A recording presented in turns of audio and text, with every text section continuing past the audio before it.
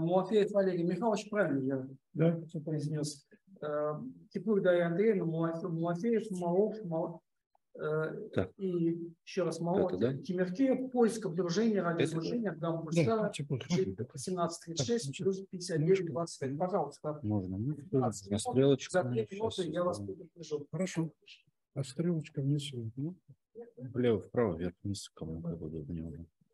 есть. Понятно. Так. Э, Спасибо за приглашение на эту конференцию. Редкий случай, что у нас конференции проводятся. Приятно выступить в этой аудитории после большого перерыва. Я от имени маленького коллектива расскажу о поиске исследования радиоизлучения от очень интересного объекта э, гамма-пульсара, яркого гамма-пульсара. Значит, так, поехали. Дальше. А, Нет, показывать. Так, все, все. Я не буду рассказывать про эту картинку. Это распределение пульсаров. Здесь разным цветом э, показаны разные типы пульсаров. Э, В частности, хочу обратить внимание, что очень много уже э, синеньких пульсаров – это гамма-пульсары. А если раньше, лет 15 назад, у нас в основном были радиопульсары, и зная, где они расположены, э, люди искали в других диапазонах, в гамма, в рентгене, в оптике излучения, то сейчас ситуация немножко изменилась. Э, Более 300 уже пульсаров есть э, гамма, и далеко не все они на- найдены в радио. Есть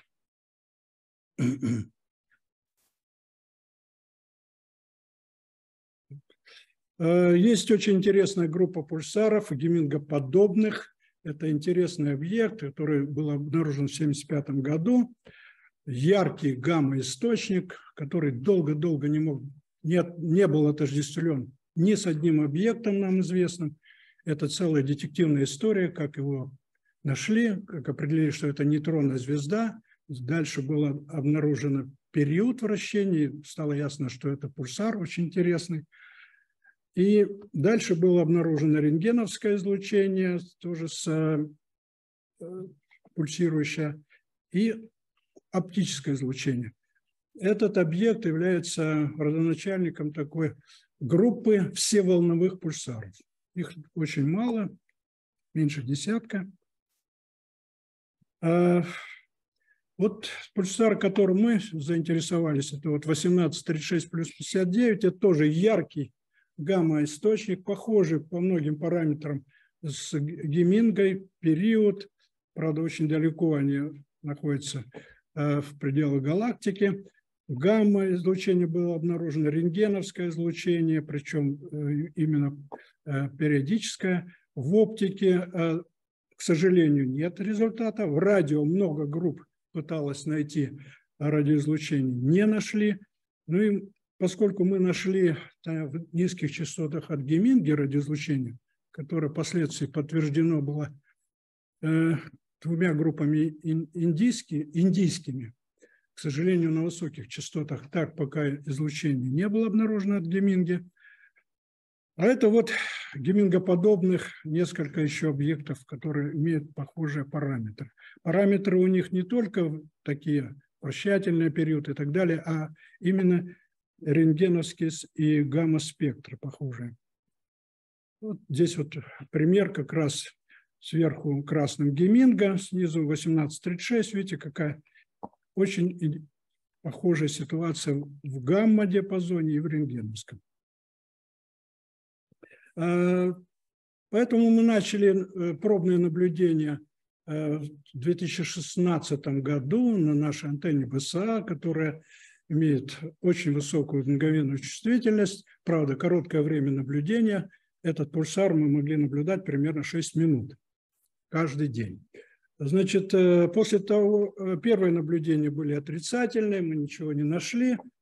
А, Но вот наши товарищи, коллеги Игорь Федорович и Маша, э, так сказать, проанализировав гамма и рентгенское излучение, предположили, что есть пульсары, которые можно обнаружить в радио, гамма, и в их число вошел этот объект 1836 и геминга, которые должны давать самые высокие, большие потоки. Мы гемингу обнаружили, решили, что этот пульсар мы тоже будем наблюдать. Стали э, регулярно ставить наблюдения, по, примерно по 10 дней, 3-4 серии в год. И вот э, в настоящее время нами обработано более 110 дней наблюдений. Каждый день э, наблюдение 6 минут, обработка занимает примерно несколько часов. Э, потому что нам приходится, мы не знаем расстояние, мы ищем меру дисперсии, перебираем меру дисперсии, ищем интегральный профиль, пытаемся найти излучение э, в накоплении. И второй метод – это мы пытаемся индивидуальный импульс смотреть. Здесь есть параметры, с которыми мы наблюдали. И вот э, после достаточно долгой охоты за этим объектом в этом году нам удалось все-таки найти день, их всего несколько, вот 8 декабря 2021 года, когда нам удалось в сумме, здесь суммировано 726 групп по три периода, вот в этой, э, здесь временная шкала, это три периода пульсара. Э, по оси ординат здесь мощность, ну или интенсивность пульсара. Вы видите, что черточками отмечены фазы, э, на которых э, это расстояние, это период пульсара. Здесь вот три периода, и видно, что есть слабый сигнал во всех трех фазах. Сигнал на уровне трех сигма. Это, конечно, очень мало, но если бы было много, его бы давным-давно нашли наши коллеги-соперники. Но пока никто еще его не видел. Сложная ситуация как раз с поиском меры дисперсии. Нам нужно подобрать ту дисперсию, на, на которой этот то есть то расстояние, на котором пульсар находится. Ну вот свертка этих трех периодов дает уже вот такой вот профиль. Это, конечно, слабенький профиль, но он вселил надежду, что здесь что-то есть. А дальше мы включили второй критерий. Значит, первый критерий – это при накоплении должно трех периодах или в двух периодах должны появляться пики э, через период или через два периода, чтобы показать, что это реальный объект. И второй критерий – это должен быть след на э, динамическом спектре. Здесь вот достаточно хило он виден. Но все-таки есть. Во втором он лучше, потому что здесь беленьким. А беленьким – это очень интересный эффект, это отрицательный сигнал перед положительным есть еще отрицательный. С этим надо разбираться, в чем здесь дело. Ну, здесь пример, когда в индивидуальных это накопленный э, сигнал. А вот здесь вот мы видим, нет, это тоже индивидуальный импульс. А здесь вот мы видим все три пика есть, хиленьких, слабеньких, узеньких, но в сумме они дают в свертке достаточно уверенный, порядка 6 сигма сигнал.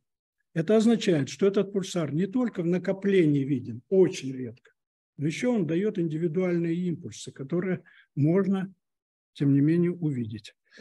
А, мера дисперсии, значит, или расстояние до объекта. Это очень важный, сложный вопрос. Здесь просто есть пример. Мы искали в большом диапазоне от 0 до 30 мер дисперсии. Предсказано, так сказать, теоретически, что он где-то в районе должен быть от 5 до 24 меры дисперсии, но мы немножечко шире сделали диапазон. И вот здесь мы видим, это интегральный уже свертка э, на разных мерах дисперсии. Вот именно этот день хороший. Пример дисперсии 19. Видите, что здесь нет импульса. При 21 что-то появляется. 23. Сигнал шума уже 3,7. 24, 26 падает, 30 совершенно нет. Все это здесь отражено, здесь сигнал шум, в зависимости от меры дисперсии, здесь ширина вот этого интегрального профиля. Видно, что максимум и минимум в районе 23-24. Мера дисперсии – это очень важный параметр. Дальше. А, чтобы расширить, э, так сказать, материал для исследования, Э, поскольку мы не видим накопление интегрального профиля, как правило, мы решили э, метод селекции включить. То есть мы копим там, где мы видим какой-то зародыш на той фазе, и на второй фазе или на двух других, зависит от того, три периода мы или два исследуем, мы должны увидеть тоже сигнал. Сигнал, и причем здесь персия. Вот здесь разные сейчас будут примеры. Здесь двойной профиль. Здесь вот э, копили вот в этой фазе э, сигнал. Всего 139 вот таких импульсов здесь накоплено, двойных, из 1089 всего. То есть на самом деле очень маленький процент имеет, э, показывает излучение. И видно здесь вот дисперсионная зависимость от вот этого профиля, и второй, который находится на периоде, отстает, или перед, тоже есть э, дисперсионная зависимость. Это показывает, что сигнал реальный, сигнал пришел э, к нам издалека, прошел межзвездную среду и задержался. И здесь дальше тоже примеры накопления уже в трех периодах. А, вот здесь вот копили в этой фазе, вот синеньким показано, видно здесь хорошо дисперсионная зависимость, она вот здесь вот обрывается. На второй фазе тоже есть, на третьей, к сожалению, практически мы не видим. Ну, это и понятно, потому что мы копим э, порядка ста всего таких тройных периодов, то на вторых и третьих фазах их существенно меньше. Поэтому вероятность того, что там появится сигнал, мала. Она возрастает или вообще только возможно, когда пульсар излучает группами, то есть по нескольку импульсов. Тогда у нас есть шанс, что если мы в одной фазе видим импульс, то рядом тоже могут быть накопления. Здесь другой пример. Тоже копили в этой фазе, и видим, что есть и дисперсионная зависимость, и второй импульс, и даже, возможно, вот сигнал от третьего есть. А дальше мы попытались э, форму определить интегральную. Я не буду рассказывать, как. Во всех трех фазах здесь виден импульс. Здесь мы просто э, копили только те э, группы, где есть сигнал в двух каких-то фазах. И вот здесь видно, что есть профиль, профиль двойной, 135 импульсов здесь накоплено, а здесь вот 264, он тройной. То есть пульсар имеет еще и не просто такой случайный набор индивидуальных импульсов, а они как-то в фазе э, собираются на определенных вот долготах. А дальше еще один эффект есть у этого пульсара, еще менее, реже он проявляется, это интерпульс. Вот здесь вот ничего не видно, как бы это тройной период. Свертка показывает, что есть в центре, там, где у нас обычно появляется главный импульс, есть интерпульс. В гамма-диапазоне у него известно, что это пульсар есть интерпульс на половине периода, и он по амплитуде меньше главного и чуть уже. Здесь у нас тоже есть большая вероятность. Таких случаев всего несколько. Мы видим тоже интерпульс, но редко. Это даже не суммированное, это индивидуальные три периода записаны. Здесь тоже самое мы видим интерпульсы главный. И накопление на фазе, ну, из фазы интерпульса покажет, что он действительно есть, есть на второй фазе. Э, плотность потока, здесь вот некоторые данные, на самом деле их больше по попытке измерить эту, э, потоку этого пульсара. Э, как правило, это все только верхние оценки. Есть очень такая хорошая оценка, 17 микроянских на частоте 800 МГц. Если взять нашу оценку, а наша оценка это примерно 100 миллиянский средний поток, размазанный по периоду, мы не можем дать точную плюс-минус, потому что всего в 10% случаев мы видим сигнал, а в 90% нет. Поэтому мы даем оценку 100 или меньше. Если вот здесь вот провести, так сказать, по самым крайним точкам э, спектр, то оказывается спектральный индекс будет больше трех с половиной что характерно для геминги, которая имеет э, больше четырех спектральный индекс. Поэтому геминга на высоких частотах никем не наблюдалась, поэтому этот пульсар тоже на высоких частотах практически недоступен. Результаты. Значит, обнаружено периодическое слабое редкое излучение. Редкое в том смысле, что оно не только по времени редкое, но еще и э, так сказать, тогда, когда есть излучение, она тоже очень нерегулярна. Значит, проявляется примерно в 10% случаев, и то при э, методе, когда мы используем метод селекции. А импульс индивидуальный чаще наблюдается, чем в 10%. Мы точную статистику сейчас еще не, не, не дали, э, но они достаточно узкие. Измерена мера дисперсии, которая, если взять эту меру дисперсии и взять э, для того, чтобы расстояние определить для данного пульсара, нам нужно знать среднюю э, плотность электронов в этом направлении. Э, Рядом пульсар есть, очень близко, который гораздо дальше расположен, чем вот этот объект. Если взять ту э, плотность электронную, хотя это может оказаться неправильным, но если ее взять, э, и вот эту меру дисперсии, то этот пульсар должен быть расположен примерно на расстоянии 300 парсек. Это достаточно близкий объект.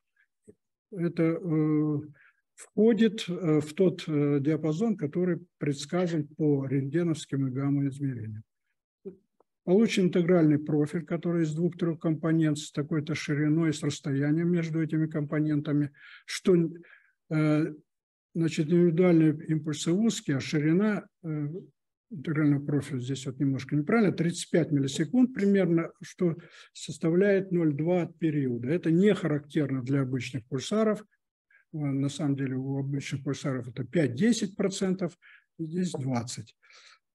Иногда мы видим интерпульс, тоже на фазе 0,5 периода. И объяснение уже сказал, что не наблюдается на высоких частотах из-за крутого радиоспектра, что может связано быть с механизмом радиоизлучения. Но очень сложно найти такой механизм, который бы давал такой столь крутой спектр. Вот. Либо из-за узкого конуса излучения, который э, на высоких частотах э, мы не луч зрения не пересекает этот конус, а на низких частотах, где конус расширяется, мы можем, так же, как у Деминги, чиркать по этому конусу и видеть излучение. Спасибо. Ну, у время для пары вопросов есть, пожалуйста. Есть ли желающие? Пожалуйста. Только выходите.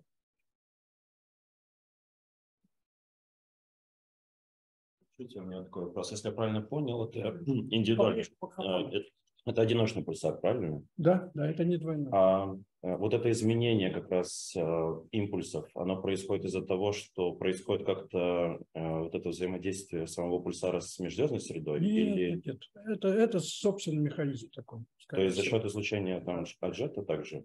Э, Нет, нет, э, джеты это, ну, как правило, двойные системы. Нет, здесь э, пока о джетах речь не идет, но это так же, как Геминга, это, скорее всего, соосный ротатор, то есть Мгм. две оси, о которых вот предыдущий докладчик говорил, почти совпадают, то есть маленький угол между осью вращения и магнитной Ну, то, что есть осью. как угол какой-то между магнитным Да, есть, и- да, да, есть некий угол, но э, переменность скорее связана с самим механизмом излучения. Тут э, межзвездная среда, если дает, то она дает, так сказать, и по частоте там изменения, которые мы знаем, зная расстояние, мы можем сказать, какие должны быть. характерны. А это очень близкий пульсар, да. Поэтому здесь только механизм. Среда это ничего, этого ничего не может. Спасибо. Еще еще есть вопросы? Давайте тогда поблагодарим докладника.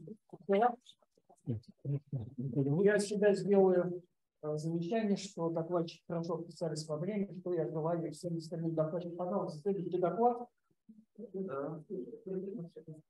Татьяна Валерьевна расскажет нам про э, моделирование распада облака вращающегося водопланетного диска. И этот доклад начинает новую тему, очень важную, последнюю тему нашей конференции, околозвездные диски и экзопланеты.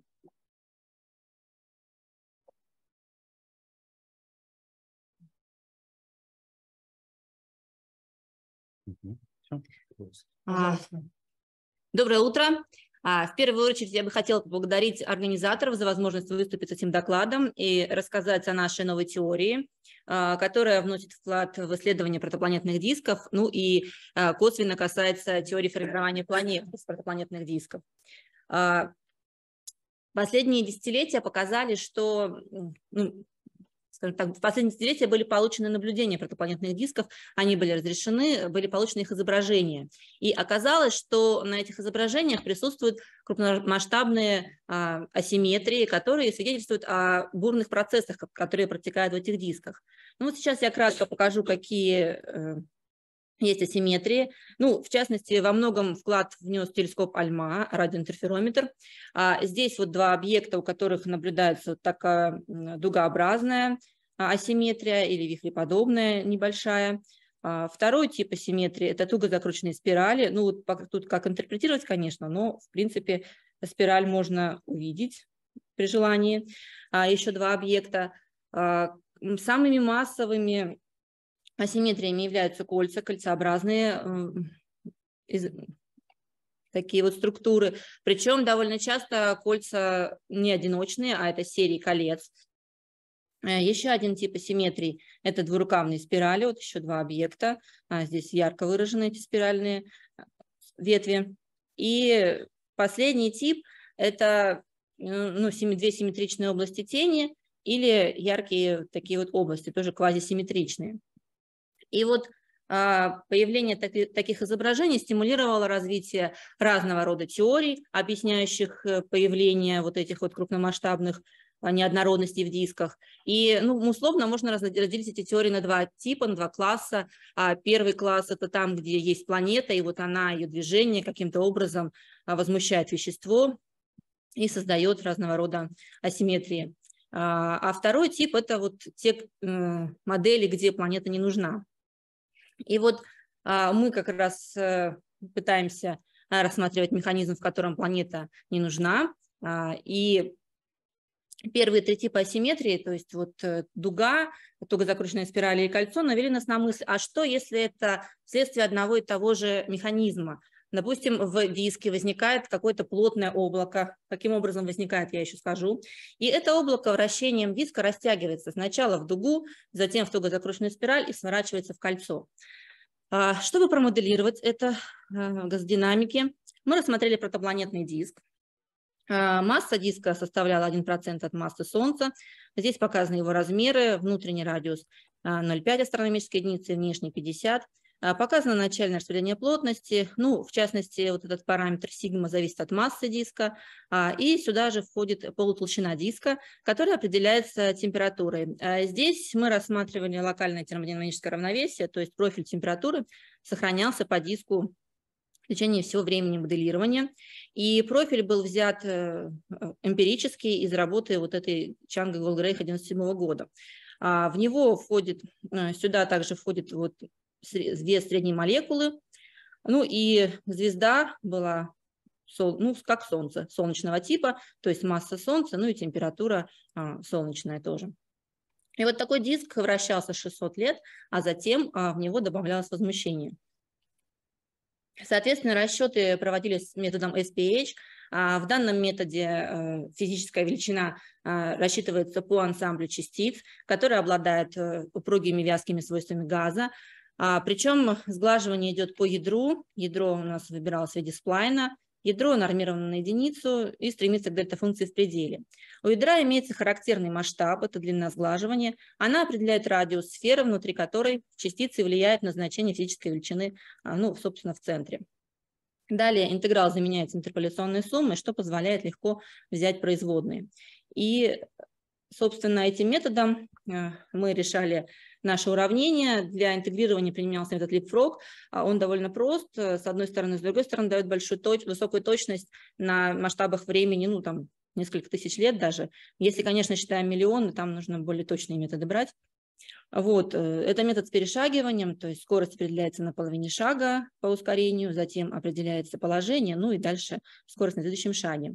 А в задаче применялся переменный временной шаг. Это было сделано потому, что масштабы диска большие, и скоростной режим вблизи звезды, он более а, мощный, чем на периферии. И это позволяло без потери точности а, посчитать ну, более, как этот диск достаточно, вернее, без потери компьютерного времени посчитать его более точно. Использовался код Gadget 2, который был мной модифицирован для протопланетных дисков. Ну и вот а, главный вопрос, что же за возмущение, которое возникает в диске и а, вот таким образом по нему растягивается. Первое наше предположение было связано со столкновением планеты Земли астероидов разного рода. Э, в работах вот, вот этих было показано, что процесс столкновения планеты Земли, а, ну, там, километровых, 10-километровых, 100-километровых размеров, а, особенно если это лобовое столкновение, он идет каскадно. То есть астероид дробится на мелкие куски, они сталкиваются друг с другом и дробятся еще на более мелкое вещество. И вот а, мы предполагали, что астероиды столкнулись, раздробились, а, Историю столкновения мы оставляем за пределами нашего моделирования. И вот тот момент, когда уже образовался этот сгусток полевой, мы начинаем исследовать. Соответственно, сгусток э, представлял собой такой шар, а, распределение вещества там было по экспоненте. А, вот эта вот плотность самого вещества материала пылинок, рассматривалась пыль мелкая, там 10, 100 и 1 миллиметр, 10 а, микрон пылинки очень быстро рассеивались в диске и не сохраняли свое положение, а вот 100 микрон и 1 миллиметр, в принципе, хорошо себя показали. А здесь показана масса возмущения, она довольно большая, это половина почти массы Луны. А, вот, э, ну, мы искали такую массу, чтобы было видно кольцо, последняя фаза распада этого сгустка, я об этом еще буду говорить. А, кроме того, были добавлены случайные скорости с максимумом распределения 50 метров в секунду и э, девиации плюс-минус 50 метров в секунду. Э, соответственно, сгусток помещался вот сюда на расстояние 30 астрономических единиц. Вот так. Ну, здесь уравнения показаны, я их не показала в начале. Э, это уравнение неразрывности для газа и для пыли, уравнение движения для газа и для пыли отдельно, и здесь добавлен вот этот вот член, который учитывает трение пыли о газ и газа о пыль. Соответственно, а, алгоритм добавления так, такого члена описан в работе Монагана Кочеряна 95 года, это для метода SPH. Ну и уравнение для а, локального исторического равновесия, там, где у нас сохраняется скорость звука, и, соответственно, это связано с тем, что сохраняется температура диска. И вот результаты расчетов, как мы и ожидали, а, оказалось, что вот красным это показаны полевые частицы, а, э, соответственно, черным это газ. А, сгусток действительно вытягивается в такую дугообразную структуру, а затем сворачивается в спираль, ну и далее вот кольцеобразная структура существует довольно долго. Здесь э, показано время в периодах, ну, период, в периодах центра начального нашего сгустка, период 164 года, и, соответственно, существует это вот, ну, уже на, на временах порядка 10 тысяч лет. Соответственно, а, чтобы получить изображение, мы использовали код RADMC 3D, и вот здесь вот построено изображение на одном миллиметре. А, видно, что, в принципе, изображения, изображения их появились асимметрии, которые мы хотели увидеть, и они соответствуют тем, что получается для распределения плотности. И даже вот в этом случае, когда у нас уже прошло 40 периодов, то есть там где-то 6 тысяч лет, все равно кольцо можно каким-то, ну, в принципе, его можно отличить от остального фона диска. Но затем, конечно, вещество это рассеивается в диске. Ну и вот данная работа была опубликована в Astrophysical Journal Letters в 2019 году. Но у нее есть, к ней есть вопросы, э, некоторые проблемы, потому что масса вот этих планетоземалий, она должна быть очень большая. По сути, мы должны увидеть лобовое столкновение двух а, объектов массы, ну, наверное, в четверть массы Луны. А, с одной стороны, процесс столкновения планеты Земли естественный для протопланетных дисков, это происходит, и это один из этапов их эволюции, но обычно они сталкиваются поближе к звезде, там, где высокие скоростные режимы, а на 30 астрономических единицах а, столкновение такое маловероятно. А, однако ну и там и скорости меньше. Однако, в принципе, планета может способствовать выбросу проникноземали на периферию. Мы хотели без планеты, но, видимо, вот в данной модели без планеты сложно обойтись.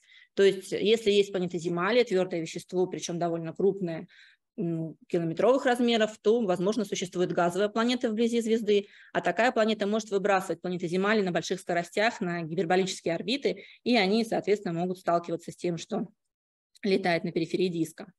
А, ну, кроме того, э, тела могут быть меньше, то есть в процессе столкновения они могут набрать пыль на себя из э, окружающего диска. А, мы видим также последствия событий, ну, как предполагается в ряде теорий, что катастрофические столкновения привели к образованию Луны, к образованию системы Плутон-Харон, ну и наклонение оси Урана тоже может быть связано именно со столкновением с каким-то телом. И вот еще в 2020 году а, Сергей Наякшин и команда показали, что в целом э, приливное разрушение планеты. 40 минут. Ну, э, приливное разрушение планеты, оно э, может привести к выбросу большого количества мелкой пыли, а, и в целом а, Сергей говорит, что вот мы привыкли к тому, что планета – это нечто твердое, каменистое, а, и что очень сложно разрушить, но на самом деле на стадии формирования наверняка возможен такой момент, когда планета – это нечто рыхлое, и оно может быть разрушено и приливным взаимодействием, например, двойной системы, либо удар твердого тела в такое более рыхлое тело может привести к наличию, появлению большего количества мелкой пыли. А, ну, мы не остановились на этом, потому что идея а, вот появления сгустка и распада его таким образом, что в рамках одной модели мы можем объяснить несколько типов асимметрий, а, нас продолжало волновать. И следующее наше предположение – это таково, что сгусток мог появиться в системе извне, то есть прилететь из межзвездного пространства. В принципе, облачная аккреция, она обсуждалось э, в работах Киньона и Хартмана, то есть падение сгустков из остатков э, протозвездного облака э, обсуждалось. Однако в данном случае все-таки падение идет на периферию диска, и такие модели делаются. А вот в работе Воробьева 2012 года было показано, что при эволюции массивных дисков возникают клампы, сгустки, причем размеры этих и массы этих сгустков невелики, а, массы достигают нескольких десятков масс Юпитера.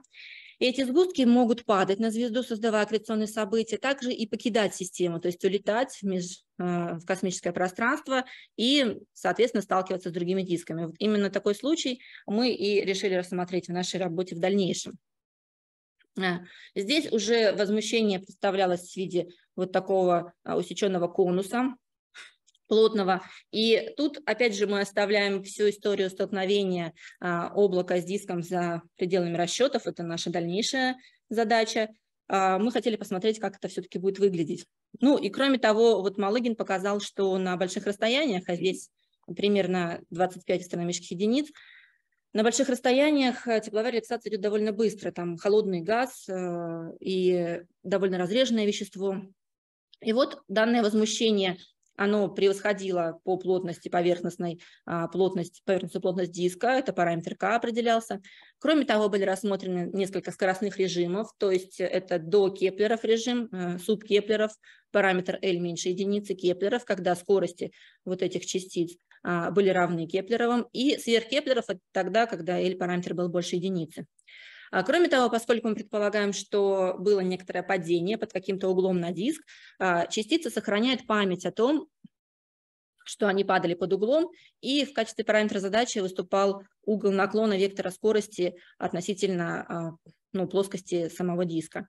Ну и здесь вот радиальные размеры это э, раствор конуса, ну и по радиусу от R0 до шаг. И вот такое возмущение у нас а, тоже в диске а, развивалось. Метод, опять же, тот же остается. Здесь более подробно приведены уравнения. Здесь уже нет никакой пыли. Мы считали чистую газодинамику без вклада полевого. А метод SPH, вот, это, вот эти наши уравнения приводит вот к такому виду. Ну и немножко подробно расскажу про то, что входит в основное уравнение движения. Это гидродинамическое ускорение, это искусственная вязкость и, соответственно, гравитация звезды и самогравитация диска. А, важно отметить, что длина сглаживания в методе, она тоже определялась итерациями, не была постоянной. Это опять же связано с тем, что вблизи звезды диск плотный, а на периферии он разреженный. Это позволяет, скажем так, без потери компьютерного времени считать более точно. Ну и вот здесь показаны модели, которые были рассчитаны таким образом, с большим набором параметров. И оказалось, что основное влияние на то, какими будут структуры, особенно долгоживущими, оказывает именно скоростной режим, то есть вот параметр L. А, поэтому дальше я покажу вот отдельно по каждому его значению.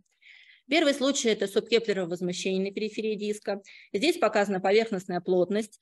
А, ну, примерно то же самое, что мы видим в предыдущих расчетах, то есть э, возмущение растягивается в дугу, затем сворачивается спираль, хотя тут спираль раздваивается на две, и в конце получается вот такое асимметричное кольцо.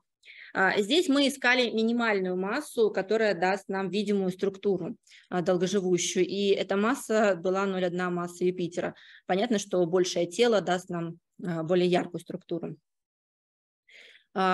Кроме того, поскольку имеется наклон вектора скорости, по диску проходят вертикальные волны. Здесь показано среднее значение координаты z, то есть перпендикулярно плоскости диска, для SPH-частиц, и видно, что в начальный момент времени диск вот таким образом искажен, а затем э, это возмущение распространяется на периферию, но сам угол наклона тоже уменьшается. Это связано и с э, самогравитацией диска, и с гидродинамикой, которая таким образом работает. Вот. Ну и на изображениях на одном миллиметре мы, в принципе, видим все те же структуры, дугу, э, ну, что-то похожее на спираль, и здесь получилось у нас вот такое асимметричное кольцо. Вот эта структура долгоживущая и живет ну, около тысячи лет. Следующий случай – это Кеплерово возмущение. Здесь э, движение а, вещества происходит немножко медленнее, потому что когда мы, у нас параметр L меньше нуля, мы стартуем с апоастра, и, собственно, вещество приближается к звезде, а здесь, ну, получается, что большая полуось, ну, условно, она больше поэтому распространяется вот это возмущение медленнее. Ну вот в данном случае все то же самое, а в конце мы получаем кольцеобразную структуру. Здесь ее, в принципе, можно увидеть, а на изображениях она видна еще лучше. А, соответственно, вот это вот изображение на одном миллиметре. Что интересно, а, для некоторых моментов времени вот одно событие, появление этого массивного ну, так сказать, сгустка вещества приводит к появлению нескольких колец на изображениях. То есть, ну, в принципе, многополосная структура возможна и в таком случае. А, вектор, вектор скорости вот этот вот и, он также влияет на изображение. Если он небольшой, то мы получаем ровное хорошее колечко, а если он растет и больше 20 градусов, то здесь кольцо разрывается и видны такие слабо выраженные двурукавные спирали. Ну и последний тип – это возмущение на периферии диска, поверхностная плотность здесь показана. Здесь возмущение рас, а, расходится, ну, распространяется еще медленнее, потому что мы стартуем с периастра, и большая полость еще больше вот этих частиц. И возмущение это мощное, оно приводит к формированию вот такой вот двурукавной спирали в данном случае. Вот это хорошо видно на изображении через 500 лет. А, здесь уже годы именно, э, видно, что двурукавные спирали есть для всех углов наклона, однако чем он больше, тем более асимметричным выглядит диск, периферия а, в одном месте более яркая, а в другом, а, наоборот, менее яркая. Вот. дальше мы исследовали долговременную эволюцию. Здесь мы уже увеличили количество частиц до 2,5 миллионов.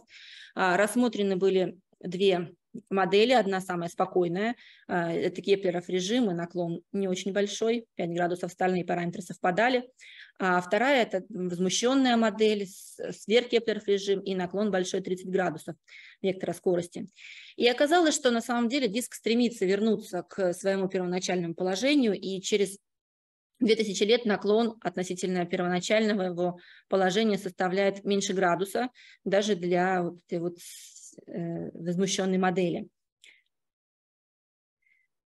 Ну и изображение через тысячу лет для тех же двух моделей. Здесь видно кольцо, но оно уже очень слабое. Э, на двурукавные спирали видны хорошо, даже через тысячу лет распада возмущения. Ну а затем а, спираль, она двурукавная, пропадает и остается вот такое асимметричное кольцо. Наконец расчетов через 2000 лет а, все равно вот это кольцо э, существует, его видно. Ну и вот данная работа также была опубликована в Star Physical Journal а, в прошлом году. И следующий, следующий, последний, можно так сказать, на сегодня а, момент, который мы хотели рассмотреть, А что будет, если массивное облако порядка одной массы Юпитера упадет на звезду, ну не на звезду, а на протопланетный диск?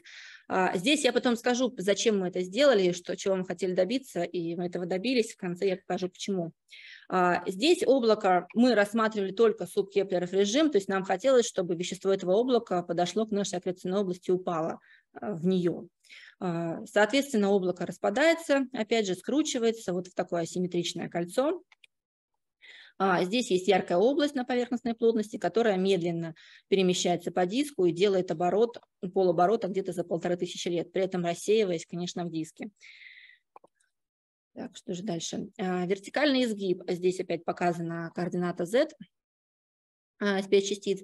Видно, что в таком случае возникает наклон внутреннего диска относительно периферии. Наклон этот медленно уменьшается и распространяется на периферию диска. И вот через тысячу лет он уже захватывает практически весь рассматриваемый нами диск. Вот изображение на одном миллиметре, то есть наклонный диск э, ведет себя таким образом, что он дает нам э, на, в миллиметровом диапазоне две симметричные тени и, соответственно, две симметричные яркие области. А почему так происходит? Э, диск наклонен относительно внешней части, и вот эта область, возвышающаяся над диском, она нагревается прямым излучением звезды. То же самое происходит снизу. И поскольку в радиодиапазоне диск прозрачен, нижняя часть просвечивает к наблюдателю, и мы видим такую картину. А, проверить вот это можно, э, если наблюдать, допустим, в оптике а, или в инфракрасном диапазоне, диск непрозрачный, вот эту нижнюю часть будет, нижнюю часть будет не видно. А, вот. Это как раз можно проверить, насколько такая модель работает. То есть, в принципе, только в радиодиапазоне мы можем объяснить вот наличие двух симметричных теней. теней. Однако э, вот этот вот момент э, существования э, такой асимметричной структуры, он короткий. Через тысячу лет диск уже оседает в плоскости, и мы видим вот такое вот размазанное изображение. И, в принципе, что интересно в рамках вот данной теории, а, а, она может объяснить не только разные изображения, но и их встречаемость, потому что вот дугообразные, туго закрученные спирали, вот такие вот э, две симметричные тени – это редкие объекты, а долгоживущие структуры – это двурукавные спирали и кольцеобразные э, изображения, они живут дольше и поэтому чаще встречаются в наблюдениях. А, ну и вот ради чего мы все это делали – мы пытались найти модель, которая позволит нам а, увидеть вспышку темпа аккреции.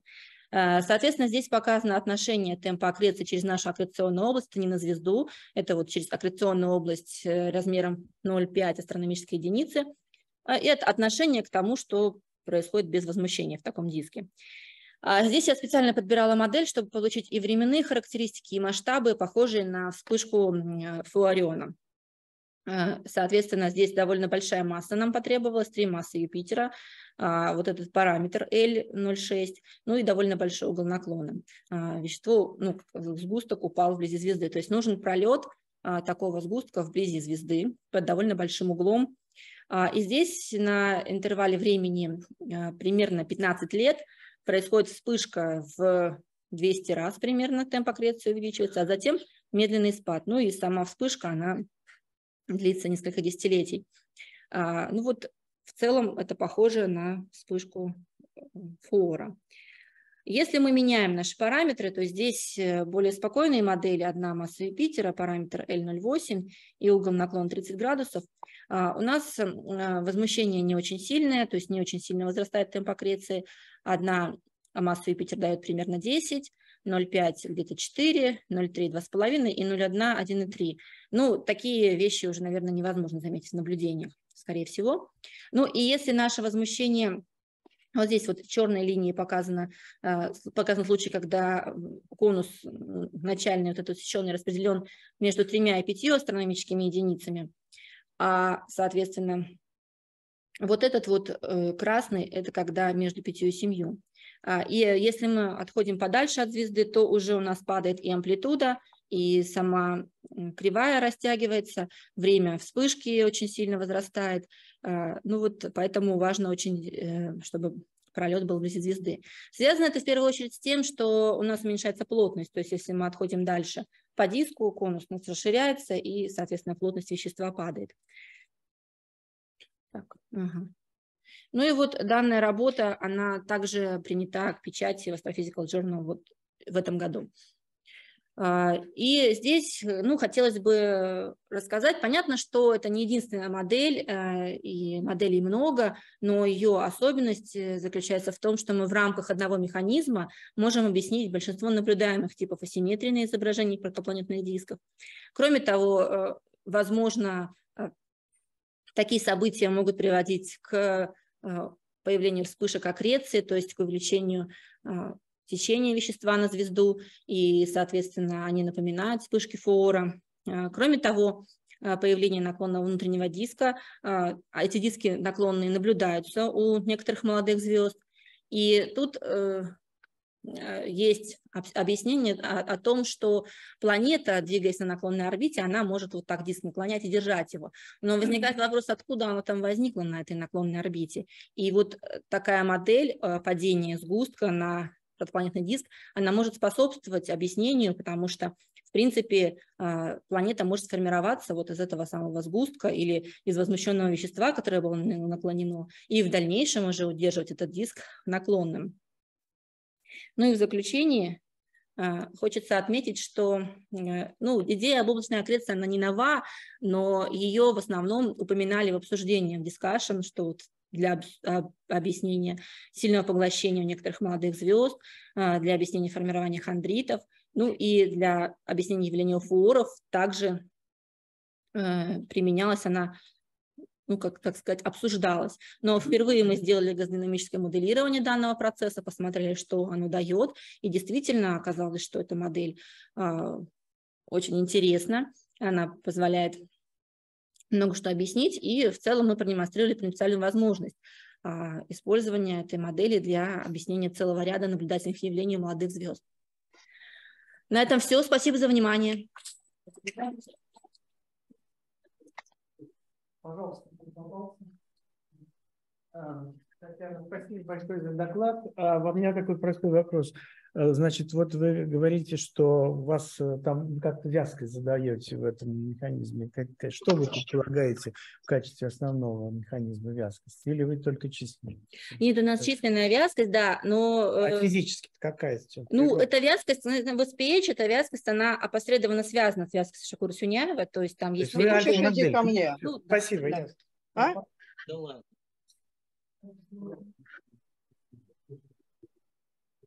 Э, вы рассчитывали на интервале, ну, тысячи лет, э, вот эти все процессы, но диски существуют миллион. И вот как эта структура сохранится в масштабе миллионов лет? Хотя бы какие-то оценки можно асимптотику привести?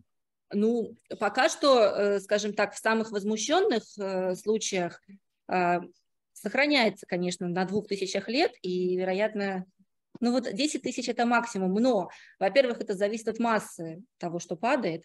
Во-вторых, э, в целом э, падение такого объекта может не только э, изменить диск, но и запустить в нем процессы разных, разного рода неустойчивости. Триггеры. Да, и вот это уже на длительном интервале может быть важно.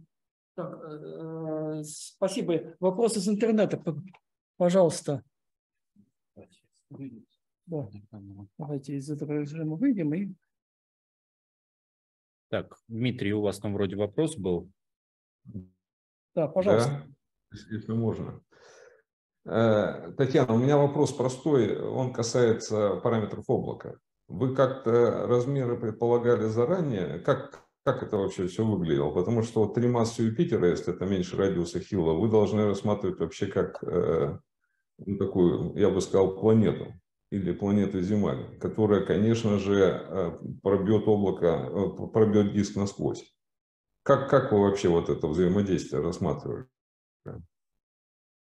Ну, мы на самом деле взаимодействие не рассматривали. А, мы предполагали, что облако упало, Размер какой? И... Татьяна, размер какой? Размер.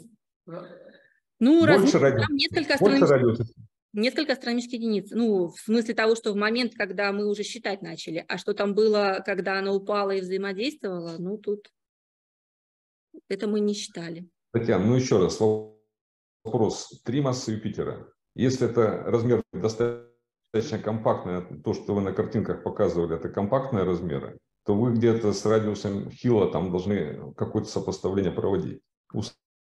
Услышьте меня, если это компактный объект, то его динамика совсем по-другому должна описываться. Вы получите там какую-нибудь э, орбиту, он будет гравитационно захвачен. Ну, мне кажется, это важно обсуждать. Спасибо. Ну, мы в любом случае посчитаем и падение, э, вот. Э, но кроме того, мы считаем самогравитацию диска, поэтому, в принципе, если там есть какие-то процессы, связанные с ну, радиусом Хилла, захватом и так далее, это все должно быть проявиться в расчетах. Я говорю про облако, не, не про диск, а про облако.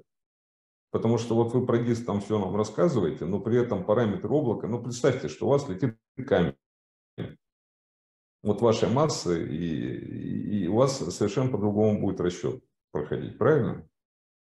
Ну, если будет столкновение, то да. Но мы посчитаем. Это мы обязательно посчитаем.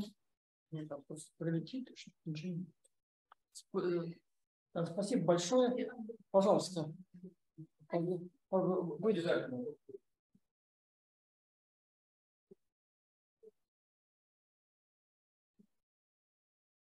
Меня два вопроса. Э, первое, может ли вот такая, как вы рассказывали, облачная аккреция, такое падение облака, например, место в декреционных э, дисках, вот более поздних И второй вопрос, проявляется ли это явление в рентгеновской части спектра? Ну, поскольку э, есть аккреция, то наверняка в рентгене что-то тоже можно увидеть. Про поздние диски, но здесь э, в целом, с одной стороны, почему нет? Звезд. Горячих звезд. С одной стороны, почему нет, а с другой стороны, все-таки а, ну, молодые звездные скопления, там, где много дисков, они близко друг к другу, и вероятность возникновения такого сгустка там, она гораздо выше, чем у какой-то одиночной поздней старой звезды. Хотя ну, сомнительно мне. Но в целом во Вселенной все возможно, я так считаю. Хотя у, у звезд звездные ветры более сгущенные в виде сгустков, и эти сгустки ведь могут оседать на диске. В принципе, да, и такие работы делались, в частности, вот моим соавтором Владимиром Павловичем Грининым с его студентами, что когда сгусток выбрасывается, он обратно падает на диск и может э, действительно какие-то явления в этом смысле создавать. Спасибо. Так, Пожалуйста, есть еще вопросы? Из, по-моему, из это у меня есть вопрос. Может, тогда.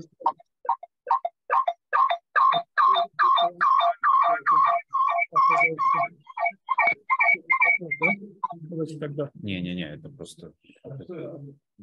Какой-то люк какой-то. Galaxy A10, да. Galaxy, Подключились. Какой-то A10 так, у меня вопрос такой. Во-первых, э, все-таки достаточно длительное время развития возмущения. На ранней стадии такие возмущения могут быть в, в, радиокартах или картах и картах быть, быть замечены. Или, может, кто-нибудь смотрел специально, и, и э, видны ли такие возмущения на самой начальной стадии. Ну, э, вообще никто не смотрел, потому что эта теория, ну, вот, по крайней мере, вот такого типа, она началась в 22 году. Вот, э, с Владимиром Павловичем мы попытались посмотреть, что будет, если возмущение такое возникло.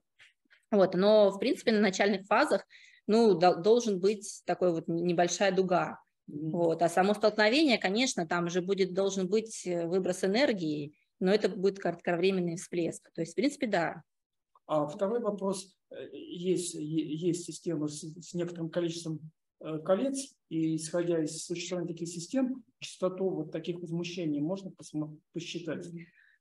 Ну, это если предполагать, что все эти события связаны с тем, что, о чем мы говорим. На самом деле, скорее всего, это не так. Существуют и, и другие модели, поэтому как-то вот это вот статистически, мне кажется, это будет не, не очень верно просто обсуждать.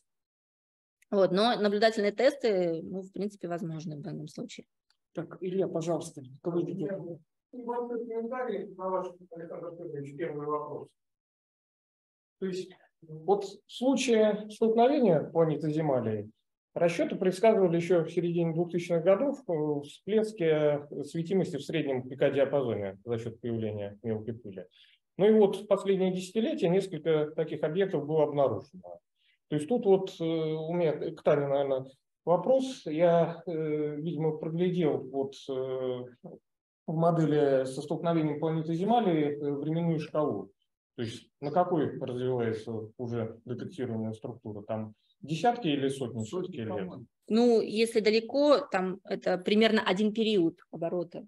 То есть, по сути ну, дела... то есть сотни. Ну да, сотни смотря где это произошло, ну да. Ну, то, тогда, то есть, возможности прямого сравнения с архивными инфракрасными данными, к сожалению, нет. Потому что так-то проверка это посмотреть вот э, переменность там на 24 микронов, но доступно охватывает 30 лет. Ну да, вот есть работы, э, по-моему, там СУ и компания, вот они наблюдали а, вот кратковременные всплески в ЭК-диапазоне, но там они предполагали столкновение вблизи, на четырех примерно астрономических единицах. Вот ну, этих там вот. мало массивных звезд, да. Нет, Ну да. По-моему, у Сергея подальше. Так. Есть еще вопросы? Так, спасибо очень большое, очень интересный доклад. Мы докладчика. И у нас следующий доклад. Э, Анастасия Павловна Корчиева, тоже э, на эту тему влияние испарения пыли, тепловой неустойчивости, определение температуры в фотопланетном диске. Пожалуйста, давайте загрузим. Ну, Не открывается. Открывался. Из-за того, что я нервничаю. Открывается.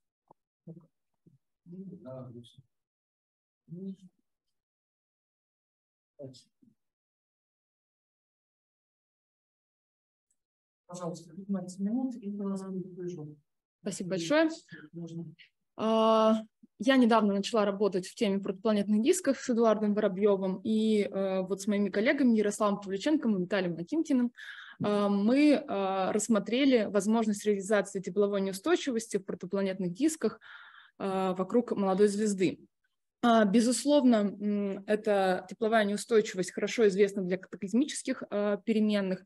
И э, если посмотреть на график э, в центре слайда, то э, здесь как раз э, представлена э, S э, изгибная э, линия, которая демонстрирует возникновение этой тепловой неустойчивости, когда у нас по оси X отложена поверхностная плотность, по оси Y у нас э, экваториальная температура Тминт а, которая была тоже на предыдущем докладе.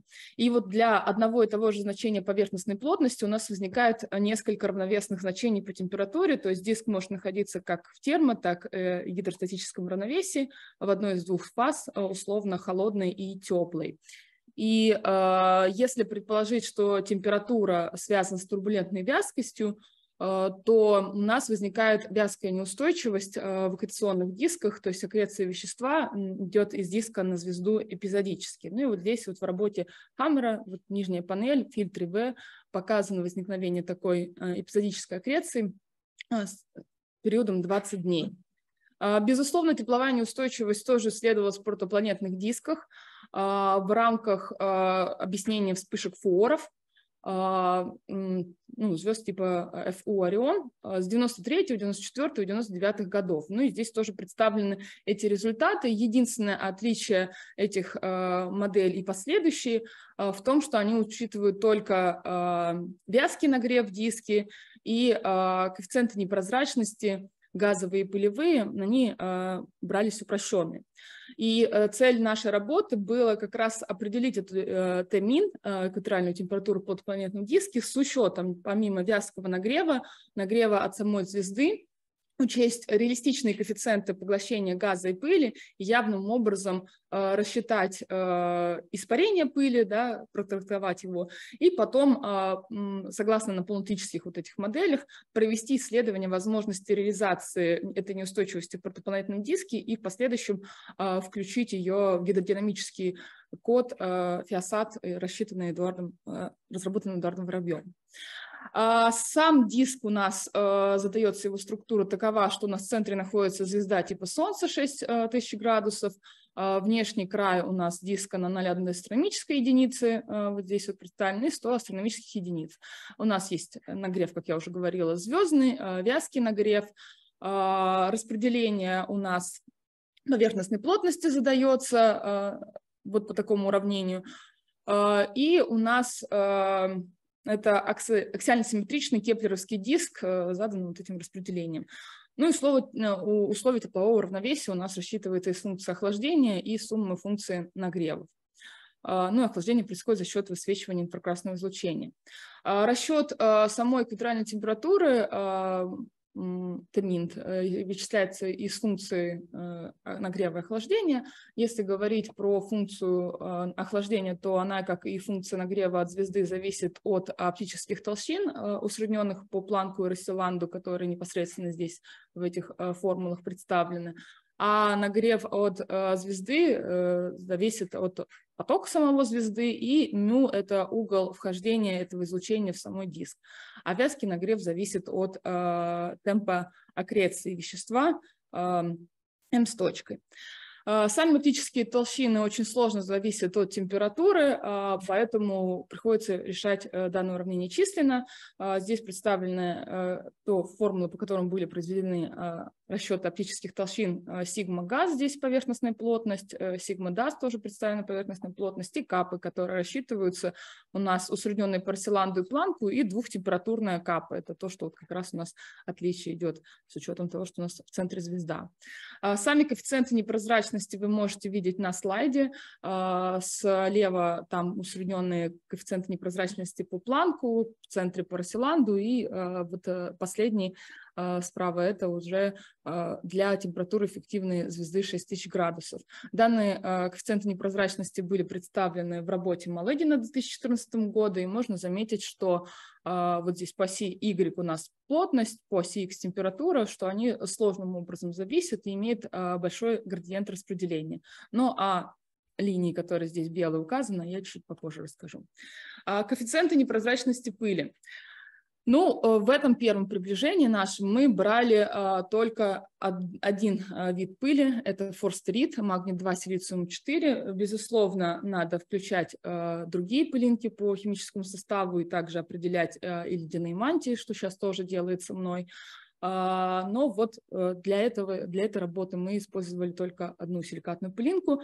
Распределение по размеру было, бралось со степ... с показательной степени минус 3,5 и варьировалась минимальная пыль от 5 э, на 10 минус 7 сантиметров до 10 минус 4 сантиметров. Ну и здесь вы можете видеть а, те самые а, коэффициенты непрозрачности, усредненные по планку в фиолетовой линии и синяя а, по Расселанду соответственно. А, сама пыль у нас испарялась, как я говорила, и формулы были заимствованы из хими, а, химической термодинамики.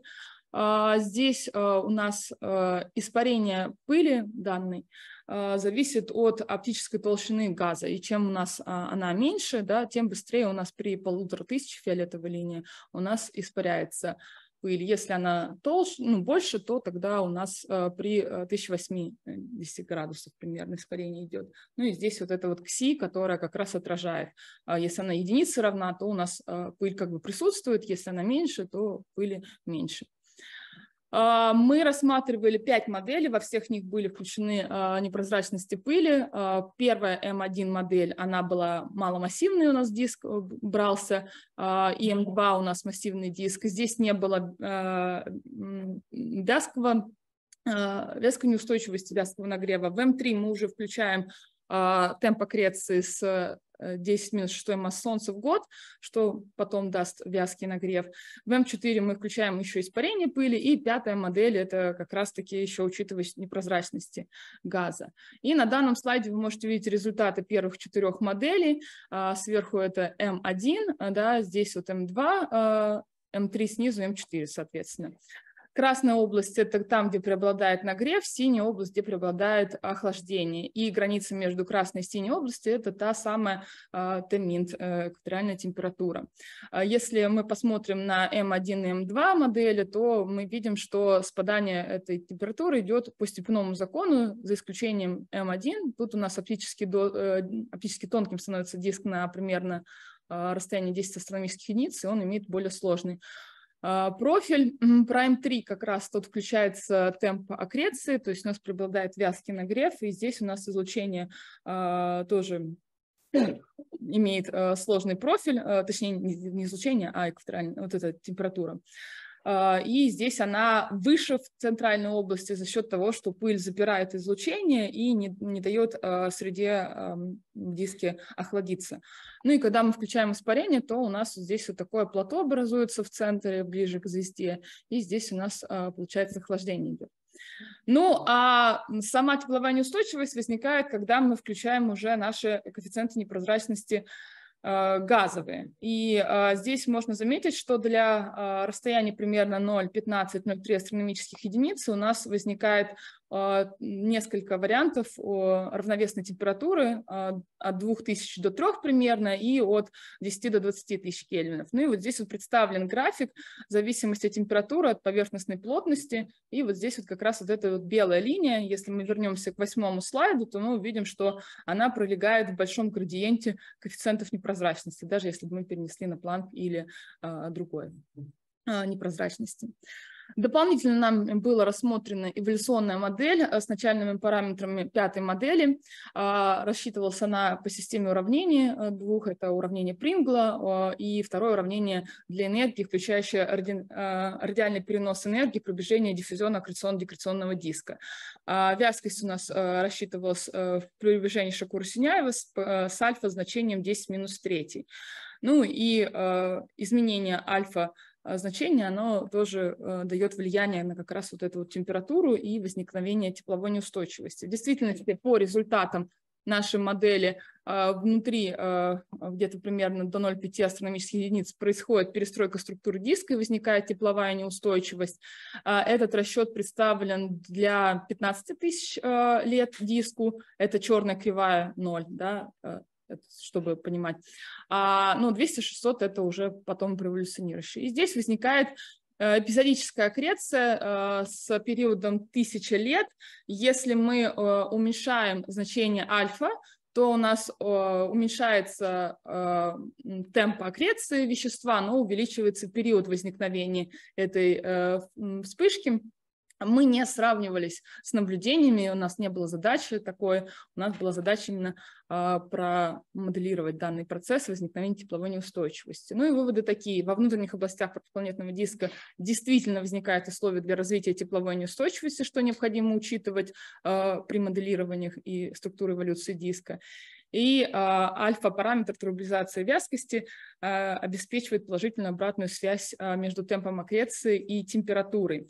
Данная работа опубликована в статье, и в последующем мы планируем ее внедрить в FIASAT и проработать сетку непрозрачности по пыли, увеличив химический состав пыли. Спасибо большое за внимание. Благодарю. Я готова ответить на вопросы.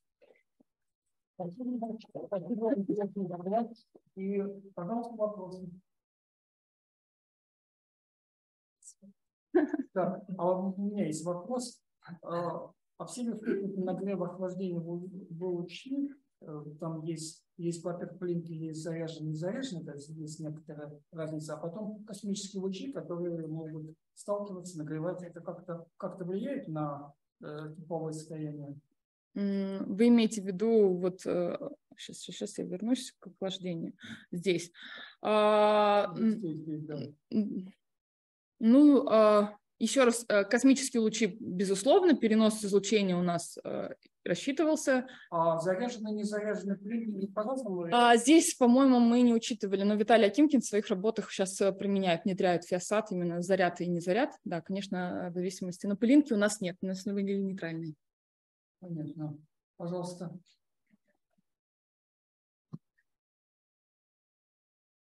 Скажите, Если что, я держу руку поднятую.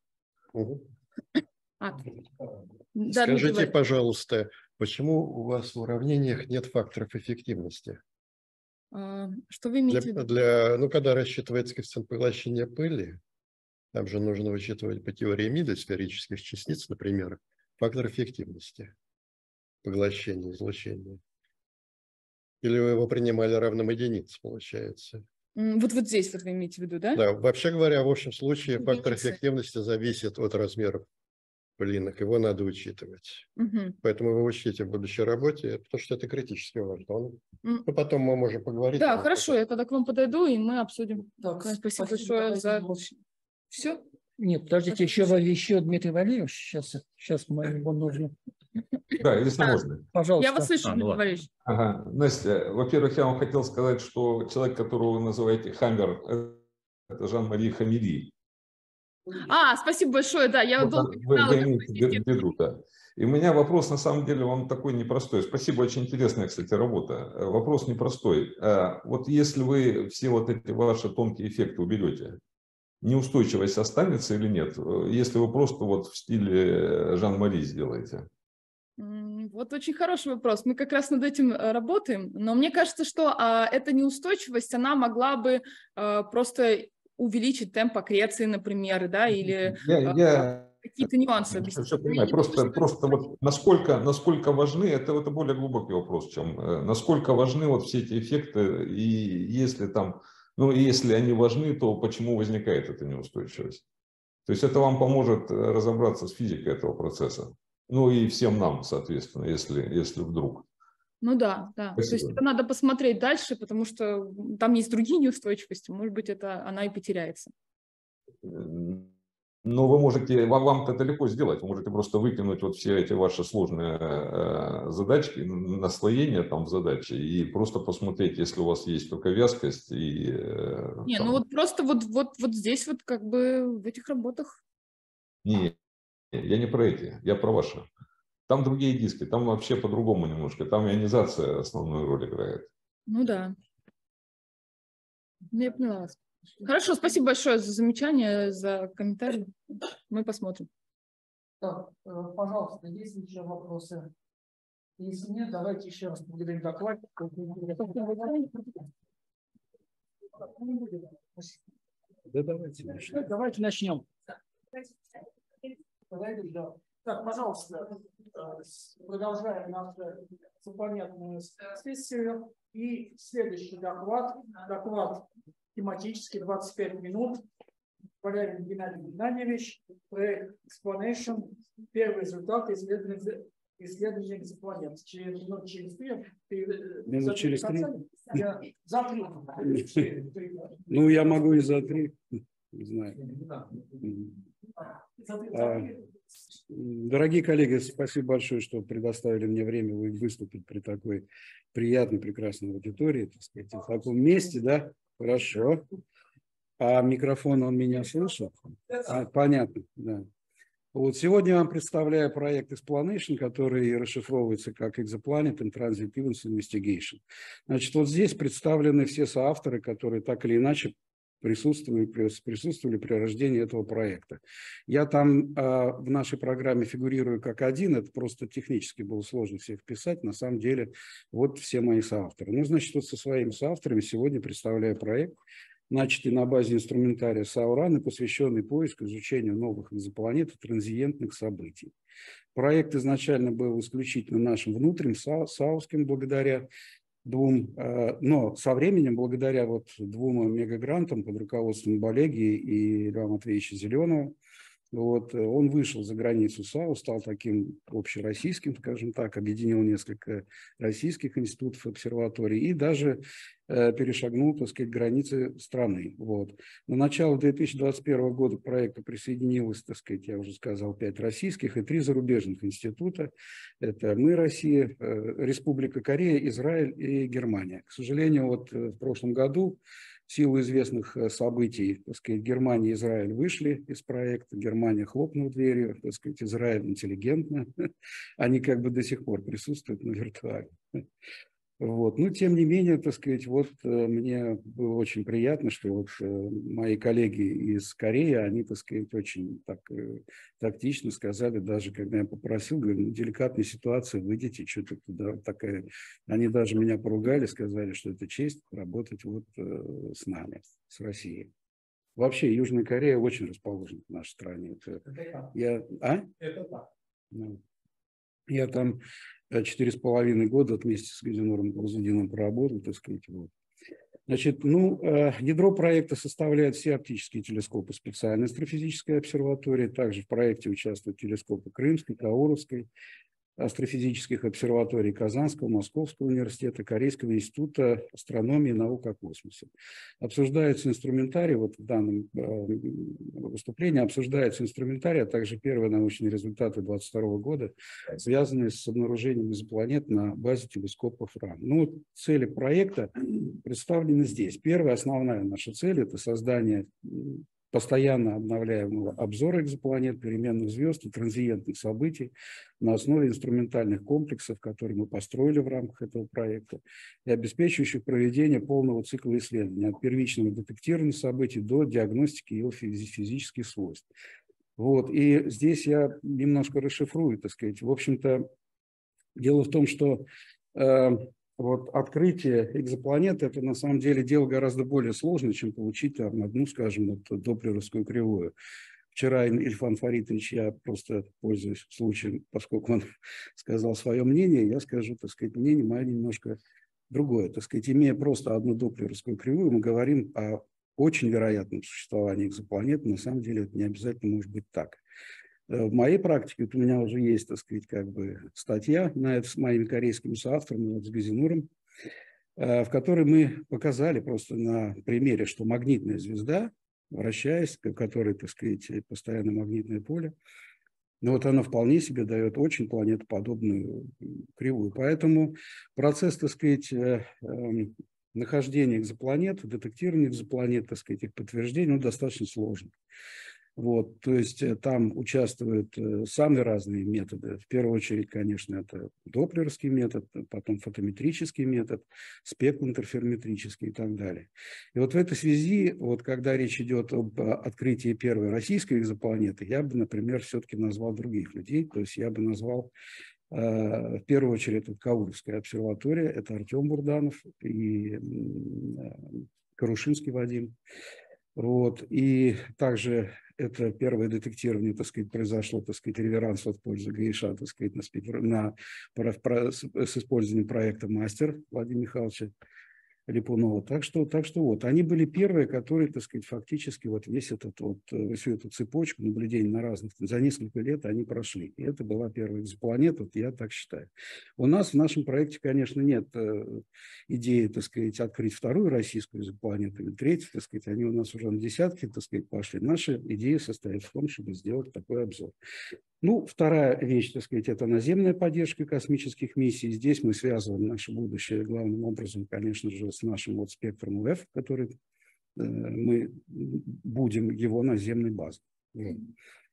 Ну и развитие новых автоматизированных инструментальных средств наблюдения на наземных телескопах, как бы это наша основная, так сказать, скажем так, основная сверхзадача, как вот э, телес... как обсерватория, которая, так сказать, обслуживает вот э, вообще говоря всех вас. То есть как бы мы с этим проектом в том числе хотим, так сказать, задать новый стандарт. Насколько это получилось, сейчас посмотрим. Значит, э, далее я буду говорить только про российские, так сказать, инструменты, только про новые, не те, которые вы знаете классические, а про, про новые, так сказать. Вот вкратце. Значит, э, в в нашей обсерватории присутствует, ну, конечно же, оптический телескоп э, БТА плюс оптоволоконный спектрограф, о котором уже рассказывал Валерий Валентинович Власюк. Э, в, свой, в первый день, так сказать, конференции, первый доклад конференции. Далее э, телескоп CES-1000 плюс весь необходимый фотометрический комплекс, телескопы автоматизированные Астросип 50-сантиметровые, так сказать, и комплекс э, ММТ-9, мини-мегатортер, так сказать, который созданный на э, средства Казанского университета. Сейчас мы сами совместно, так сказать, его эксплуатируем. Это многоканальный телескоп, очень хороший, так сказать, 10 фотометрических каналов с полем, полем зрения 10 градусов на 10 градусов. Вот, э, значит, коротко об инструментах. Вот тот самый экзопланетный спектрограф. Это как бы вид вот фотограф, то есть я фотографирую, так сказать, спектральную часть, так сказать, это вот в, здесь вот справа это эшеле решетка, эшеле мозаика, так сказать, а вот здесь кросс-дисперсор. Значит, вся коллимирующая оптика находится, так сказать, позади. Э, фотографа сюда не вошла, но инструмент достаточно большой, находится в специальной, так сказать, термостабилизированной комнате. Вот. И на сегодняшний день он работает. То есть это не проект, который он работает уже несколько лет. Так сказать, с 20-х годов, так сказать, у нас уже первые статьи есть. Вот. Но работает он пока что только на 40 процентов из-за того, что так сказать, до сих пор вот э, родная, рассчитанная нами, так сказать, спроектированная камера проекционная, она до сих пор не создана. Так сказать. Вернее, она уже практически создана. Вот. Там все линзы есть, все покрытия, все оправы, так сказать, вот собрать пока не можем. Строим станок, чтобы это сделать. К сожалению, российская оптическая промышленность легла, и мы вот в процессе вот этого, я видел ее деградацию, так сказать, что происходило. 50, ой, 5 лет еще тому назад такой станок был, сейчас его нет, не знаю, куда его дели. Вот. Ну, в любом случае, так сказать, на сегодняшний день он, так сказать, показывает вот такие параметры. Десятая с половиной звездная величина, сигнал шум 100 за час. Будет камера, так сказать, будет одиннадцатая с половиной сигнал шум 100 за час, так сказать. Вот когда речь идет о наблюдении с э, качеством, там, не знаю, 30, 40, там, 50, э, то будут доступны для наблюдения, сигнал шум, будут доступны для, для, для наблюдения, конечно же, будут доступны и 14, и 15, и 16 звездные величины. Вот так. Так что, если что, заявляйтесь. Вот здесь приведены примеры спектров и точность позиционных измерений. Значит, э, вот э, ну, вот красный спектр, обратите внимание, это десятая с половиной звездная величина, разрешение 65 тысяч, экспозиция 40 минут, сигнал шум 70. Еще раз говорю, с новой камерой будет то же самое, только для одиннадцатой с половиной звездной величины. Вот. И здесь внизу, так сказать, это фрагмент э, наблюдения лучевых скоростей э, спектроклассической и спектральной двойной йота Пегаса. Значит, амплитуда, вот как вы видите, так сказать, по вертикальной шкале там э, плюс-минус 200 метров в секунду, да, вот, и вы прямо, вот эта звезда, так сказать, имеет, имеет период по-моему, 10 дней, вот, и с, с амплитудой там что-то порядка 30 км в секунду. То есть за один час наблюдения, здесь примерно один час наблюдения, даже меньше. Вот, мы видим, так сказать, тренд связанный, так сказать, это, это не артефакт. Вот с такими барами ошибок. Бары ошибок здесь в данном случае от 4 там, до, по-моему, 9 метров в секунду. А где спектр привет? А? Где спектр сравнения от Спектр сравнения, он у нас непосредственно находится на... Мы его одновременно наблюдаем. Одновременно. Нет, нет, нет, нет, нет. А, вы имеете в виду, да, ториаргон, ториаргон. А, да, да. Лампа, лампа с полым катод, ну, я ее как бы здесь не приводил. Вот, значит, я уже вижу, что я время начинаю перебирать, так сказать, я постараюсь. Вот, далее, второй, э, так сказать, э, инструментальный комплекс, который в контексте исследования экзопланет является, так сказать, ну, вообще говоря, наверное, даже первичным. Это вот комплекс автоматизированных телескопов. Это телескоп Рич Кретен с диаметром главного зеркала 50 э, сантиметров. Вот, вот то, что вы видите на картинке справа, это проект, то есть у нас должно быть шесть. Э, к сожалению, все шесть мы не смогли, там это было связано с финансовыми коллизиями, коллизиями и так далее. На сегодняшний день существует уже три. Два мы установим еще в этом году. Работает на, на сегодняшний момент два. Третий будет запущен в конце года. Вот. Ну и все это хочу сказать, что все это, вот этот инструментарий весь был создан Э, под руководством, ну, тогда еще Юрий Юрьевич Балега у нас был, потом под руководством Валерия Валентиновича Лосюка, он тогда был директором, так сказать, в рамках вот направления мегагранта. Это поиск очень массивных э, звезд и черных дыр, промежуточных масс. Фабрика Сергея Николаевича, ну, экзопланеты я. Значит, я хочу здесь сразу сказать, так сказать, что вот этот комплекс, он создан, ну, э, я как бы себя тоже акцентирую, я тоже этим занимался, сдавал, финансировал это дело. Но все-таки вот тот вид, в котором он сейчас существует, он благодаря вот усилиям Сергея Николаевича Фабрики, моего учителя, э, моего друга, так сказать. Потом он, к сожалению, там в 2019 году он сошел с дистанции, так сказать, по известной причине. Вот. Ну, остались мы вот э, с, Валерием, с Валерием Валентиновичем, так сказать, и сейчас мы продолжаем его развитие. Ну и, наконец, э, да, вот так вот он выглядит на сегодняшний день. А, вот э, теперь о результатах. Вот за период с 21 по 22 год проведены наблюдения двух площадок общей площадью 3 квадратных, более 3 квадратных градусов. Вот здесь одна из площадок изображена, это то, что мы получаем с помощью автоматизированного телескопа. Вот. И тут э, в данном случае, вот на данном конкретном карте у нас примерно 28 тысяч звезд. Так сказать. Тут как бы из-за контраста мы все звезды не видим. Вот. Но э, задача, конечно, поиска экзопланет, она в первую очередь сводится даже не столько к инструментальным делам, так сказать, а вообще говоря, к интеллектуальным усилиям по созданию вот такого вот автоматического робота, который вот эти все тысячи, десятки тысяч звезд будет, так сказать, э, вот.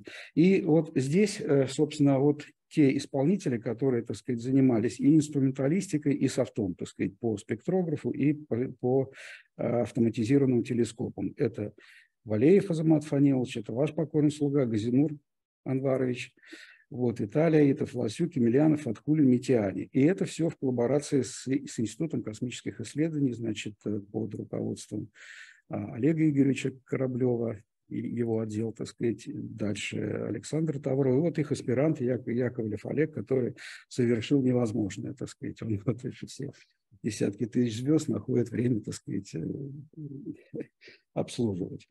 А, здесь э, приведен а, просто схематический пример одной, одной из площадок. Вот смотрите, значит, э, мы наблюдали 24 1390 снимков, так сказать, вот 30 тысяч звезд, да, вот, то есть, э, чтобы вы просто понимали, так сказать, наблюдая вот в течение полугода одну площадку, нам потом э, нужно сделать около миллиарда фотометрических оценок, так сказать. Вот э, это, эта проблема нами была решена, причем решена была, на мой взгляд, очень качественно. Это вот второй участок.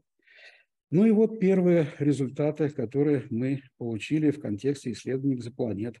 Значит, э, вот внизу вы видите ну, кривую блеска звезды за все время наблюдений, так сказать, уже сфазированы после того, как мы нашли, так сказать, ее переменность.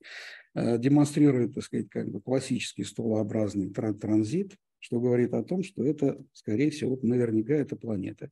Вот ряд э, других, так сказать, как бы экспозиций. Вот. Это 18, 14, 17 звездные величины. Ну и вот один из э, объектов, который нам кажется наиболее перспективным в контексте того, что это планета, вот мы занимаемся сейчас изучением его на э, других телескопах.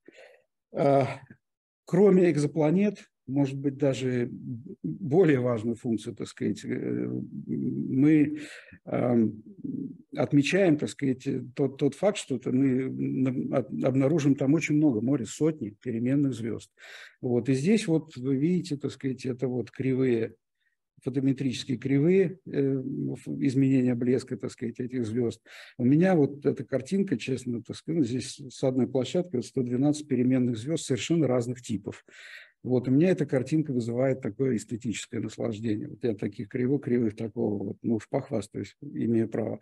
Э, я не видел такого качества. Пожалуйста. Ну, понятно, когда у вас вот на одной этой картинке, у вас, так сказать, в данный момент 24 тысячи точек. Ну, такие кривые получаются. И это совершенно без участия человека, то есть это робот все делает.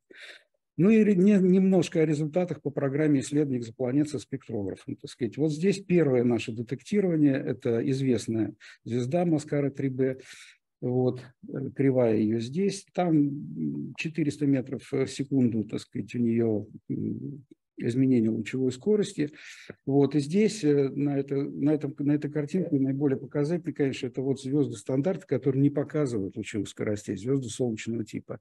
И точность измерения лучевых скоростей там, при каждой из них, это 3, 4, 5 метров в секунду, так сказать. На сегодняшний день 3, 4, там 2-5 метров в секунду, это наша как бы ну, предельно ту, та точность, которая объективная, которую мы, так сказать, достигли. Хотя скажу, э, еще отмечу также, что внутри одной ночи объективная точность э, составляет 87 сантиметров в секунду. Там у нас пока есть проблема, так сказать, сохранить стабильность прибора. На, поэтому э, каждый, после каждой ночи нам приходится наблюдать стандарты, чтобы каждую следующую ночь привязывать. Это ухудшает точность.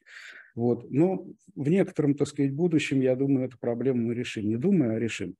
Вот. Другие, так сказать, это кандидаты из э, каталога Кеплера, подтвержден, подтвержденный их планетный статус. И вот последний результат, сейчас он находится Monthly Notice Letters, уже есть положительная рецензия, так сказать, мы э, подтвердили один из тестовских кандидатов, так сказать, нашли, увидели, так сказать, очень интересную экзопланету с большим эксцентриситетом, что не совсем обычно для горячих Юпитеров. Вот здесь, так сказать, ее кривая лучевых скоростей, здесь ее фотометрический транзит.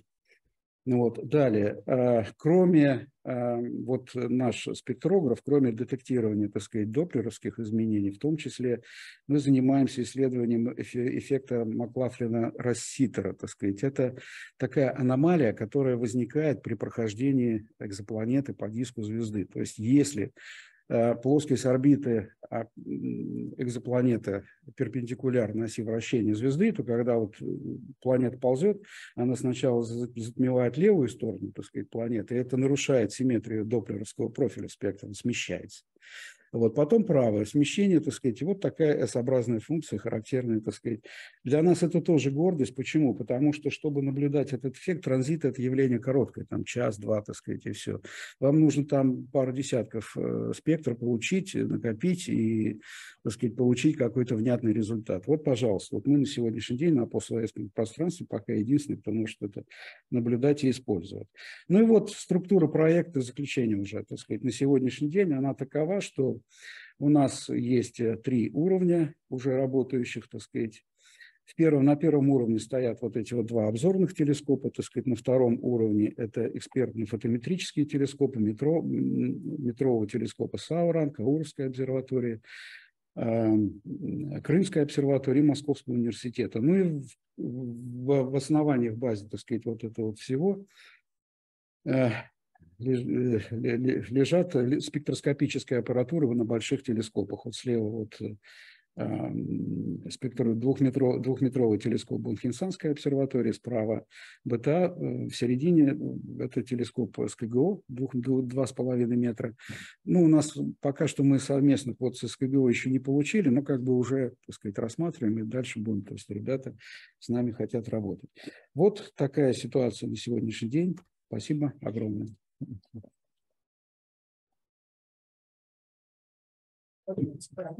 Очень много материалов. Пожалуйста, я еще раз хотел бы э, услышать, как вы впечатываете спектр сравнения непосредственно в наблюдаемый спектр? Мы не с помощью... А каким образом тогда вы получаете точность такую большую? Объясню. Объясняю. Э, мы же, э, это эшеле спектроскопия, то есть это у нас да. порядок, так сказать, да. идут, и два оптоволокна. Одно оптоволокно, так сказать, э, нам дает спектр звезды, второй, который рядышком, дает спектр сравнения. И вот они идут рядышком совсем друг с другом. То есть вам не То надо есть, использовать эту прозрачную кювету с туристым водородом и так далее? Нет, но ее как же? Я не знаю, о чем речь идет по поводу. Ну, спектр сравнения. Спектр сравнения, корреляцию линий. Тори аргон, да, тори аргон сразу наблюдается одновременно. Мы в спектр не, не впечатываем. Ага, вы не впечатываете. Не впечатываете. Да? И это не мешает нормально такую точность? Так а, там, если есть какая-то сдвижка, она же постоянная. Ну, она же может меняться от температуры, от всего. Это ну, главная ну, проблема. Термостабилизирована, это раз. Во-вторых, вообще-то, вообще-то говоря, так сказать, она, если меняется, то меняется. Это, они буквально рядышком находятся. Ну, понятно. Да. Обычно-то в спектрах То есть мы исследовали, нет, мы исследования проводили. Вот точность этой линейки, точность да, этой да, линейки, 87 сантиметров в секунду. Это в течение ночи. Внутренняя точность да, определения. Да, да, да, да, да, да. От ночи к ночи, конечно, она хуже. Пожалуйста, на самом деле а, у меня есть э, несколько вещей, которые хотел, на которые я хотел бы обратить внимание. Ну, во-первых, э, и Геннадий Геннадьевич, и Газинур э, Анварович, они, когда работали в, в Корее, получили там большой опыт работы вот по, по спектроскопическим определениям Э, и поиском планет э, спектроскопическими методами. Конечно, у них колоссальный задел, и они, по-моему, принимали участие в методике разработки программного обеспечения для так, так, измерения. Так точно, для йод, да, йодной ячейки. Йод, с йодной ячейкой, да. Поэтому здесь э, задел, конечно, большой. У меня было замечание вот такого, вы когда вы показываете, говорите на картинках уже не первый раз, что вы достигаете точности несколько метров в секунду, но у вас масштаб кривых лучевых скоростей для стандарта, там 200 метров в секунду. Там вот с картинок не видно, не очевидно, что вы достигли этой точности. То есть если вы приводите картинки, покажите в масштабе 10 метров в секунду и покажите, что у вас стандарт действительно там измеряется. Хорошо, вот когда это будет документ. А, а так, конечно, э, да, по поводу того, что я говорил вчера, я специально подчеркнул и в абстракте, и в письменном виде, что когда я говорил о наших результатах на полутораметровом телескопе, я говорил о первом обнаружении планеты на российском телескопе спектроскопическим методом. Я не претендовал на там, фотометрические методы, которые действительно до нас существовали. Это важно. И работы, которые выполнялись у нас в течение с, 17, с 2007 по 2019 год, было вложено достаточно большое количество времени наблюдать на ФТТ-150 и методических усилий предпринято с турецкими и японскими коллегами для того, чтобы достичь 10 метров в секунду на шкале 10, 10 лет, я подчеркиваю, в этой программе. И коллеги, которые японские, они нашли не одну планету, около пару десятков таких планет. И, конечно, они были гарантами того, что то, что вы говорите, там, конечно, могут пятна, магнитные пятна, и модуляция может быть не связана с планетой, но в том случае, который, о котором я говорил, речь шла о том, что там все-таки была обнаружена планета. Вот. А что касается вот этого проекта, я, конечно, его поддерживаю. Ну, я даже был экспертом РАН, который был одним из тех, кто писал отчеты, вернее, не отчеты, а рецензии на тысячестраничные отчеты этой большой команды по мегагранту, в поддержку его. Э, вот. И, конечно, это нужно проект нужно поддерживать. Единственное, что я хотел подчеркнуть, что есть две вещи. Что одно дело, когда понятно, что поиск экзопланеты – это такая ажиотажная вещь и является ну, некоторым оправданием для налогоплательщиков. Зачем мы вообще занимаемся, что это важно, что это нужно. И это тут, тут, как говорится, надо об этом рассказывать очень широко и поддерживать друг друга, и команды, которые работают но есть понятие гамбургский счет. И когда вот мы здесь собираемся вот в своем кругу, все-таки ну вот у меня вопрос остается открытым. Вот в задаче поиска планеты, космогонии планет, она настолько разветвленная, это такое широкое дерево, что ну, нужно аккуратно обсуждать, какую из задач космогонических в экзопланетах вы планируете решать с помощью вот тех спектроскопических средств, которые вы сейчас создаете, Потому что они, мне кажется, что вот спектрометр, который вы создали, он пригоден вообще для очень других задач звездной спектроскопии, астросейсмология и куча других вещей, где требуется высокая позиционная точность. По-моему, мне кажется, нельзя все складывать только вот на поиск экзопланет. По-моему, там превосходный спектрометр, и надо обсуждать, куда он, где он еще может пригодиться. Поэтому я, конечно, желаю вам успехов и поддерживаю то, что вы делаете. Спасибо большое, Илья Фанферитович. Так сказать. Но я все-таки, я, дайте мне возможность сказать, ответить. Значит, да, а я прокомментирую, ну, отвечу фактически на те вещи, на те моменты, которые затронуты Ильфаном Феритовичем. Начну с конца. Значит, по поводу задач. Вот абсолютно, конечно же, право, но мы ставили гораздо более широкую задачу. Если вы видите, проект – это транзиенты, переменные звезды и экзопланеты. Причем большая часть результатов связана, так сказать, с переменными звездами. Это первое. Второе, так сказать, мы являемся национальным институтом, и наша основная задача не свои проекты продвигать, так сказать, а обеспечивать вас соответствующим инструментарием, так сказать. Поэтому вот этот проект, он охватывает ну, практически большую часть классич... всех классических задач, так сказать, астрономии, так сказать, и он работает на них на всех. Вы видели вот эти кривые лучевых скоростей, вот я еще раз говорю, я не видел лучше. И это делается очень легко, то есть это нажатие, вот это, то есть это вопрос развития технологий, Ильфан Феритович. Вот, и поэтому, ну, понятно, тут, вот, конечно, право, так сказать, что мы вывешивали экзопланетную задачу, чтобы на ней, так сказать, поспекулировать. Ну, а как еще по-другому? Ну, вот. И по поводу лучевых скоростей, вот я показывал, ну да, я согласен, масштаб не тот, так сказать, там 200 метров в секунду, но вот эти вот усы, они говорят о том, что там э, точно существенно ниже, чем, э, существенно выше, так сказать, чем 10 метров в секунду. Вот. Стабильность тут особой роли на самом деле не главное, чтобы стабильность была внутри одной ночи наблюдений. Потом с помощью стандартов уже известных, они есть, так сказать, вы все выстроите, все, что вам нужно, так сказать, вот такая вот. Ну а так, да, я согласен. Да, Спасибо да, большое. Да. Один короткий вопрос. Пожалуйста, пожалуйста.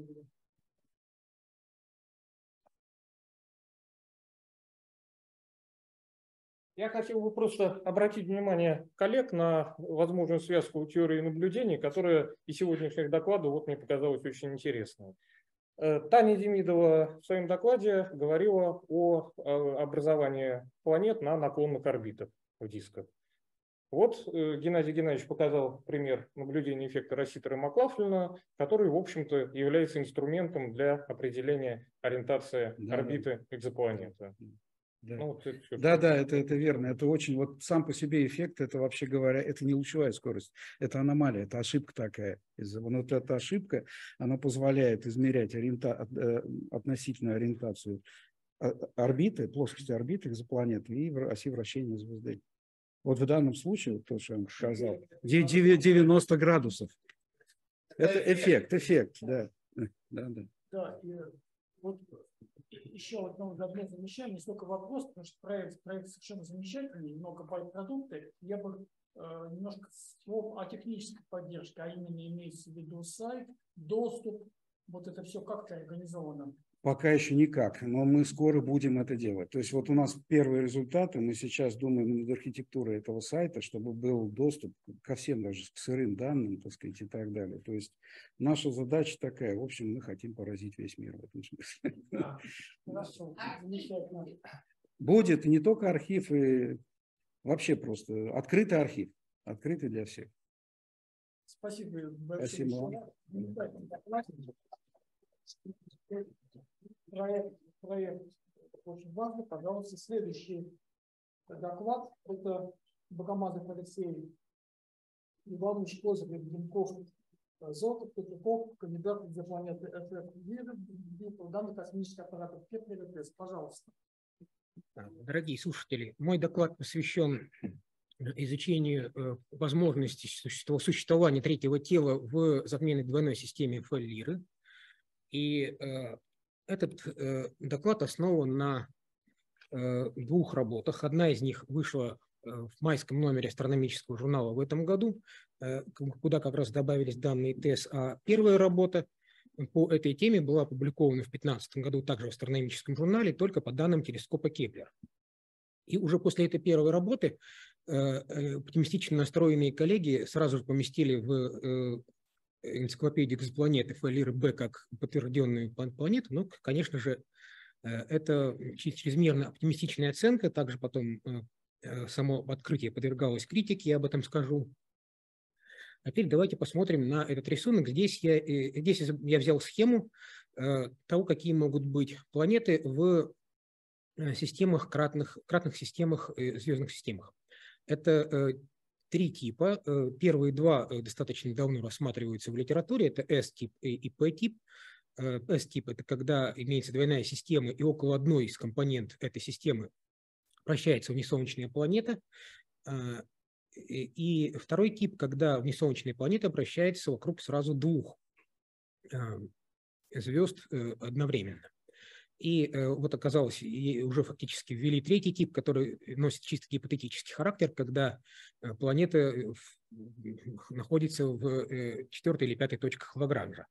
Ну, э, это, э, как я уже сказал, это чисто гипотетический тип, а в первых двух случаях э, э, объекты имеются, но несмотря на то, что первый такой объект, планета Кеплер-16, была открыта э, уже более 10 лет назад, э, тем не менее общее число их э, невелико, и, э, и S и P тип чуть-чуть более 20 штук подтвержденных. То есть это редкий, пока еще трудный для наблюдения и открытий э, тип систем. Э, Наша работа, соответственно, э, базируется на методе, который э, развит был для двойных звезд, для, для их наблюдения, и работает фактически даже еще раньше, с момента измерения скорости света Ремером. И он основывается на том, что если э, вот есть центральная двойная система, вот как здесь в центре на рисунке, две звезды обращаются вокруг общего центра масс, и вокруг них третья, э, э, то двойная описывает эм, тоже какую-то траекторию вокруг общего центра масс тройной системы. Если наблюдатель находится в плоскости этой двойной системы, соответственно, в кар- э, на, луче зрения лежит плоскость орбиты или близко к нему, то э, система э, э, может оказаться дальше или ближе, соответственно, время на, для того, чтобы свет преодолел это расстояние, может оказаться большим или меньшим, чем среднее время, которое требуется для про- прохода света от объекта для нас. Соответственно, если система затменная, то затмения могут наступать либо чуть раньше, либо чуть позже. И по наличию таких вариаций во времени затмений можно искать дополнительные тела, что мы и делали. Э, в частности, в системе FL-лиры. FL-лиры – это двойная звезда с э, звездными величинами как э, средней, так и вне затменной, так и в максимумах, минимумах вот этих минимумах 1 и 2, то есть главным вторичным, между 9 и 10 звездными величинами, это означает, что она попадала в зону действия как телескопов Кеплера, так и аппарата ТЭС, Орбитальный период системы довольно небольшой, там чуть-чуть больше двух дней, но тем не менее это почти сферические звезды. Э, главной последовательности одна из них чуть побольше, побольше помассивнее Солнца, другая чуть полегче, чем Солнце, но близких к нему. Э, спектральный класс я взял из одной из работ, но некоторые другие работы дают близкие к этому другие значения. И э, наклонение орбиты Э, этой системы, то есть угол между э, картиной плоскостью и плоскостью э, орбиты в данной системе оценивается примерно как 85 градусов. Это система затменная, но затмение не центральное. Вот здесь показана карта поля зрения телескопа Кеплер. Система туда попадает. Кеплер смотрел эту область с 9 по 14 годы. Это программа так называемая К1. И до начала К2, когда сломались два гироскопа, Э, и э, в кеплеровских данных были интересны те данные, которые называются short cadence, то есть э, отчет идет раз в минуту, и некоторое количество кварталов такие наблюдения есть. Но, правда, по техническим причинам этого телескопа все-таки не во всех кварталах. ТЭС наблюдает по-другому небо, в отличие от Кеплера, и время от времени наблюдает большую часть неба в какой-то промежуток времени. Вот здесь размечено, сколько примерно на каждый из секторов э, небесной сферы приходится э, промежутков наблюдений. И, соответственно, с момента запуска ТЭС до настоящего момента вот у нас есть несколько таких секторов э, приведенной даты, с которых взяты данные. И также можно было посчитать моменты минимумов. Соответственно, моменты минимумов – это могут быть главными и вторичными. Этот рисунок Э, призван показать э, всю историю, э, в том числе наземных наблюдений, так как сделанных с помощью приборов, так и визуальных.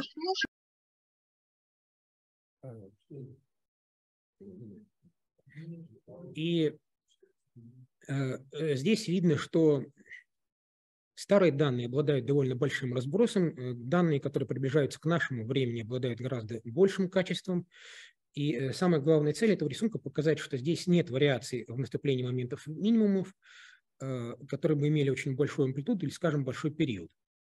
Ну, соответственно, если э, система затменная и третьего тела нет, то с точностью до ошибок это, эти моменты минимумов должны лежать на прямой линии. Но, тем не менее, по, уже по результатам Кеплера, вот здесь красные кружки, стало понятно, что э, они точно на одной прямой линии не лежат, и так как в силу того, что э, нет такой прямой зависимости э, большой, на больших промежутках времени, то был сделан вывод, что есть какое-то влияние дополнительного тела, вероятно, с периодом гораздо большим, чем периодом наблюдения телескопа Кеплер, но относительно низкоамплитудное. И уже спустя годы э, при, наблюдениях TESS вот как раз позволили добавить это сиреневые кружки, э, и, и э, можно увидеть наличие периода в этих изменениях наступления моментов минимумов.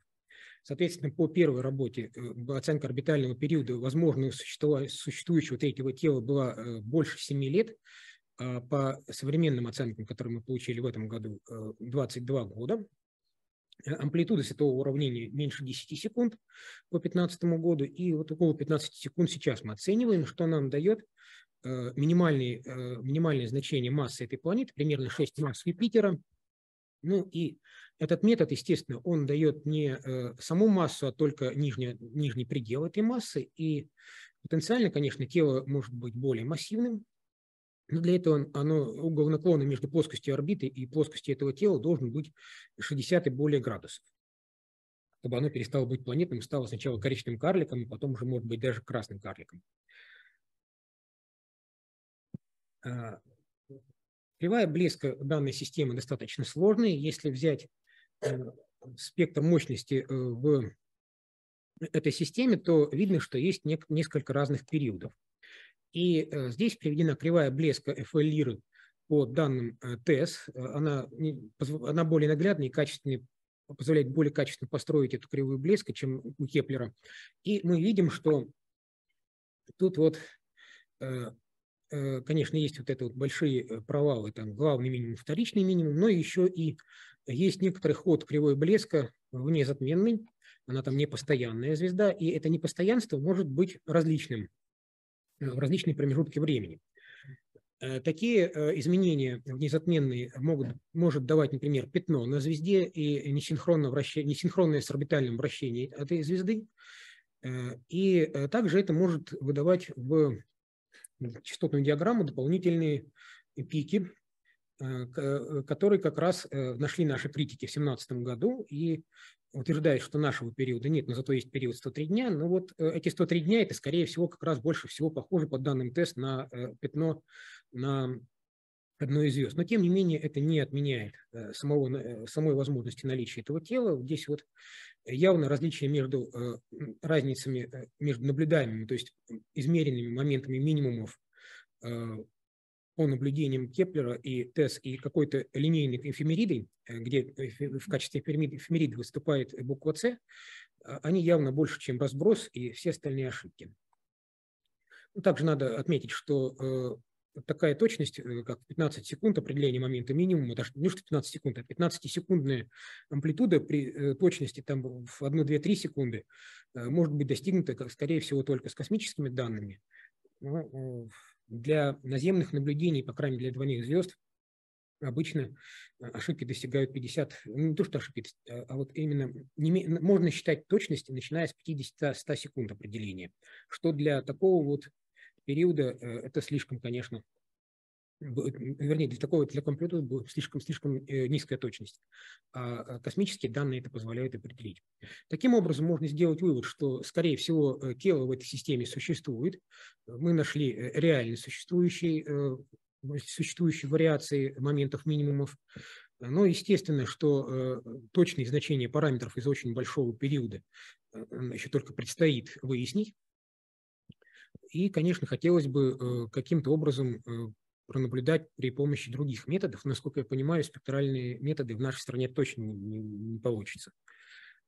А может быть, какие-то другие потом в будущем.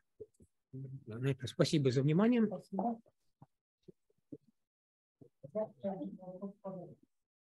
Каким методом вы, каким методом вы определяли момент минимум?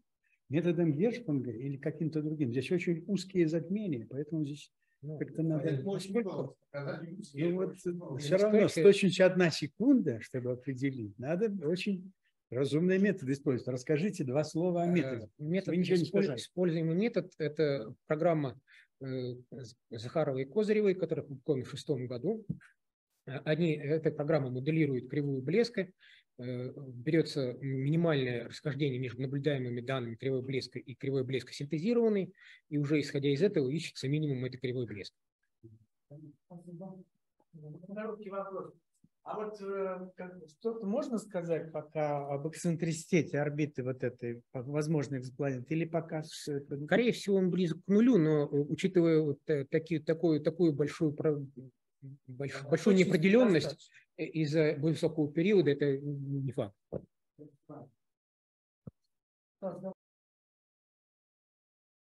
Здравствуйте. Э, спасибо большое за возможность выступить. И сегодня я расскажу о границе потенциального обнаружения окиси азота э, на экзопланетах э, с помощью обсерватории спектра Изначально нужно сказать, что мы решаем следующую задачу. Поиск потенциально обитаемых экзопланет – путем характеризации их а, атмосфер. Не решаем, а, а стремимся решить. Чтобы это сделать, мы должны выделить некоторые условия обитаемости. Первое. Необходимые, но недостаточные условия – это то, чтобы на планете существовала жидкая вода, в атмосфере отсутствовал сильный парниковый эффект. Второе. Дополнительные к этим условиям – это наличие единовременного достаточно доминантного содержания молекулярного азота и молекулярного кислорода в атмосфере экзопланеты, которые могут служить индикаторами биологической и геологической активности на планете. Третье.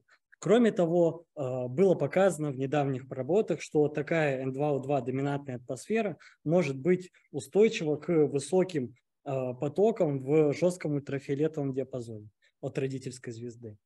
И существуют также исследования, в которых выделяются потенциальные индикаторы такой N2O2 доминантной атмосферы. Это молекулы N2O, NO, NO2.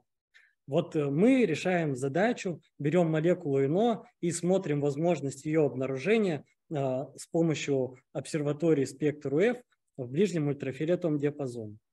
Почему ближний ультрафиолетовый диапазон? Из наблюдений здесь вот представлены обсерватории, а, показано, что данные а, в данном э, диапазоне у окиси азота в гамма-полосы, есть гамма-полосы, которые наиболее интенсивны в данном Э, диапазоне в атмосфере Земли. Э, и из этих наблюдений также э, моделей наблюдений выявлено, что источниками образования окиси азота является излучение Солнца в мягком рентгене, это высыпание электронов в авроральных областях, это дополнительный источник на тепловые атомы азота и джоулях нагрев во время геомагнитных штормов. Мы рассматриваем при решении задачи два метода. Это первый метод, когда мы рассматриваем резонансное переизлучение в гамма-полосах НО и определяем, делаем оценку для обнаружения во время вторичного затмения. И когда смотрим пропускание через атмосферу экзопланеты во время первичного транзита. Вот э, в данном докладе я подробнее остановлюсь на втором методе. А, что мы делаем? Сначала мы производим э, построение модели, э, в данном случае пропускания, для атмосферы Земли. Потом масштабируем э, полученные результаты на экзопланеты, суперземли, субнептуны и экзоземли путем масштабирования лучевых концентраций окиси азота. И дальше определяем время экспозиции для того, чтобы зарегистрировать сигнал, сигнал шум 3 Э, и мы считаем, что вот оптимальное, что мы можем получить ну, в плане наблюдения, это 120 часов наблюдения. А что мы делаем? А, мы рассчитываем а, эффективную высоту в гамма-полосах НО в атмосфере, которая показывает разницу между геометрической глубиной транзита и реальной, когда у нас планета плюс атмосфера. Э, здесь, в принципе, представлено выражение для эффективной высоты и для обнаружения, э, для получения э, глубины транзита. То есть поток вне транзита минус поток во время делить на поток вне. А, чтобы рассчитать эффективную высоту, мы используем модифицированную нами модель PyFocats. А, ну, это модель для расчета атмосфер планет и здесь мы учитываем не только ИНО, но еще и поглощение в данном диапазоне молекулами молекулярного кислорода, озона, N2O, NO2, SO2. Плюс учитываем релеевское рассеяние и добавляем гамма-полос. Стоит отметить, что ранее вот в работе Бетремикс и Котленигер как бы все за исключением гамма-полосы, но как бы они рассматривали для атмосферы Земли. Впоследствии, после того, как мы рассчитываем эффективную высоту, мы вычисляем оценку, верхнюю оценку сигнал к шуму, которая зависит непосредственно от глубины транзита и от сигнал к шуму звезды. Соответственно, здесь стоит понимать, что если у нас мы смотрим на излучение фотосферы в ближнем ультрафиолетовом диапазоне, то сигнал к шуму здесь у нас уменьшается для маломассивных звезд. Но тут стоит также сделать заметку, что э, глубину транзиту мы вычисляем не только на основе пропускания, но мы учитываем также и флуоресцентную, то есть резонансное переизлучение в гамма-полосах, но оно дает очень малый вклад, менее 1% ввиду э, также эффекта э, резонансного самопоглощения в данных полосах. Все наши вычисления делаются в рамках ряда предположений. Первое. Мы предполагаем, что на экзопланетах, которые мы рассматривали, образовалась устойчивая N2O2 доминантная атмосфера, то есть химический состав эквивалентен составу Земли. Потом мы говорим, что химсостав остается неизменным для э, звезд, э, э, родительских звезд разных спектральных классов. Это предположение мы будем учитывать, работу над этим предположением мы будем делать в дальнейших работах. Также мы говорим, что у нас сигнал к шуму определяется только статистическим шумом. Активность звезды не меняется во время транзита и между транзитами и расстояние до экзопланеты и звезды одинаково. Тут стоит учитывать, что эти предположения достаточно важны, и смотря на результаты работы, нужно смотреть через призму данных предположений. Дальше. Масштабирование на э, другие экзопланеты. Мы делаем из, э, первое, модельных и э, наблюдательных ограничений по влиянию интенсивности высыпания электронов на образование ИНО. И второе, Э, из условий обитания, ну это громко сказано, из изменения начальной плотности э, на уровне моря или в глубокой скважине, где обнаружены бактерии. И мы задаем лучевые концентрации для экзопланет, экзоземель, суперземель, субнептунов, которые впоследствии используем для расчета глубины транзита и вычисления сигнала к шуму. А, в качестве спектров родительских звезд для вычисления сигнала к шуму у нас используется 8 спектров. Это база данных Muscles а, для звезд МК с экзопланетами, МК спектральных классов с экзопланетами. Это из спектра из работ Сигура, Atlas Pickles и ввиду нехватки ну, каких какой-то полноценной выборки, это также используются средние потоки Э, Галикс э, э, на длине волны 231 нанометр, которые взяты из каталога Ллойда для звезд с экзопланетами. Вот здесь представлены средние потоки в зоне потенциальной обитаемости для звезд, которые мы рассматриваем. Тут стоит отметить, что для полноты мы делаем такое достаточно грубое приближение. Некоторые звезды, ну то есть планковский спектр рассматриваем. Но здесь в принципе, для ближнего ультрафиолетового диапазона это грубое предположение. И здесь, в принципе, э, те значения, те звезды, которые, у которых нет скобок, это есть планковский спектр, и можно наблюдать, что у нас тут различия ну, на порядке величины в ближнем ультрафиолете. Дальше, переходим к результатам. Первое, глубина транзита. А, это свертка с разрешением спектрографа ЛСС обсерватории спектр УФ. Что Э, э, видно из данной картины. Первое. У нас э, в диапазоне образования гамма-полосы НО существует своеобразное окно, где эти полосы практически не блендируются. То есть вот по центру, по краям там у нас доминирует молекулярный кислород, слева, ну, в смысле в более в сторону меньших длин волн, в сторону больших длин волн доминирует Э, поглощения озона в полосах Хартли. И э, из анализа порядка величины глубины транзита видно, что э, глубина транзита нам лучше для маломассивных звезд более позднего спектрального класса. Это следствие из геометрической глубины транзита. Но сейчас также дальше поясню. Здесь представлены результаты граничные расстояния до рассматриваемых экзопланет. Удобно проводить анализ на основе ну, расчета этих расстояний, то есть это расстояния, на которых можно задетектировать наш сигнал гамма-полос при сигнал к шуме тройка и времени экспозиции 120 часов.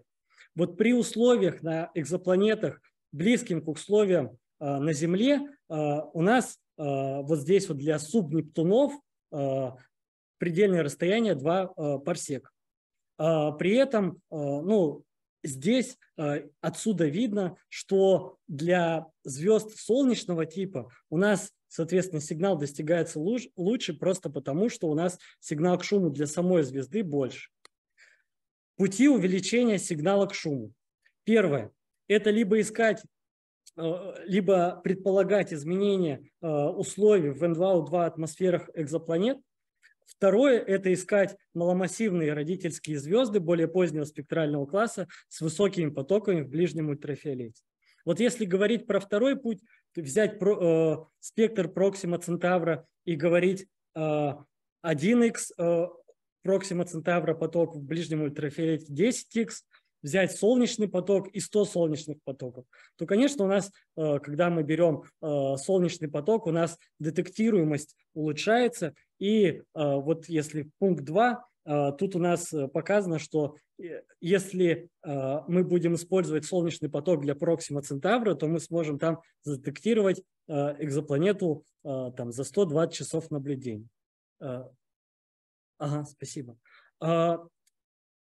еще э, как бы первый путь – это э, изменение, предполагаем изменение э, атмосферы самой экзопланеты. И в этом случае можно пойти, первое, увеличить температуру, увеличить шкалу высот. Что, что это дает? Границы наблюдаемости в этом случае расширяются. Ну, распределение иного у нас просто увеличивается по высоте, и тут э, до 5 парсек для суперземель, до 20 парсек для субнептунов. Это вывод из таблицы граничных расстояний, который здесь приведен. И если посчитать для реальных экзопланет, э, наши как бы, оценки там показывают для Тау Кита Е 7 транзитов 96 часов, для HD 192 310C 12 транзитов 115 часов. Еще один э, путь предположения – это увеличение концентрации окиси азота в атмосферах экзопланет. Что может, э, что может на это повлиять? На это может повлиять увеличение интенсивности высыпания электронов э, в верхней атмосфере экзопланет. Дополнительным источником здесь является, могут являться на тепловые атомы азота. И увеличение э, нетеплового образования ИНО может как раз-таки увеличить лучевую концентрацию, что повысит наш сигнал к шуму за счет увеличения глубины транзита. Что влияет на интенсивность высыпания? Активность родительской звезды, снижение орбитальных расстояний, но в пределах зоны потенциальной обитаемости и э, наличие у экзопланеты только наведенного магнитного поля. Данные пункты – это э, представление наших дальнейших работ. Кроме того, можно рассматривать более крупномасштабные по времени источники – это вулканизм и биологическая активность. Но, в принципе, э, у меня все. Вот я выводы озвучу, что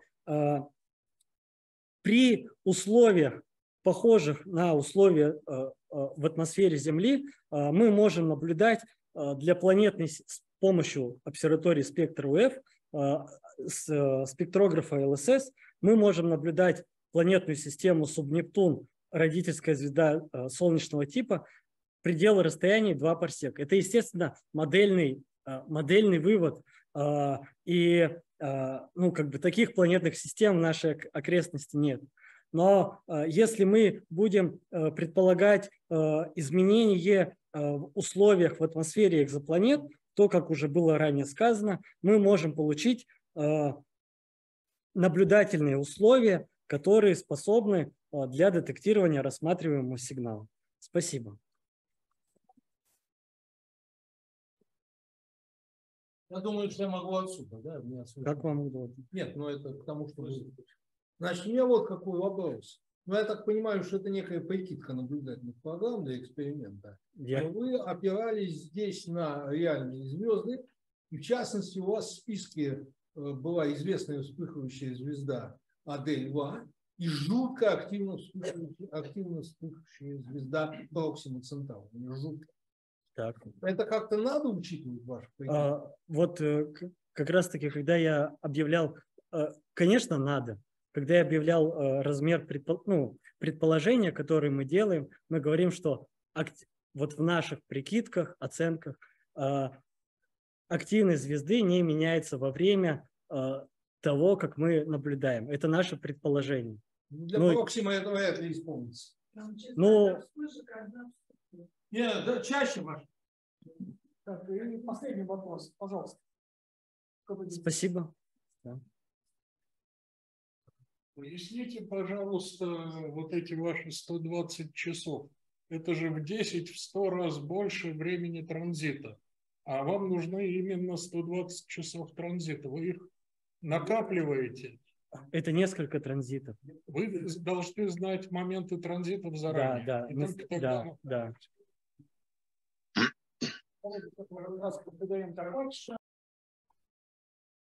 Значит, вперед-назад. Ну, как. Да. Пожалуйста. Попробуем. Да,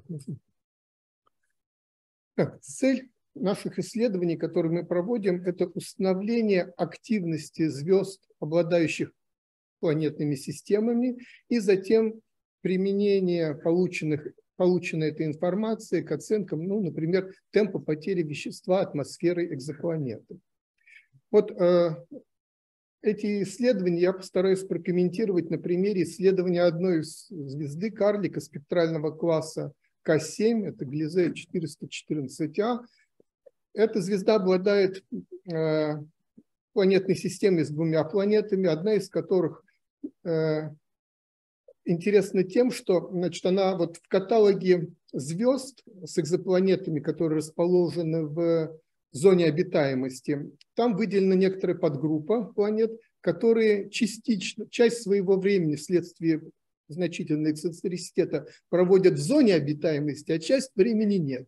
Это выделена специальная подгруппа. И вот эта звезда Глизе 414, она входит. Одна из ее планет, у нее две планеты. Одна из этих планет часть времени, значит, проводит в, в зоне обитаемости.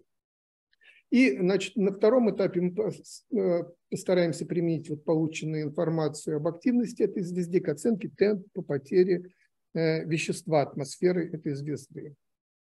И вот эта экзопланета была открыта сравнительно недавно, ну, опубликованы результаты в 2021 году.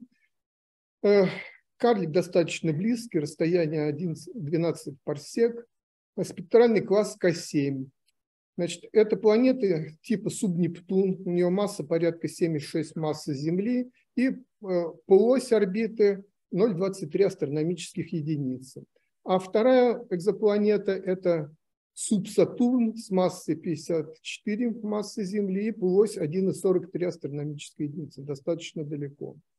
Значит, для обнаружения планетной системы были использованы данные ну, фотометрических и спектральных наблюдений. Это КЕК, ХРС основанные, и Planet Finder Лидской обсерватории. Также авторы еще использовали вот в оригинальной статье данные, фотометрические данные обзора Кейт. Э, ну, еще, значит, я уже сказал, что это достаточно яркая звезда, фильтре В она почти девятой величины. Она имеет спутник – тоже карлик спектрального класса М2, тоже достаточно ярко, порядка 10 звездной величины. Это широкая пара с расстоянием 408 астрономических единиц. Это примерно 34 угловых секунды. Значит, на пиксель Тесса они не попадают. Э, значит, интерес обусловлен, я сказал, что при значении большой полуоси орбиты до 23 астрономических единиц, у нее эксцентриситет 0,45, расстояние между звездой и планетой варьируется от 0,13 до 0,34 астрономических единиц. И большую часть своей орбиты э, вот, планета находится в пределах обитаемой зоны. Ну, вопрос э, обсуждается при массе в 7,6 масс Земли Э, обитаема она, необитаема, какие шансы на это. Вот я привожу еще да, э, равновесные температуры на поверхности звезды B и C 308 и 124 градуса. Ну, для планеты B это вполне подходящие величина. Для звезды хорошо известны параметры атмосферы 4120 градусов, ускорение участка карлик, радиусы известны, светимости, масса, масса 0,65 масс Солнца. Значит, по поводу оценки возраста, это всегда большая проблема. Ну, вот на все нужно обращать внимание, что, по крайней мере, что эта звезда не молодая, а, скорее всего, она старая и старше нашего Солнца, о чем тоже также свидетельствует достаточно медленная о, старости, о возрасте звезды свидетельствует, ниже мы обсудим, достаточно э, низкая величина э, периода орбитального вращения звезды. Значит, про спутник тоже все хорошо известно, масса светимости. Значит, независимая оценка его возраста тоже порядка 11 миллиардов лет с чудовищной тоже ошибкой. Ну, в общем, это старый, важно, что это старая система. Значит, оригинальный автор, они выбрали вот данные фотометрического обзора Кельт и э, значит, с целью установления периода вращения этой звезды. Значит, это оказалось достаточно затрудненная проблема. Значит, они указывают на величину в 42 суток и указывают, что в течение сезонов наблюдений периоды, которые они получают, различия 4, с точностью 4 суток. Это свидетельствует, по-видимому, о высокой пятенной активности звезды, которая, ну, скажем, если у вас время жизни пятна меньше, чем период вращения звезды, то определение не, не так легко выполнить. Э, кроме того, значит, они, авторы использовали данные Кека Хайрес по определению показателя индекса звездной активности, параметром атмосферной э, активности, измеренного падения МШК кальция. Они также э, исследовали периодограммы для этой величины, и там был найден пиками для после снятия трендов какой-то обработки 75 суток. Это примерно в два раза больше величины P. Но надо сразу сказать, что проблема определения периодов вращения звезд по индексам хромосферной активности имеет э, ну, большие подводные камни и не так легко выполняется. Э, тем не менее, значит, им было сделано предположение о том, что более истинны это данные э, Кельта, и по этому периоду около 40 суток. Они сделали заключение о долговременной переменности. Мы о нем тоже более подробно потом говорим. Значит, мы взяли вот оригинальные данные с тем, чтобы не пользоваться там снятиями. Оригинальные данные как есть. Вот на этих графиках представлены э, на верхней панели это э, по оси абсцисс это время, а ординат это изменение индекса. Ну, уже видны сразу циклические, по-видимому, изменения. Ну, скажем так, долгопериодические изменения хромосферной активности звезды. На средней панели представлен спектр мощности, и шкала абсцисс дана в логарифмическом масштабе, чтобы легче увидеть долгопериодическую переменность. Она соответствует 3800, вот, э, как мы покажем ниже, 3870 суток порядком. А внизу это э, дан участок спектра мощности, э, ось абсцисс в линейной шкале, как раз на периодах, где следует ожидать э, величины пики, характеризующие период вращения. Но ничего такого хорошего не видно. Вот нами отмечается там пик 76, тех пиков порядка в 40 дней, по-видимому, нет в этой окрестности. Все что угодно можно найти. Значит, мы использовали еще один набор фотометрических данных. Если данные Кель покрывали э, диапазон, временной интервал порядка 6 лет, то тут гораздо больше интервал. Это наблюдение японского обзора э, широкополосного Камагата. Э, тут порядка 12 лет. Э, видна, ну, то, видно тоже, что существует какая-то долговременная фотометрическая переменность этой звезды.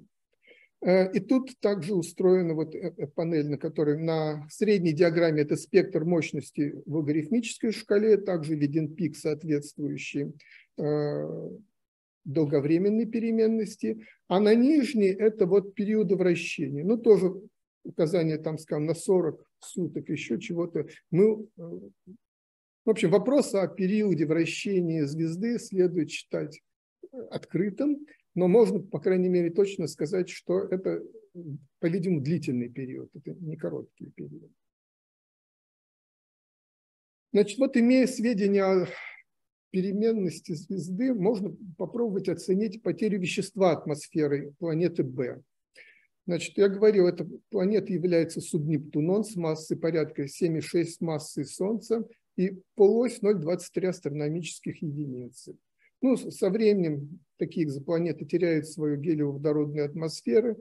Ну, без э, детального моделирования мы использовали известную приближенную форму, которую принято называть модель потери атмосферы с ограничением по энергии. Ну и основные составные части этой формулы – это вот эм, эффективность э, нагрева атмосферы, э, поток ультрафиолетовых фотонов и ради, радиус, на котором э, поглощение э, ультрафиолетового излучения происходит в атмосфере. Ну и также там здесь учтены э, различные рода эффекты приливного характера. Значит, основная там проблема состоит, например, с оценкой ультрафиолетового потока, который должно падать на экзопланету. Ну, это вот отдельная проблема, о которой я просто несколько слов скажу. Э, к сожалению, у нас нет сейчас на орбите спутников, которые могли бы мерить э, ультрафиолетовое излучение в этом диапазоне. И э, все, что чем пользуются все теоретические приближенные вот исследования по формулам и точные расчеты, это некоторые аппроксимационные калибровочные формулы, когда измерения реально, ну, в прошлом выполненных измерений спутниковые калибруются, например, потоками излучения в линиях, которые наблюдаются с помощью космического аппарата Хаббл. Э, очень много в этом отношении сделал э, Джефф Линский и его так сказать, люди, работающие с ним. Последнее время очень много делает в этом отношении э, Кевин Франц. К сожалению, значит, нужны все равно специальные ультрафиолетовые наблюдения, которые тоже для многих, экзопланет, для многих родительских звезд сейчас найти трудно. Но вот в последнее время а, появилась а, тоже вот э, аналитические зависимости, полученные а, с участием тоже Кевина Франца, Луки Фасати, которые связывают наблюдаемую величину. Это вот как раз индекс хромосферной активности они калибровали, вернее так, они ультрафиолетовый поток калибровали в индекс хромосферной активности, который в принципе наблюдаем с Земли. И вот для этой звезды существует, как я говорил, наблюдение Хайрес Кека, и их можно тоже перевести а, в параметр алгоритма рожка хромосферной активности и, соответственно, получить ультрафиолетовые потоки. Но, э, несмотря на то, что это звезда спектрального класса К, она старая, я сказал, но она достаточно активная для своего возраста. Вот. Медианное значение вот этого индекса хромосферной активности составляет э,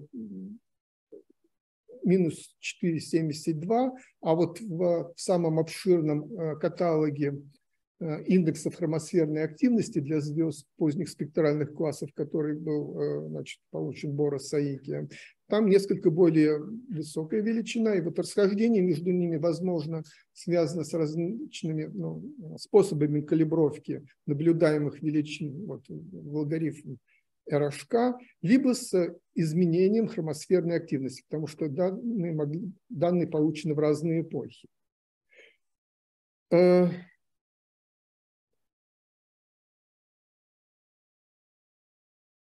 Вот на верхнем рисунке представлено, э, если мы, сейчас я уже кончаю, на верхнем рисунке как раз и представлены оценки темпа потери массы планеты э, Б, если мы возьмем вот эти измерения, полученные на Кеке, и здесь мы видим, что эти, э, со временем темп потери массы изменяется. Видно, что в алгоритмич построены диаграммы для этих изменений. Ну, что вообще темп потери массы составляет где-то от 7 логарифм э, величины от 7,15, 7,50 с медианным значением 7,30.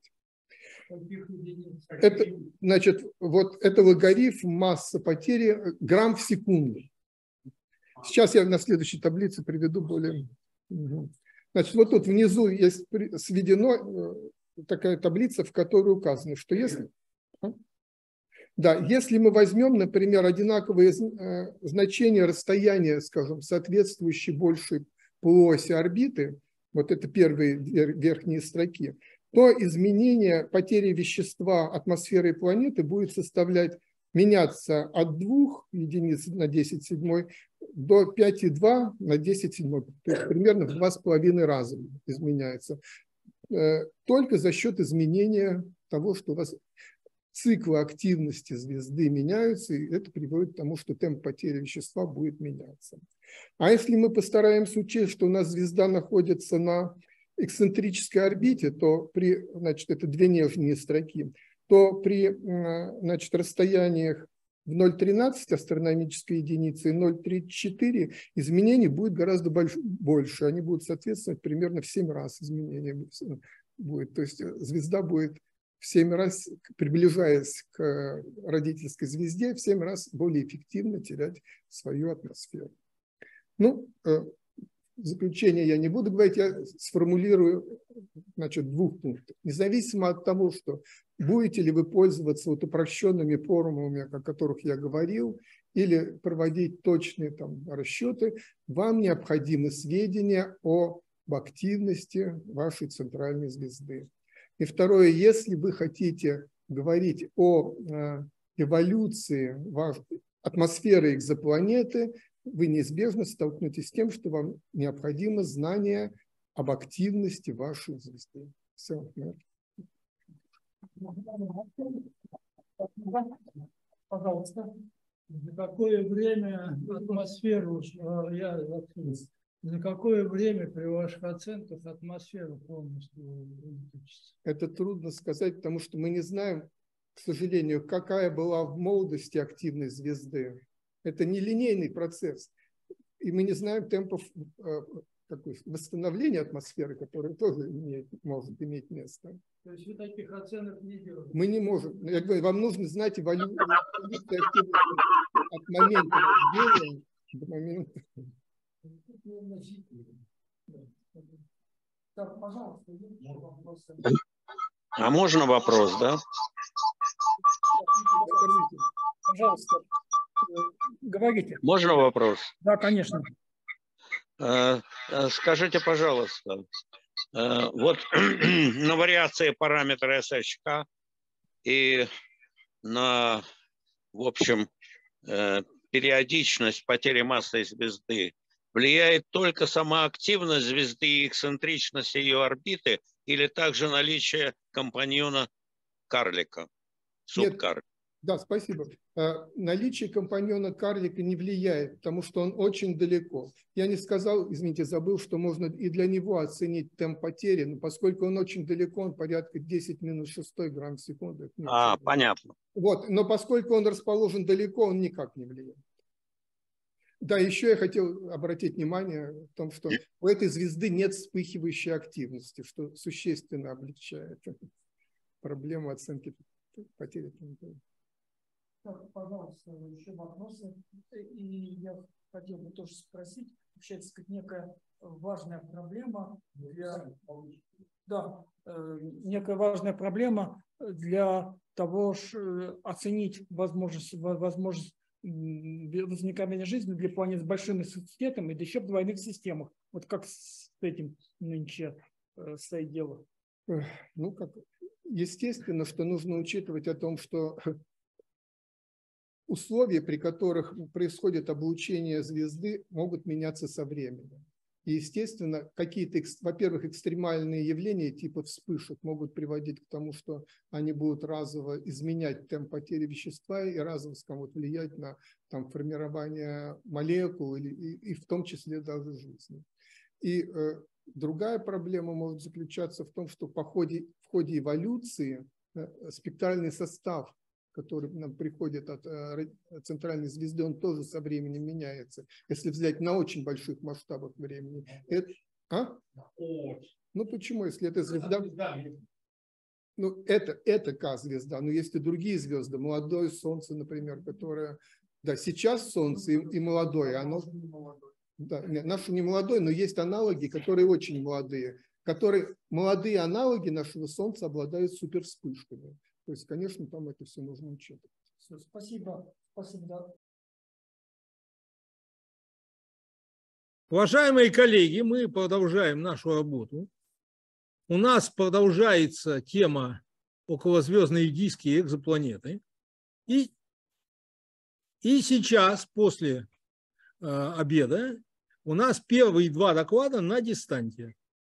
Первый доклад из Челябинского и э, Уральского университетов, Наталья Сергеевна Каргальцева с Хайбахмановым в качестве соавтора расскажет нам об эволюции голого момента в процессе коллапса магнитных вращающихся протозвездных облаков.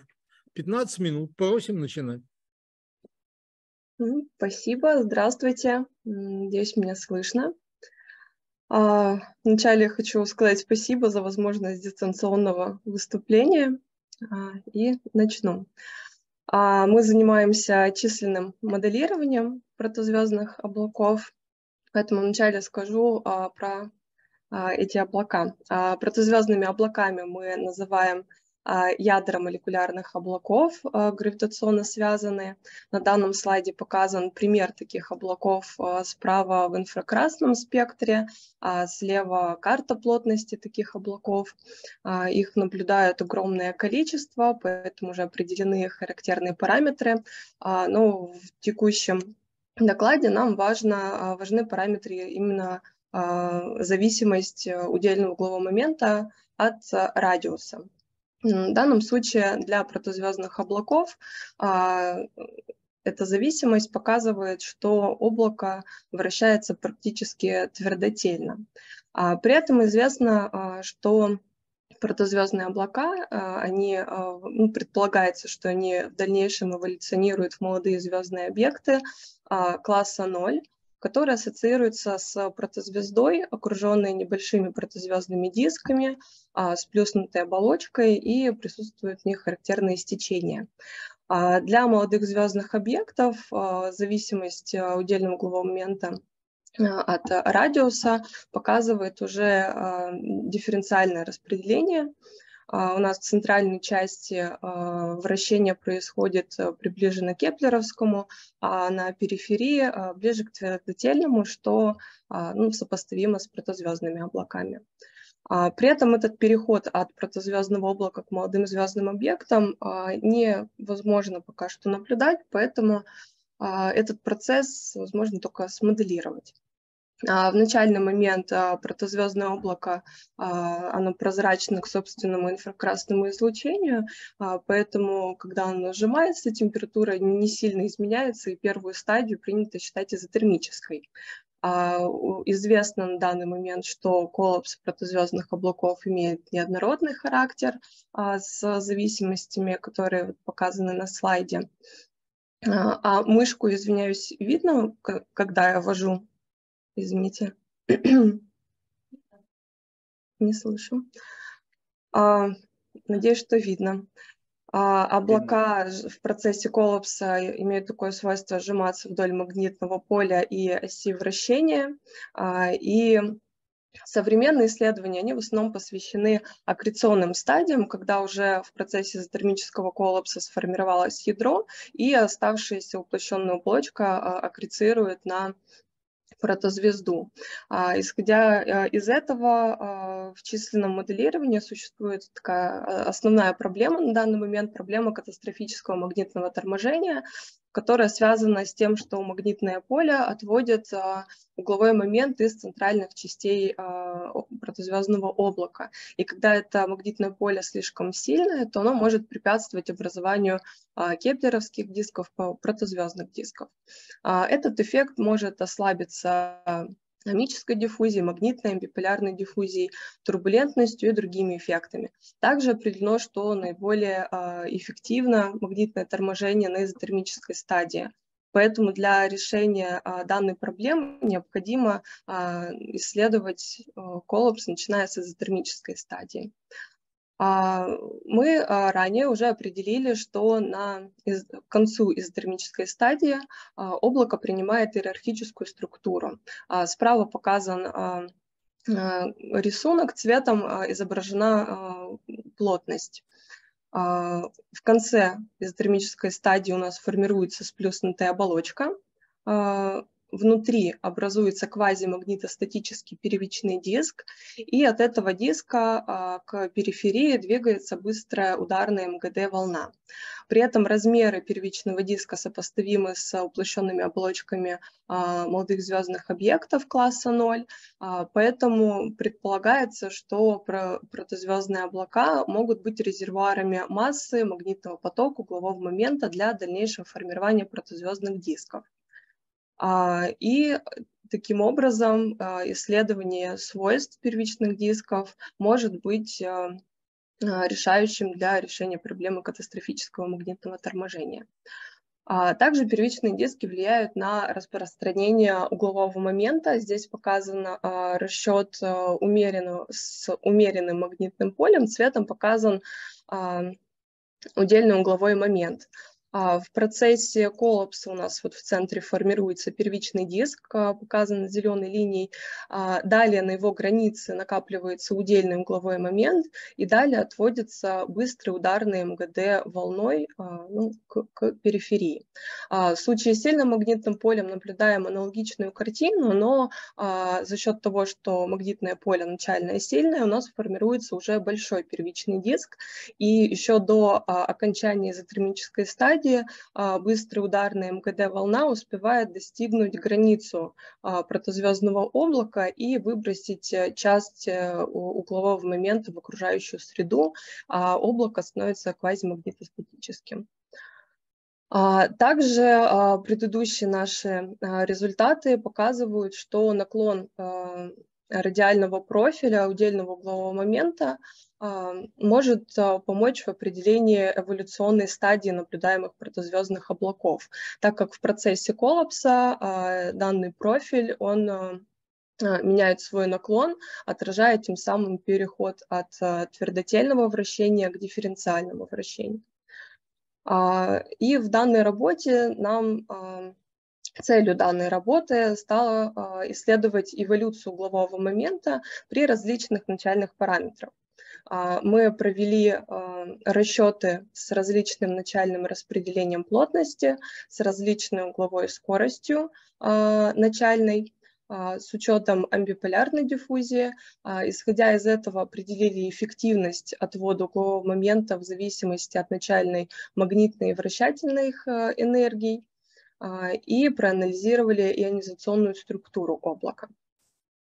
А, рассматриваем мы э, сферически симметричные магнитные вращающиеся облака одной массы и 10 кельвинов.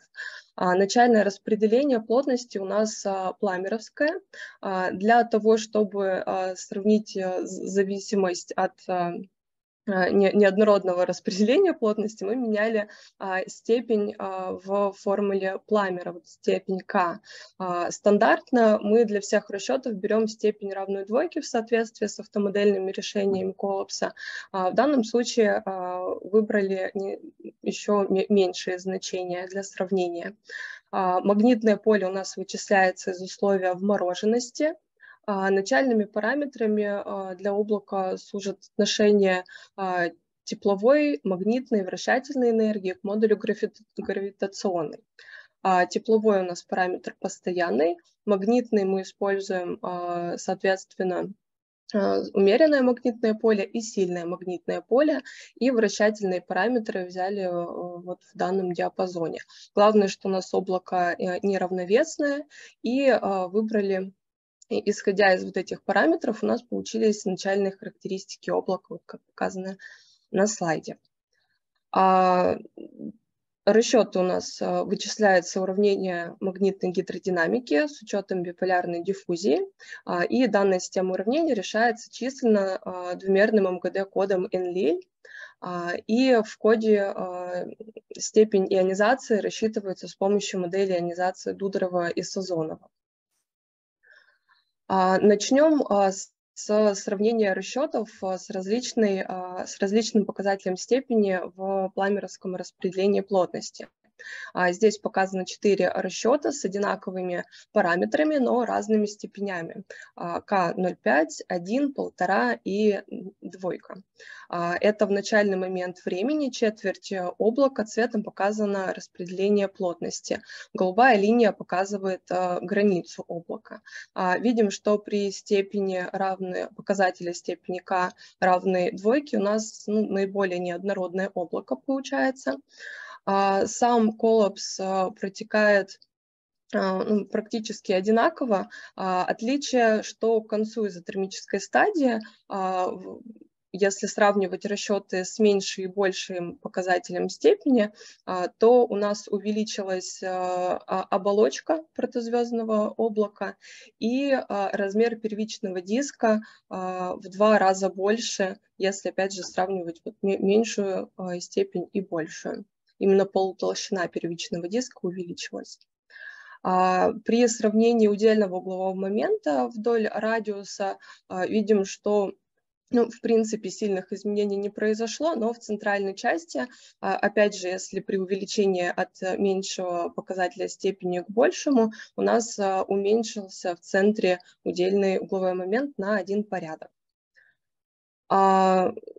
На данном слайде показан полный угловой момент а, для расчетов с различными магнитными параметрами и вращательными параметрами. Видим, что без магнитного поля эта черная линия а, у нас э, не теряется удельный угловой момент. А в случае умеренного магнитного параметра красная линия у нас полный угловой момент уменьшается практически на 40%, а, и при увеличении а, вращательного параметра ну, происходит небольшое изменение, но главное меняются а, размеры первичного диска и оболочки протозвездного облака. При увеличении вращательного параметра оболочка у нас уменьшается, уменьшилась практически в два раза, а толщ... полутолщина первичного диска, наоборот, увеличилась в два с половиной раза. В случае с сильным магнитным полем у нас а, уменьшился полный угловой момент почти на 90%. При увеличении а, вращательного параметра а, ну, особых изменений не произошло, поэтому мы делаем вывод, что при отношении магнитного параметра к вращательному более 20 вклад центробежных сил несуществен по отношению к электромагнитным силам. И у меня последний слайд – это степень ионизации. В Три облаке... минуты у вас, включаю вопрос. Да, да, все, это последний слайд слайд, это степень ионизации, и сравнили с нашими прошлыми расчетами однородного облака и текущее неоднородное облако, а, и получилось, что в случае вот э, не, не, начального неоднородного распределения плотности у нас к концу изотермической стадии формируется мертвая зона со степенью ионизации 10-13, то есть а, к концу изотермической стадии могут э, быть существенные диссипативные эффекты. А, и у меня все. А, выводы, которые мы получили, что эффективность переноса углового момента увеличивается при росте начального магнитного параметра. Независимо от начальной вращательной энергии отводится одинаковое количество углового момента а, при заданном магнитном параметре. При увеличении начальной скорости вращения и показателя степени в пламеровском распределении плотности размер первичных дисков увеличивается. И в процессе коллапса неоднородного водного протозвездного облака к концу изотермической стадии формируется мертвая зона. Вот у меня все.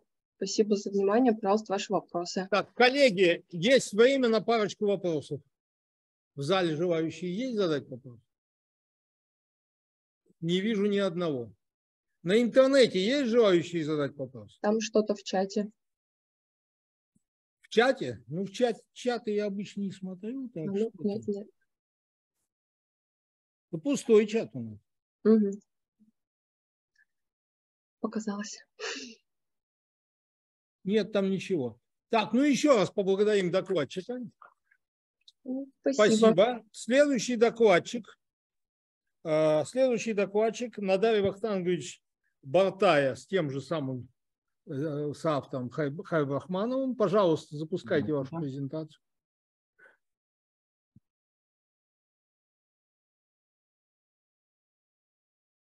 Так. Так. Видим. Голос попробуйте. Алло, алло. Плоховато что-то. Ну-ка еще раз. Что-нибудь более светлое. Ну, вас слышно плоховато, прямо скажем. Плохо? Я постараюсь говорить погромче. Может быть, нет, наоборот. Вот сейчас было неплохо. Так, поехали. Я представляю доклад о динамике тороидальных магнитных силовых трубках в аккреционных дисках молодых звезд. Звезды образуются в результате фрагментации и последующего коллапса протозвездных облаков. В результате коллапса на поздних стадиях образуется уплощенная структура в виде диска. Существует множество подтверждений наблюдательных тому, что молодые звездные объекты имеют диски вокруг себя. Одними из их свойств наблюдательных является то, что они могут быть переменными, и наблюдаются из них истечения и даже коллимированные джеты. Согласно теории остаточного магнитного поля, диск рождается с полем родительского облака, которое является его крупномасштабным полем. А, во внутренней области диска, где высока степень ионизации, может происходить генерация тороидального поля, и одним из э, возможных механизмов отвода избытка излишнего магнитного потока является магнитная плавучесть. А, магнитная плавучесть или неустойчивость Паркера, которая у нас э, проявляется, когда у нас есть слой жидкости, градиент плотности и градиент магнитного давления. А, на рисунке представлен пример моделирования, а, где МСТ, магнитная силовая трубка, находясь в конвективной зоне Солнца, всплывает вверх к поверхности и расширяется.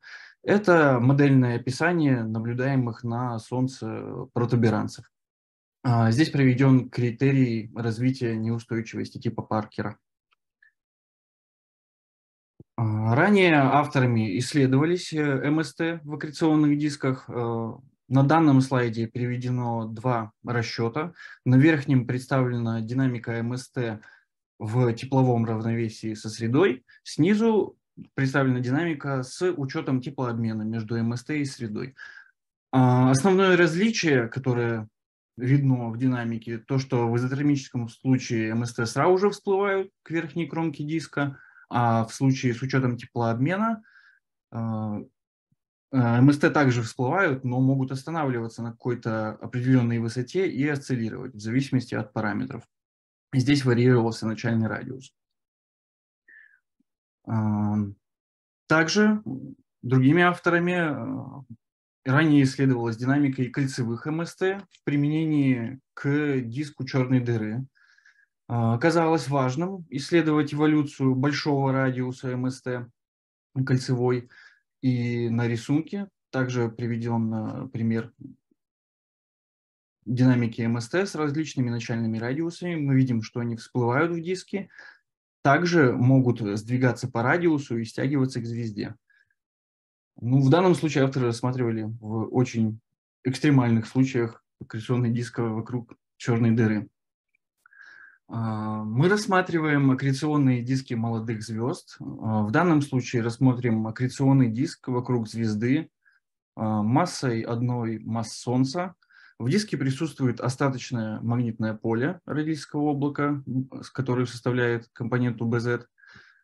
Диск геометрически тонкий и оптически толстый. В области более высокой степени ионизации – из компонента BZ генерируется тороидальная компонента BFI, и мы, э, согласно теории о магнитной плавучести, рассматриваем поле как э, отдельную магнитную силовую трубку, внутри которой сосредоточен поток. А здесь на иллюстрации показана МСТ в диске. Она характеризуется своим давлением, плотностью, температурой и магнитного поля. На данном слайде приведены уравнения динамики. Сверху приведено уравнение движения а, с учетом сил плавучести, сил сопротивления, силы магнитного натяжения и силы внешнего давления. А, ниже представлены параметры, используемые для расчета внутренних характеристик МСТ. Это ее радиус, магнитное поле, требования баланса давлений, и мы рассматриваем случай эффективного теплообмена, поэтому у нас э, температура снаружи трубки всегда равна температуре внутри, то есть температуре среды. Радиальная структура э, рассчитывается по модели аккреционных дисков Дудорова и Хайбрахманова. Э, здесь приведены характерные профили для области высокой степени ионизации, где мы можем считать магнитное поле вмороженным вещество. А, вертикальная структура диска рассчитывается из условия гидростатического равновесия с адиабатическим условием состояния. А, здесь введен параметр H, это шкала высоты аккреционного диска. А, уравнения динамики решаются численно с помощью метода Рунгикута четвертого порядка. А, на слайде вы можете увидеть начальные параметры, которые использовались для расчета структуры диска. И здесь конкретные значения. Это расстояние от звезды, плотность в экваториальной части диска, температура, температура короны, магнитное поле и шкала высоты в астрономических единицах. А, здесь указаны параметры, которые задавались как начальные параметры для магнитных силовых трубок. Это их начальный радиус по отношению к шкале высоты и плазменная бета, которая показывает нам, насколько сильно действует магнитное поле. А, уравнение интегрируется численно, и структура согласованно рассчитывается на каждом временном шаге. На этом слайде представлен результат моделирования. А, здесь представлены траектории движения МСТ, которые стартуют из области с 0,4 астрономических единицы от звезды. А, показаны траектории МСТ с различным начальным радиусом при сильном магнитном поле, бета равно 0,1. А, более толстые МСТ с начальным радиусом 0,1 шкалы высоты резко всплывают к верхней кромке диска и продолжают свое движение в короне. МСТ с меньшим начальным радиусом сильнее стягиваются к звезде, и в случае с сильным магнитным полем э, их скорость может превышать локальную скорость звука и в данном случае составляет более 20 км в секунду. А, серыми линиями показана 1, 2 и 3 шкалы высоты. Фотосфера аккреционного диска находится примерно на расстоянии 2,3, 2,7 шкалы высоты.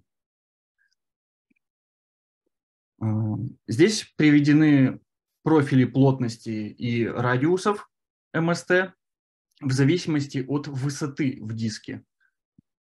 А, высота в шкалах высот. А, слева самые тонкие МСТ, одна тысячная шкала высоты, посередине средние и самые толстые с 0,1 шкалы высоты. Самые крупные МСТ резко всплывают вверх, выше, чем диск видно, а более мелкие, за счет того, что они стягиваются к звезде, они достигают меньших радиусов. А, общее у них движение, то, что они а, со временем МСТ любых начальных размеров, они в любом случае расширяются и двигаются вверх. Если МСТ меньшего радиуса, они могут стягиваться к звезде за счет силы действия натяжения магнитных силовых линий.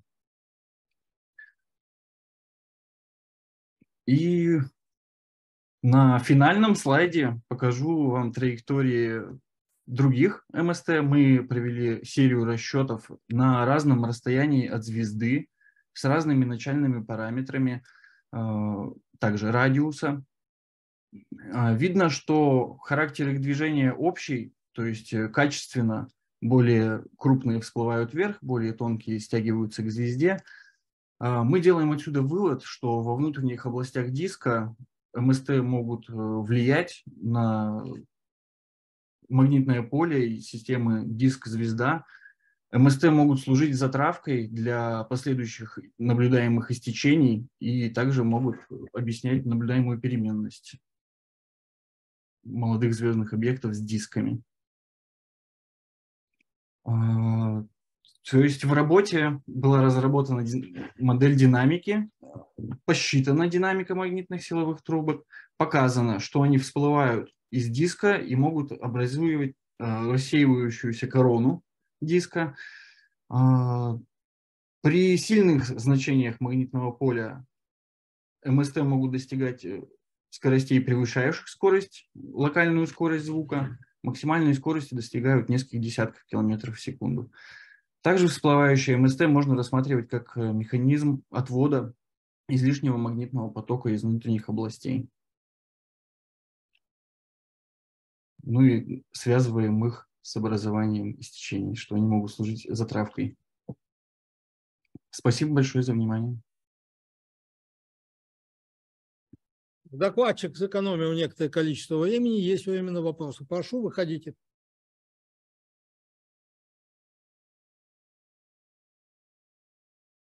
Здравствуйте. Спасибо за доклад. Я хотел уточнить.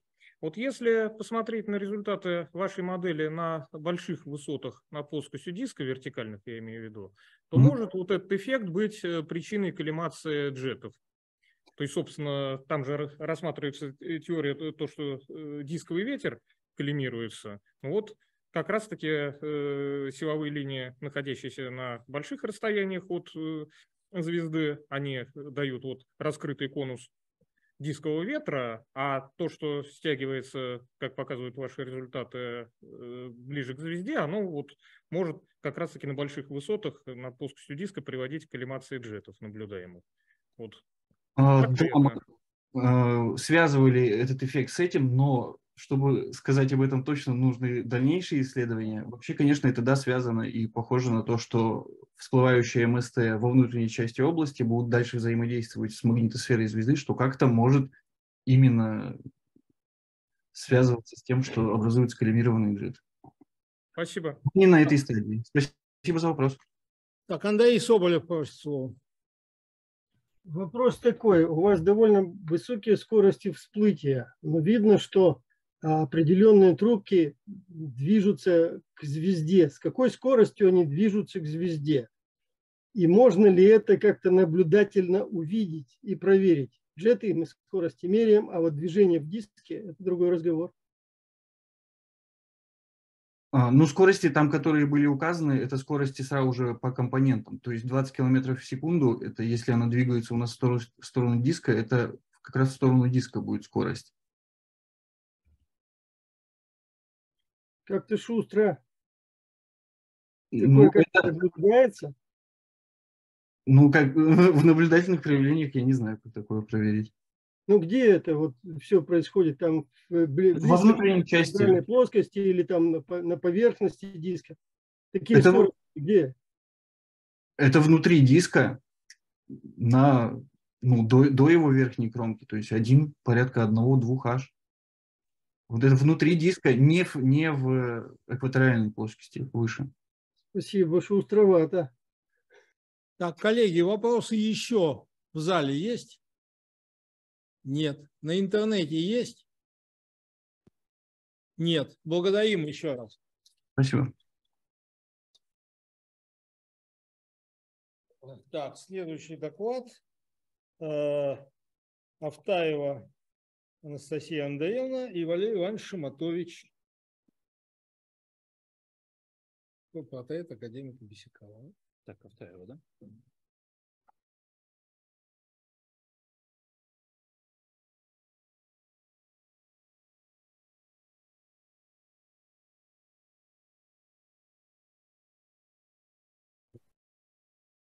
За три минуты я вам посигналю. Вышли на две минуты. А, добрый день, уважаемые коллеги. Сегодня я хочу представить э, результаты нашего исследования по влиянию звездного ветра на нетепловое убегание а, атмосферы горячей экзопланеты Пинман-Си. А, и сначала напомню, что звезда на атмосферу экзопланет может влиять э, двумя путями. Это звездным ветром и э, жестким ультрафиолетовым излучением родительской звезды. А, здесь обращаю внимание конкретно на звездный ветер. Звездный ветер э, а, запускает процессы перезагорядки протонов звездного ветра, так называемый подхват распылений, и воздействует на ионосферный отток, но в случае, если э, планета имеет магнитное поле. А, также есть а, такой эффект, который можно назвать механическим влиянием звездного ветра, это поджатие атмосферы. В определенный момент звездный ветер может достаточно сильно поджать атмосферу и сделать ее а, закрытой, так что убегание в направлении планета-звезда происходить ну, перестанет существовать. То есть убегание может произойти только в так называемом кометно-подобном хвосте. Мы рассматривали а, перезарядку протонов звездного ветра на примере экзопланеты Пинман-Си. И здесь представлена схема процесса. То есть сверху на, а, на атмосферу движется звездный ветер. Это поток а, протонов, или ионов водорода по-другому. А в области перезарядки атмосферы это место, где концентрация протонов атмосферного газа становится меньше, чем концентрация атомов водорода. И в этом случае процесс перезарядки и вот этот вот процесс движется быстрее и становится превалирующим. В этой области происходит как раз перезарядка а, протонов звездного ветра с образованием энергетически нейтральных атомов водорода с высокими энергиями. Далее эти энергетически нейтральные атомы водорода продвигаются вглубь атмосферы и э, начинают сталкиваться с э, атмосферными компонентами. В нашем случае, в нашем исследовании, это был тепловой водород. Просто водород с энергией температуры окружающего газа. А, в этом случае у нас происходит вот такой процесс. У нас NaH, а, то есть энергетически нейтральный водород, сталкивается с тепловым водородом и образуется энергетически нейтральный атом водорода с а, потерей энергии и горячий водород. То есть на тепловой водород, который чуть-чуть отнял энергию у энергетически нейтрального. И в этом случае в нашей области исследований в атмосфере экзопланеты а, получается три фракции водорода. Это NaH, а, это а, водород с энергиями больше 100 электрон-вольт, если так вот совсем грубо поделить, это горячий водород от 1 электрон-вольта до 100 электрон-вольт. И это тепловой, электро... тепловой водород а, с энергиями меньше 1 электрон-вольта. А, и в ходе вот этого процесса, а, написано, у нас образуются два потока высокоэнергетичного водорода. Один движется вверх, второй движется вниз. Вниз движется поток NaH, вошедших от э, звездного ветра, образующихся от входящего звездного ветра. Вот здесь и он движется вниз, каскадом захватывая собой водород из окружающей среды.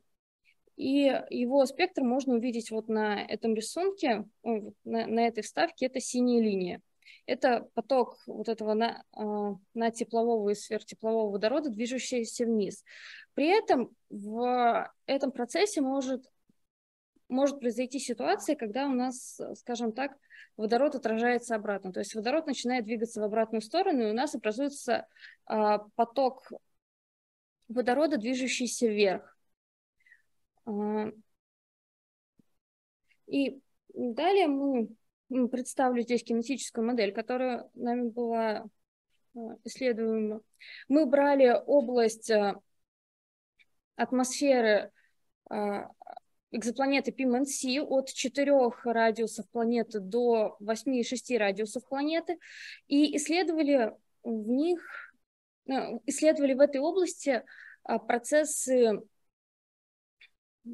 столкновений NaH с тепловым водородом и с образованием горячего водорода. И дальше уже столкновение горячего водорода и NaH, потерявших частичную энергию, тоже между собой с тепловым водородом. Процесс перезарядки протонов звездного ветра происходит, в нашем случае происходит выше, чем область исследований, примерно на 18 радиусах планеты. Мы э, для исследования кинетики и переноса э, атомов водорода использовалось кинетическое уравнение Больцмана, которое в дальнейшем э, решалось с помощью метода Монте-Карло.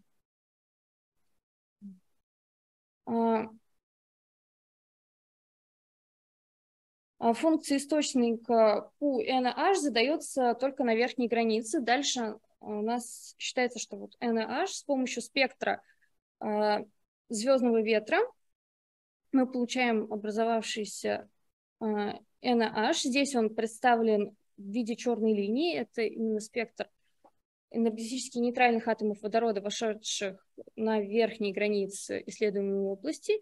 И дальше уже в самой исследуемой области дополнительно используются только функции источника для теплового водорода.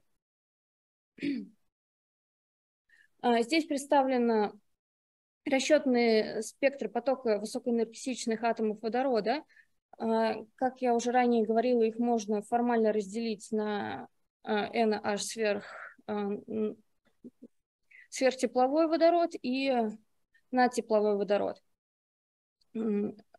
Данные, данные спектры представлены для восьми радиусов планеты, и вот эта черная линия – это на 8-6 радиусах планеты, то есть это на верхней границе исследуемой области. У нас, получается, входит вот этот э, поток энергетически нейтральных атомов водорода с заданным спектром, и дальше он меняется. И если посмотреть на синюю область, то примерно чуть больше, чем пол радиуса планеты, он уже пробежал в атмосфере, э, спектр движущихся вниз поменялся, пик, хоть пики хоть и остались примерно на тех же местах, но ушли вниз, и у нас образовался более пологий спад, а, который характеризует собой энергетически нейтральные атомы водорода, потерявшие энергию, то есть деградировавшие. И поэтому получившие ну, теперь имеющие более слабую энергию. При этом образуется пик, еще один в области низких энергий, который соответствует как раз образованию а, на тепловых атомов водорода в столкновениях. А, на данной высоте э, синее напоминает то, что движется вниз, красное это то, что движется вверх. А, на данной высоте суммарный энергетический поток вниз получился равен 13,2 эрго на сантиметр а, квадратный в секунду. Вверх при этом движется всего 2, 2 десятых эрго. И если сравнить эти потоки с потоком изначально входящих NH а, в исследуемую область, составляющую 32,7 эрго сантиметр квадратный в секунду, то получается, что к этому моменту, то есть за а, чуть больше, чем полрадиус а, планеты, съелось или ушло куда-либо 60% энергии. При этом 40% движется вниз от этого числа, и 0,6% а, энергии было переотражено включая все нижние слои. Получается, что разница, то есть оста, а, остаток от входящей энергии, составляющей 19,3 эрго, идет на нагрев атмосферного газа. А, здесь представлены изменения энергетических спектров, спектров нисходящего и нисходящего потоков атомов водорода. А, на правой, получается, панели представлены восходящие потоки, на левые нисходящие для разных высот. Можно сделать вывод, что спектры носят существенно неравновесный характер и сильно отличаются от, локар... От спектров, которые должны были бы быть в случае локального равновесия. Так, черные линии – это тоже как раз вот спектр входящих NH в атмосферу для сравнения. Здесь уже представлены численные значения э, в таблицах на чуть большем количестве высот, чтобы можно было сравнить, как изменяется суммарный нисходящий поток энергии э, атомов водорода в разных фракциях. То есть вот здесь представлены а, первые два столбика – это атомы водорода надтепловые, образующиеся в процессах столкновений, а последние два столбика – это а, поток энергии или поток частиц атомов NaH, входящих в атмосферу и изменяющихся с процессом движения к поверхности планеты. Mm. Ладно, тогда ускоримся. Здесь уже представлено а, суммарные восходящие и нисходящие потоки, и также их процентное соотношение к энергии NH, проникающей через верхнюю границу исследуемой области. И можно заметить, что в, на, на верхней границе вверх движется, э, вверх отражается всего 2,3% энергии от входящего потока. То есть поток, который предположительно мог бы быть достаточно сильным от э, воздействия звездного ветра, составляет не так, чтобы много.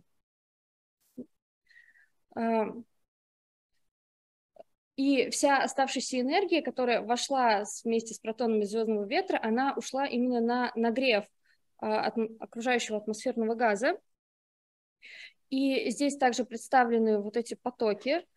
Есть несколько перегибов, которые как раз связаны с а, изменением средней кинетической скорости, э, средней кинетической энергии суммарной фракции на, на теплового водорода. Здесь также представлены концентрации э, компонентов атмосферы. Это тепловой водород и э, тепловые протоны атмосферного газа с коэффициентом 1 сотой и а, на тепловые протоны и на э, тепловой водород. То есть э, горячий водород плюс NaH. Здесь же представлены массовые скорости и средние кинетические энергии для на тепловых фракций. Так, ну и перейдем к заключениям и выводу. выводам. Через верхнюю границу исследуемой области атмосферы убегает поток атомов водорода, равный 1,5 на 10 в 9 сантиметров минус 2 в секунду минус 1, что соответствует энергии в 1,76 эрг, а, что составляет всего 2,3% от входящего в исследуемую, в исследуемую область энергии а, потока NaH, э, то есть энергетически нейтральных атомов водорода, и значит остальная часть энергии ушла на кинетическую энергию атомов окружающего газа, что приводит к общему нагреву атмосферы. Расчеты были проведены для условий спокойной звездной активности, но при сильном звездном ветре или корональных выбросах массы эффект от воздействия звездного ветра становится сильнее, в то время как для теплового и нетеплового убегания а, он, наоборот, из-за эффекта сжимания атмосферы а, убегание атмосферы тепловое и нетепловое становится слабже. Вот, спасибо за внимание. Я злоупотреблю правом председателя. Слушайте, у вас в названии названа конкретная планета. Вы о ней вообще ни слова не сказали. Что это? Это пи столовой горы? И планета С в системе пи столовой горы? Да. Вы все время сравнивали вроде с ней, но вы не назвали ни массу, ни где она находится. Да, я признаю, я, кажется, забыла этот слайд вставить. Просто перед этим несколько раз рассказывала про нее же, но с другим эффектом. Это планета Пимен-Си, она а, субнептун и находится около звезды практически солнцеподобной. То есть там один и один масса Солнца, и э, сама планета это два, примерно два радиуса Земли. Выходи. Да, она... Выходи. 6 соток э, астрономических единиц. Так, Антон Михайлович вопрос задает. 0,6. Скажи, пожалуйста, вы исследовали устойчивость ударных фронтов? Дело в том, что звездный ветер, вот солнечный ветер, он очень неоднороден.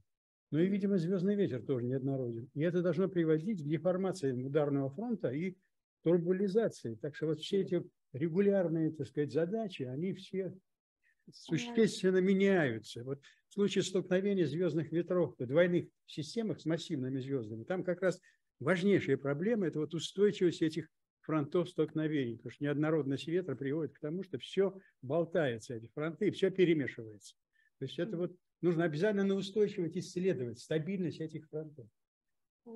Спасибо за вопрос. Мы пока не исследовали нестационарную систему. То есть у нас пока исключительно стационарные расчеты. То есть э, мы считаем, что поток постоянен и не изменяется со временем, и следующий наш шаг мы собираемся как раз исследовать не стационарные системы, где как раз уже идет изменение фронта столкновения. Так, мы выбились из времени, но у нас есть вопрос на интернете. Прошу этот вопрос задать и коротко, если можно. Кто хотел задать вопрос на интернете? Не, эта рука давно горит. Не, он, он забыл, забыл опустить руку. Да. Все? Все. Благодарим. И последний доклад. Мансур Ибрагимов. Экзоастероиды в системах с нейтронными звездами слэш черными. Так программа. Ну, Мансур объяснит, что это значит. Даю объяснение. А, я буду рассказывать про экзоастероиды в системах с нейтронными звездами слэш черными дырами. Последнее слово пропало, да, но тем не менее, я думаю, догадались. А, собственно говоря, э, многие мои коллеги, ну не многие, некоторые мои коллеги спрашивают меня, а вот экзоастероид, это прям такой термин существует, да? Вот я стырил, так сказать, у, у Марка Вята, очень такого представительного гранта, да, из Института астрономии э, Кембриджского университета. Это теоретик, который занимается и вот и дебрис дисками. Дебрис это вот разрушенные диски, те диски, которые остались после вот образования планет, там, всего остального. Осколочные еще называют диски. Экзоастероиды и экзокомет. Как видите, причем это презентация 2008 года, и как видите, как бы все честно, термин существует, употребляется. А, и, безусловно, сразу следует начать, что никаких экзо, прямых наблюдений экзоастероидов, и тем более там в системах с компактными объектами, конечно же, э, на современном этапе мы получить не можем. Но есть события, и я горячий сторонник того, что эти события могут свидетельствовать, они называются красные вспышки, эти события могут свидетельствовать о наличии вот этих вот малых экзотел, как в нормальных звездах, так и в системах с компактными объектами. И я вот расскажу о красных вспышках в компактных системах. Три системы – это практически весь арсенал э, вот, исследованных э, компактных а, систем с компактными объектами и красных вспышек в этих системах. А, несколько больше вспышек и систем наблюдалось у нормальных звезд, красных вспышек, но я расскажу только об одной а, системе, и это, собственно говоря, сделано по, главным образом по моим исследованиям. А далее расскажу о, об открытии Дебрис диска. Ну, я уже не буду переводить, да, Дебрис понятно, что Дебрис диска у одиночной нейтронной звезды. Вот пионерская работа была в Nature опубликована в 2006 году. И я просто, может быть, кто-то знает, но я больше не слышал о том, чтобы вот у одиночных изолированных нейтронных звезд открывались э, вот такие разрушенные Дебрис диски. И очень коротко, буквально, что называется, в один, в один пару слайдов расскажу о, о связях между вот красными вспышками и Дебрис дисками. А, собственно говоря, вот она эта работа, первая пионерская работа, а, сделанная для В404 Цигни. Это а, рентгеновская двойная с черной дырой и повторная новая. И вот во время ее вспышки в 2015 году а, индийский, ну, точнее говоря, а, британский астроном с такой индийской фамилией, да, Пашок Ганхи, он является руководителем этого проекта, и вот руководителем этого направления, решил использовать прибор, который называется Ультракам, это сверхбыстрый такой цифровой фотометр. Его основное его основное достоинство, то, что он может работать с миллисекундными экспозициями, с миллисекундными, и при этом очень приличная чувствительность, да, видите, вот, а, отсчеты, пару тысяч отсчетов в секунду для, для звезды 18 величины, но при условии, что этот прибор будет подвешен у телескопа порядка вот 4-метрового класса. И вот В404 404 цигни они исследовали с помощью вот этого трехканального ультракама на, на телескопе э, Вильяма Гершеля 4,2 метра. Э, и вот обратите внимание на название, да, вот я его специально и привел, и перевел, да, красным цветом. Невероятно быстрый и красный, очень эмоциональное название. Я понимаю так, что его команда просто, вот, ну, фигурально выражаясь, офигела, да, когда получила эти результаты. И они говорят о субсекундных оптических вспышках В404 в пике поярчания 2015 года. Ну, собственно говоря, картинки самого ультракама здесь тоже приведены. Вы видите, да, вот трехканальный фотометр. Один канал строго под синюю У полосу, другой канал э, под G полосу. И третий канал, он там варьируется, э, и можно три разных фильтра, R, I, Z. Ну, слоуновские фильтры здесь используются.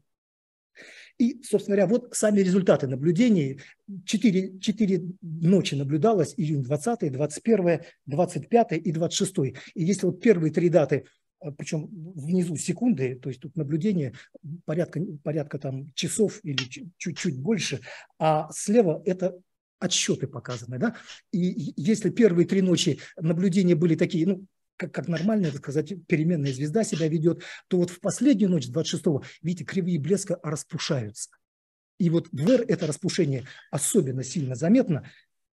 И вот здесь вот приведен э, последняя дата, 26 июня 2015 года, и это уже не в каунтах, это уже в магнитудах. И мы видим мы, мы видим все три, три кривые блеска U, G, U, G и R, соединенные, ну, сближенные вместе, чтобы вы имели представление. И вот обратите внимание, э, вспышечки видны, да, вспышечки порядка полувеличины, полувеличины, и особенно, так сказать, э, хорошо заметны они, и, и вообще, так сказать, амплитуда очень такая распушенная получается именно в красной области, в R-полосе.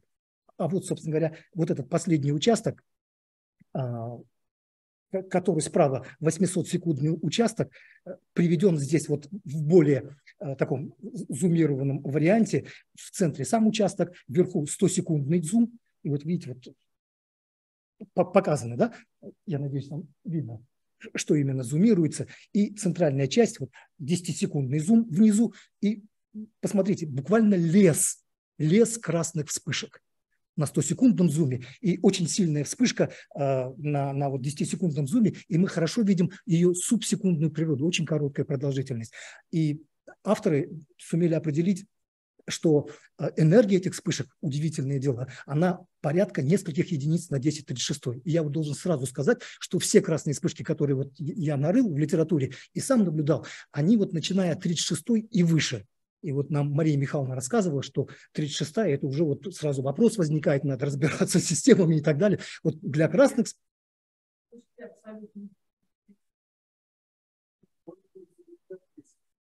Энергетику, да, вспышки, да, природа вспышек совершенно разная, но...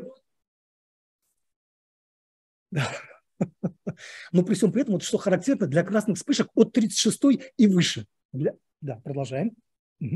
Второй объект, здесь уже NTT, телескоп 3,6 метра э, ультракам, у нее в марте 2018 года была вспышка, объект называется Макси 1820, а, собственно говоря, тоже вот приведен а, здесь не написано сколько, да, ну, примерно два часа, да, полтора часа наблюдалось, и вот приведен 200-секундный сегмент этих наблюдений и зум, пятисекундный зум, и вы видите вот в центре этого зума такая очень могучая вспышка, одна из самых сильных вспышек, которая наблюдалась в системах с компактными объектами, дельта Мак составляет 1,6, и при этом эта вспышка имеет структуру, она красная, видите, вот там видно, что амплитуда в соседнем фильтре зеленом уже меньше, но при всем при этом а, вспышка продолжалась 0,3 секунды и вот несколько пиков у нее продолжаем. И вот это вот э, еще одна совершенно такая потрясающая э, картинка, сделанная уже на Свифте,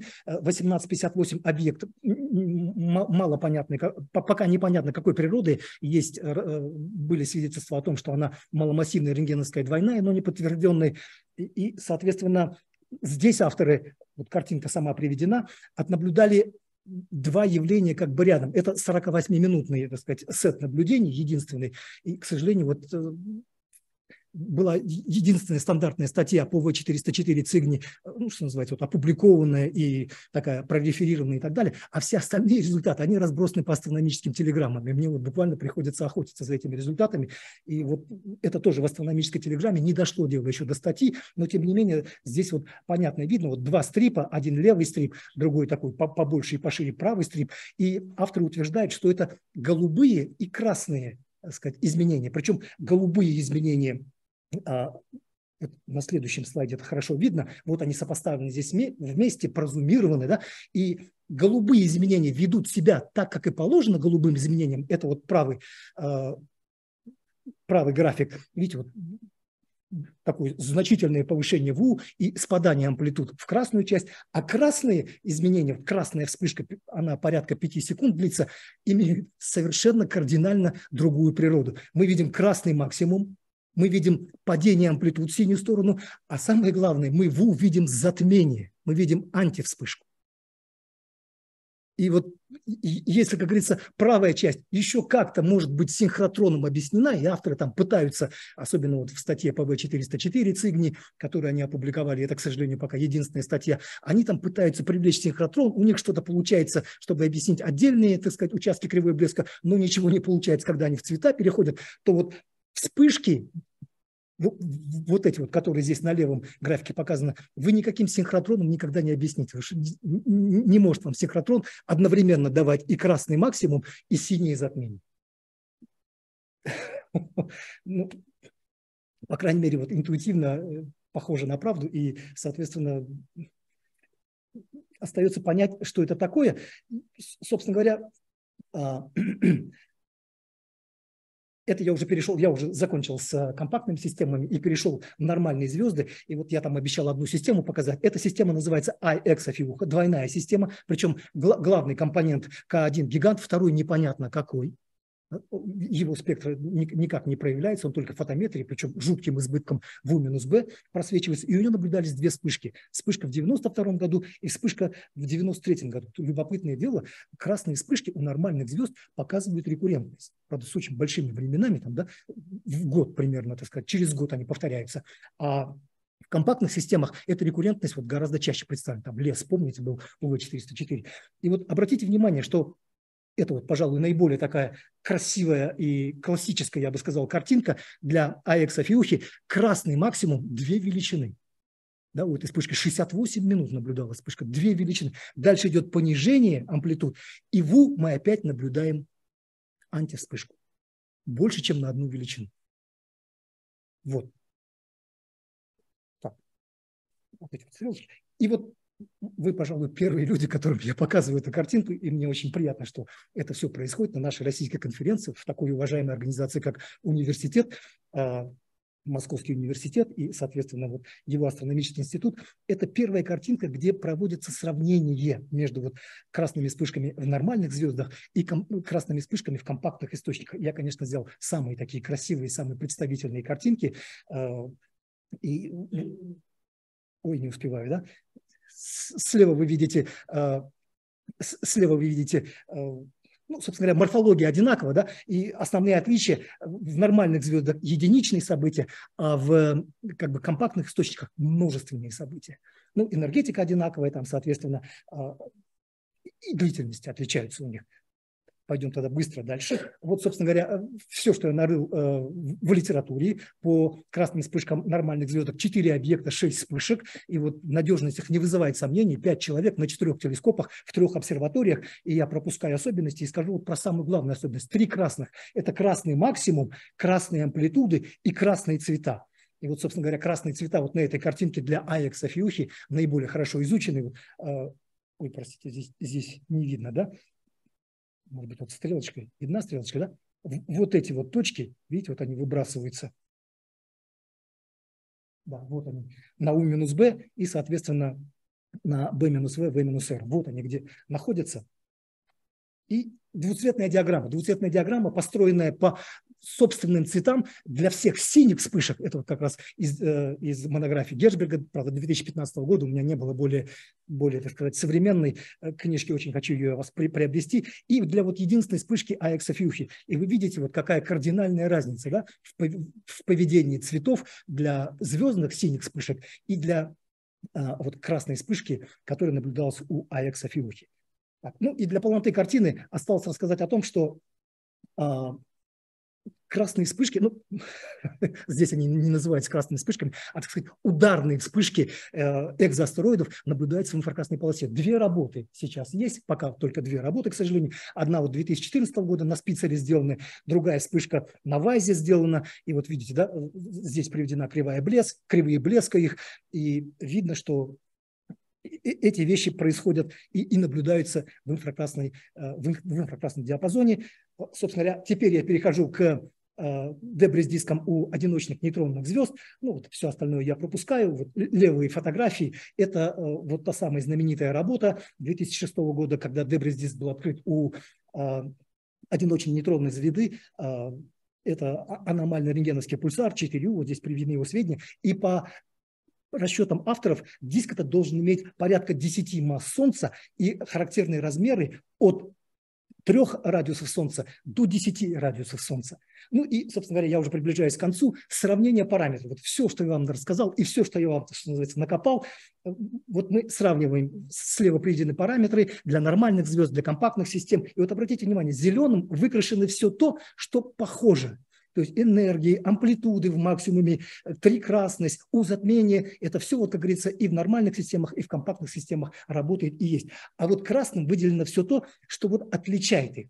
Во-первых, это количество вспышек в нормальных единичные, а в компактных множественные вспышки, и радиусы дисков, то есть размеры дисков в нормальных – это вот несколько астрономических единиц, а в компактных вот порядка пяти радиусов Солнца. И если вот отвлечься от уже замученного синхротрона, который применяется, а взять э, экзо, экзоастероиды и вот долбануть их друг об друга, да, и, как говорится, посмотреть, что получится, то сразу получается для, э, э, для компактных для компактных объектов два эффекта. Эффект хоккея – это вы вот, вот эти вот гигантские хоккейные, гигантские футбольные поля нормальных дисков сужаете до, до хоккейной коробки, которая, так сказать, у компактных систем, и у вас на 4 порядка, вот даже если эти цифры используют, на 4 порядка уменьшается площадь, и при этом по Кеплеру на порядок повышается скорость. То есть у вас уменьшилась площадь и увеличились скорости, поэтому эффект хоккея. И вот в такой очень плотной и очень быстрой ситуации у вас все бьется там непрерывно, и получаются метеорные дожди. Вот я их так как бы образно назвал, да, эффект хоккея, эффект метеорных дождей. Вот тот самый лес, который мы наблюдали, это, скорее всего, метеорный дождь, вызываемый именно эффектом хоккея. И я уже практически кончаю. Вот мои выводы, да. А, Красные вспышки у нормальных объектов – это единичные ударные вспышки экзоастероидов, а красные вспышки – это, так сказать, по моей интерпретации, красные, красные вспышки в компактных системах – это метеорные дожди от вспышек экзоастероидов. И если я окажусь прав, то красные вспышки у компактов можно интерпретировать как свидетельство наличия экзоастероидов в системах с нейтронными звездами и черными дырами. И это мой самый заключительный слайд. Сегодня, как это неудивительно, день, Международный день астероидов. Причем это я его не придумал, да. Я ни термин не придумал, я не этот день. В 2016 году, в декабре, Генеральная Ассамблея ООН объявила, задекларировала этот дом. Ну и, соответственно, я вот хочу прям ответственно заявить, что экзоастероиды имеют значение. И на этом закончим. Коллеги, э, Извините, Мансур Акбарович э, единственный, кто э, не уложился вообще. Так? Поэтому один единственный вопрос, если очень важно. Вот Черепачук хочет, пусть спрашивает. Больше никому не дам. Дело в том, что в, аккреционных, во внутренних частях аккреционных дисках в рентгеновских новых, в активной стадии там огромная температура. Там же рентген, там миллионная температура. Как там могут быть астероиды? А они должны быть внутри, потому что они должны вращаться с большими скоростями, чтобы кинетическая энергия преобразовывалась. Вот, я тоже все время думаю а об как этом. они сохраняются при температуре миллион градусов? Хороший вопрос. Да. Что касается гибрид, гибрид, гибрид дисков у одиночной нейтронной звезды, но там может быть, там может быть какой-то адвекционный диск, как окреслие не идет, и там могут быть какие-то... А здесь-то... А расстояние не спасут нас, если это все-таки 10 градусов солнца Вряд ли спасут. Не знаю. Так, но мне кажется, это мало... Хорошо, еще раз благодарим. Вот, и Мансур, все-таки укладывайте свое имя. Это, это полезно даже для того, чтобы послушали вопрос. Ну что же, я благодарю всех докладчиков этой сессии. Я благодарю всех докладчиков конференции. Я благодарю ГАИШ за организацию этого замечательного мероприятия и предоставляю слово для подведения итогов академику Анатолию Михайловичу Черепыщу. Давайте включим свет, чтобы было веселее.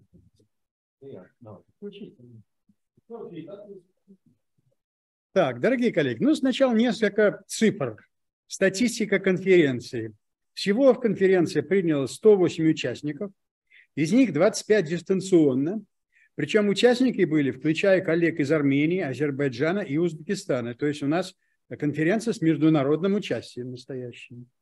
Было сделано 67 устных докладов, из них 9 дистанционно, 28 стендовых докладов, из них 11 тоже дистанционно. Ну, количество, качество, уча, качество участников.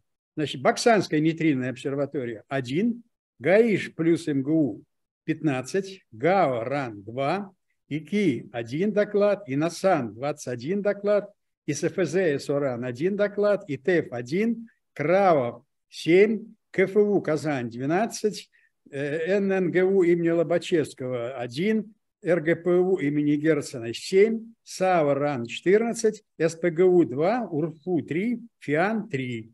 Челябинский университет 2, Бюроканская обсерватория 1, Шамахинская обсерватория 4 и Астрономический институт Узбекистана, Академии наук Узбекистана 5. Они вполне активно участвовали иностранные коллеги в нашей конференции.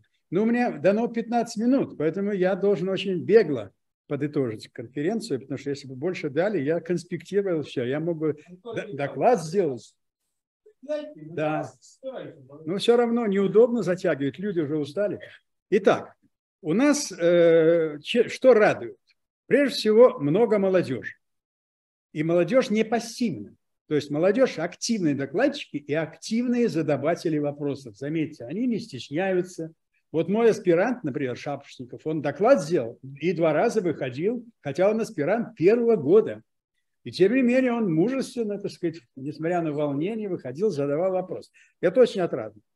Много наблюдательных работ. ИСАО, КГО, КРАВО, Казани. Также были радиоастрономические работы спущено и так далее. Но надо сказать, что кроме, наблюда... кроме высокого качества наблюдательных работ, конечно, уровень этих наблюдательных работ соответствует тому оборудованию, которое у нас есть. Мы не можем рассчитывать нам на программу Джеймс Веб телескопа, там, на Space телескоп, даже там на какие-нибудь там VLT и так далее. У нас свои телескопы, я об этом сейчас скажу.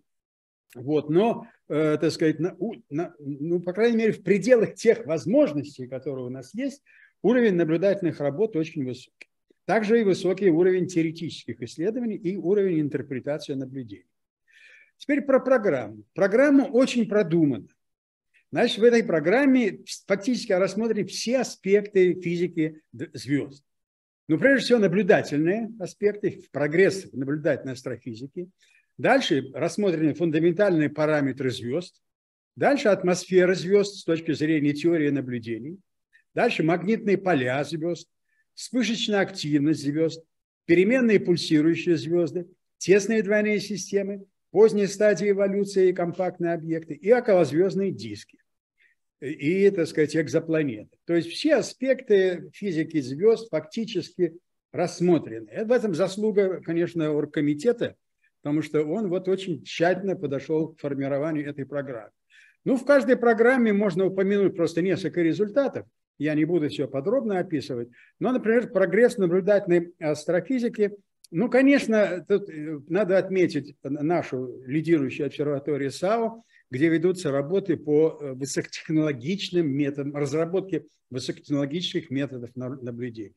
Значит, совершенно уникальный спектрограф оптоволоконный, значит, с разрешением порядка 100 тысяч, который уже фактически вступил в строй вот эта автоматизированная система, которая, так сказать, переменные звезды наблюдает и экзопланеты и так далее. Ну, САУ – это как бы центральная обсерватория страны. Она всегда была рассчитана не только на свои наблюдения, но и на разработку методик. В том числе вот они новые классы ПЗС приемников разрабатывают и так далее. Теперь, значит, э, какие у нас э, здесь э, проблемы вот были сформулированы? У нас проблема с адаптивной оптикой. Проблема с дифракционными решетками большого размера, а также проблема с, больш... с детекторами большого размера.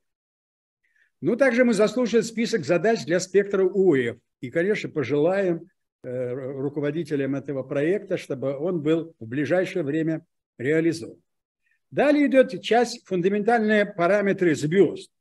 Ну, конечно, здесь очень подробно рассмотрены были у нас звезды, молодые звезды с дисками, это многолетние циклы работ, вот в КРАО в частности и так далее. Но показано, что диски вокруг молодых звезд рассасываются там за время порядка двух миллионов лет.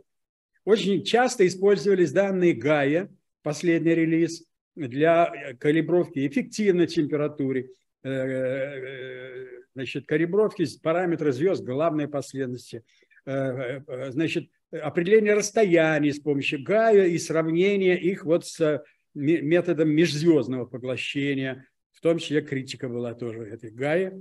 Вот, межзвездное поглощение, кривая межзвездного поглощения по титану, по линиям титана. Широко, широкие пары звезд с использованием Гая, тоже статистика наведена. Дальше идут атмосферы звезд теории наблюдений. Ну, здесь речь идет о, о физических параметрах атмосфер АП, БП звезд. Значит, звезды с аномалиями химического состава, где, значит, дифференциальное э, разделение элементов. Они очень тихие, мало вращаются, нет микротурбулентности, сильные магнитные поля, и поэтому там диффузионное разделение элементов происходит, которое не меняет интегральный химсостав, но на поверхности перераспределяет элементы вот в виде пятен и так далее. Вот. Ну, конечно, огромное количество было результатов по не ЛТР-анализу атмосфер звезд. Здесь, конечно, Казанская школа, она лидирует, вот, и, так сказать, методики доведены до совершенства. Хотя надо сказать, что сейчас в мире имеется с десяток, по крайней мере, программных комплексов, которые позволяют не ЛТР-анализ проводить. Но важно, вот правильно отмечалось, что не ЛТР-анализ настолько тонкая вещь, это практически искусство. Поэтому если применять стандартную программу, то можно наломать дров. То есть каждый, каждому объекту надо подходить индивидуально, и те программные комплексы, которые существуют, надо настраивать на решение конкретной задачи.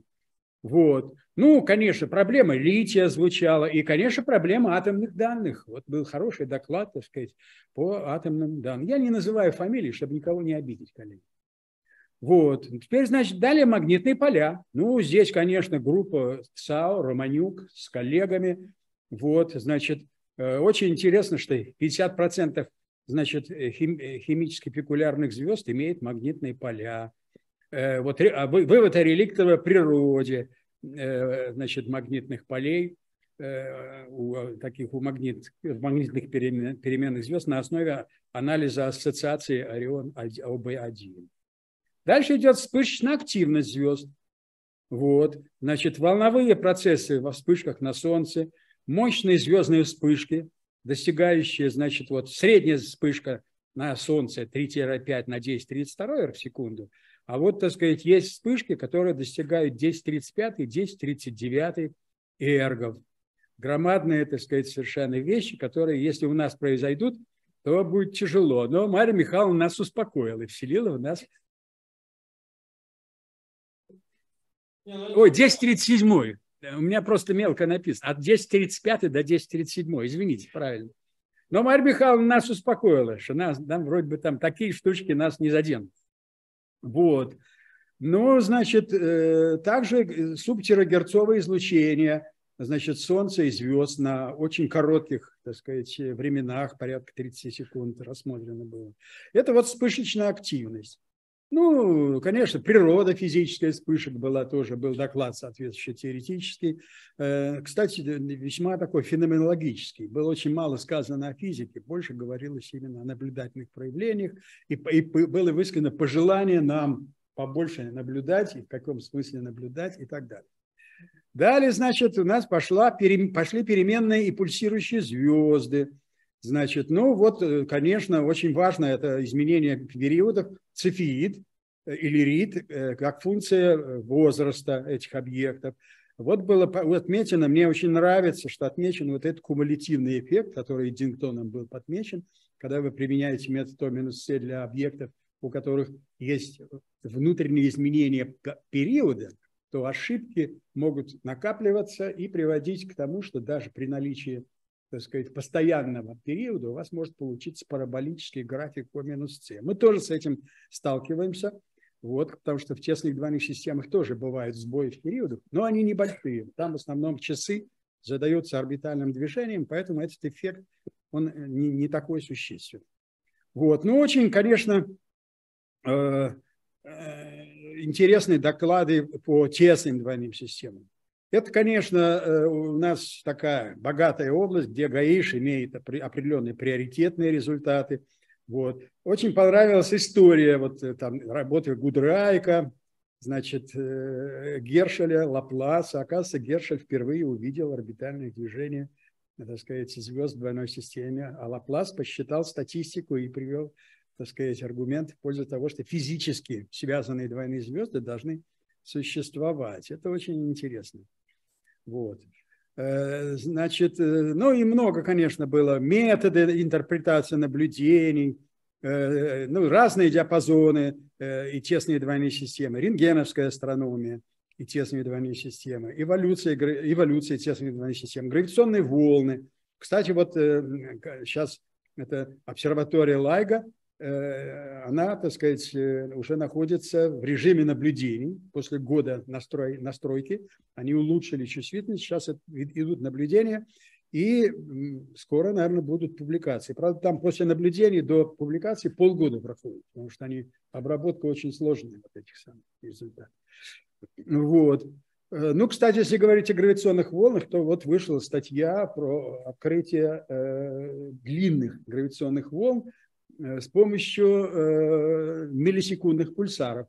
Идея была предложена нашим сотрудникам Мишей Сажиным, который, к сожалению, недавно скончался. Вот. И наш директор, вот, э, значит, Константин Александрович Послов, Поснов, участвовал в международной программе. С 15 лет велись наблюдения сбоев периодов миллисекундных пульсаров, по которым был сделан вывод, что все-таки наше пространство-время дрожит на характерных временах там многие-многие там десятки лет это длинные гравитационные волны, скорее всего, это слияние сверхмассивных черных дыр. А может быть, это космология, может, это остаток от, от инфляционной стадии Вселенной. С этим надо разбираться. Вот, вот это имеет отношение тоже к двойным звездам, потому что двойные сверхмассивные черные дыры – это двойные системы. Там вся это, если это аппарат двойных систем, он тоже работает. Ну, значит, далее, конечно, важнейшие такие, интереснейшие физические, в физическом смысле результаты – это поздние стадии эволюции звезд и компактные объекты. Ну, конечно, сверхновые. Вот был очень хороший доклад по сверхновой типа 87А. А, было интересно услышать, что есть сверхновые, которые в пять раз больше, чем стандартная энергия во время вспышки, э, так сказать, сверхновой звезды. Это, это, это, это сверхновая Ревсдал. Вот. Ну вот э, отмечено было, что еще и сам, и Самол Чекловский подметил, что сверхновая 87А была в галактике с низким содержанием металлов, и поэтому взрыв сверхновой, коллапсирующая сверхновая, должен происходить не в красном сверхгиганте, а в голубом сверхгиганте радиусом 30-50 радиусов Солнца и массой порядка 20 масс Солнца, что вот на самом деле и оказалось так. LBV-объекты, Luminous Blue Variables – на 6-метровом телескопе, детально изучаются. Вот. Ну и очень красивая работа была сделана по содержанию железа в нашей, так сказать, ограничение на содержание железа в нашей галактике из анализа рентгеновского фона. Это по вспышкам сверхновых. Во время вспышек сверхновых у нас э, значит, реализуется реакции, значит, э, э, соответствующая, значит, у нас никель, кобальт, железо. И в, в процессе вот этой реакции, значит, выделяются гамма-кванты. И вот гамма-поток можно сравнить, а, так сказать, э, э, как раз э, вот за счет этой связи можно по гамма-излучению оценивать содержание железа по гамма-излучению. И вот была получена оценка, что содержание железа по рентгеновскому фону в среднем по Вселенной меньше 0,15 масс Солнца. 0,15 э, концентрации, концентрации, 0,15 солнечных концентраций. Ну, далее, значит, конечно, вот последнее наше заседание, вот очень интересные работы, околозвездные диски и, и экзопланеты – вот. Ну, много теоретических работ было, хороших, прекрасных. Вот распад облаков про протяженном, в протопланетном диске. Вот был первый доклад, очень хороший. И потом было вот сейчас вот последняя как раз часть, она была целиком посвящена теоретическим работам, разные аспекты э, дисков протопланетных рассматривались, эволюция дисков, вот испарение атмосферы под влиянием звездного ветра у экзопланеты – и так далее. Все это очень интересно и очень актуально, потому что Джеймс Уэбб телескоп уже, так сказать, давно настроился, работает, у нее есть спектрограф с высоким разрешением, который будет смотреть уже эти био, биомаркеры у, так сказать, экзопланет, которые находятся в зоне обитания. Вот. И это такие работы, конечно, интересны. И очень важно, что в России такая программа была инициирована. Сейчас вот академик Зеленый ее руководит. И, конечно, проект Explanation вот в САО, о котором докладывал Геннадий Геннадьевич Валявин, это очень такой перспективный, интересный, интересный проект. Вот. Ну и, так сказать, э, будем надеяться, что эта программа будет очень успешна. Мне приятно, что ГАИШ тоже в этой программе участвует. Ну и вот здесь как раз все новые технологии, которые САУ умеет уже разрабатывать, они, так сказать, мирового класса, они вот применены вот в этой программе. Вот. Я думаю, что это будет полезно для других обсерваторий, использовать эти технологии. Я надеюсь, они будут обмениваться опытом. Вот. Ну и, так сказать, конечно, много вот было. Вот интересная оценка биомаркера НО для спектра УЭФ. Вот оказывается, 120 часов надо наблюдать с разрешением 1000 спектрограф. И, так сказать, вот можно надеяться на уровень 3 сигма найти, так сказать, вот этот биомаркер и так далее. Вот. Ну, здесь вот, собственно, больше, а, я думаю, не, можно не говорить ничего, потому что все только что все это слушали, поэтому что я буду повторять? Вот. Те, те результаты я напоминаю, потому что они были давно сравнительно, а здесь мы с вами вот свидетели этих э, докладов только что и так далее. Так что в итоге, вот что я скажу, что мы хорошо поработали, пять дней, вот, и многие, я заметил, я обращал внимание, многие все пять, я сам пять дней ходил, потому что мне я должен подводить итоги, поэтому я честно, как и Паснов...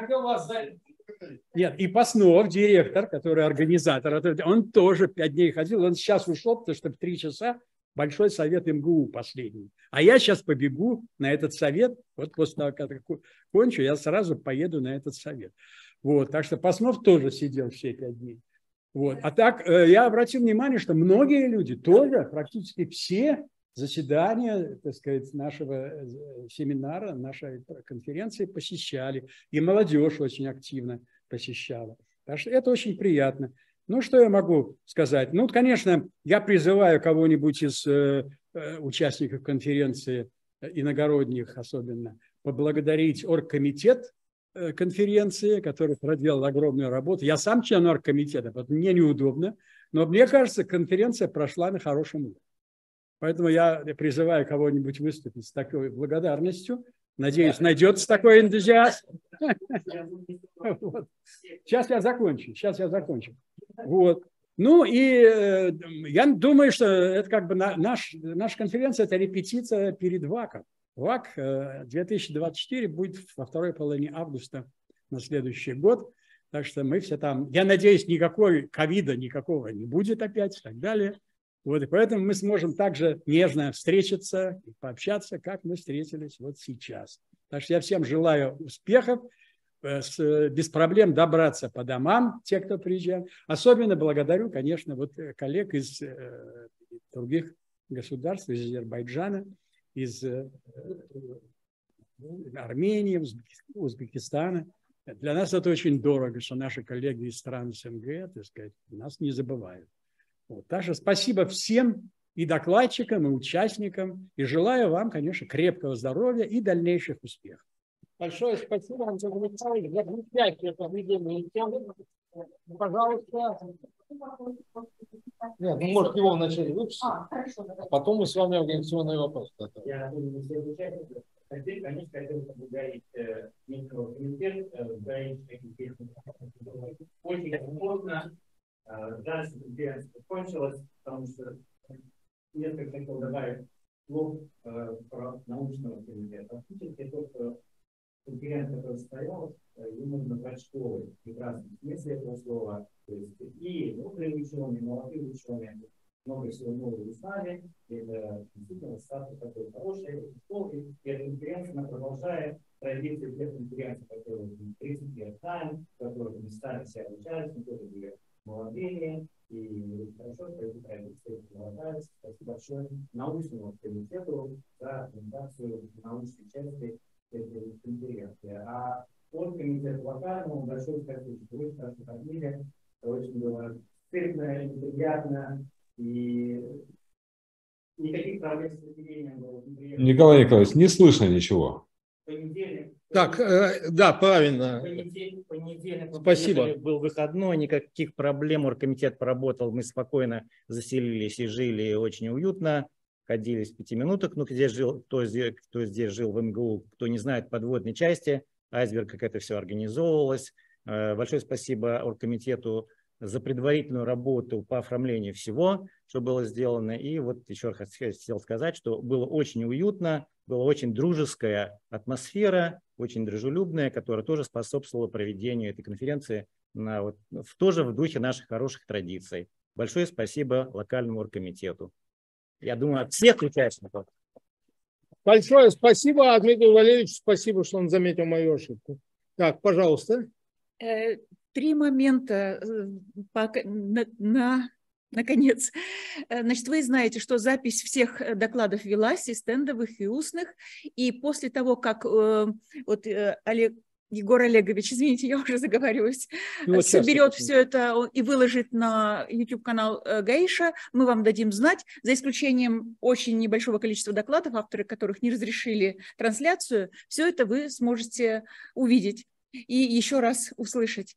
А второй вопрос презентации. Значит, поступило предложение выложить э, презентации где-то в одном месте, чтобы можно было скачать файлы. Э, снова, значит, сегодня мы разослали письмо.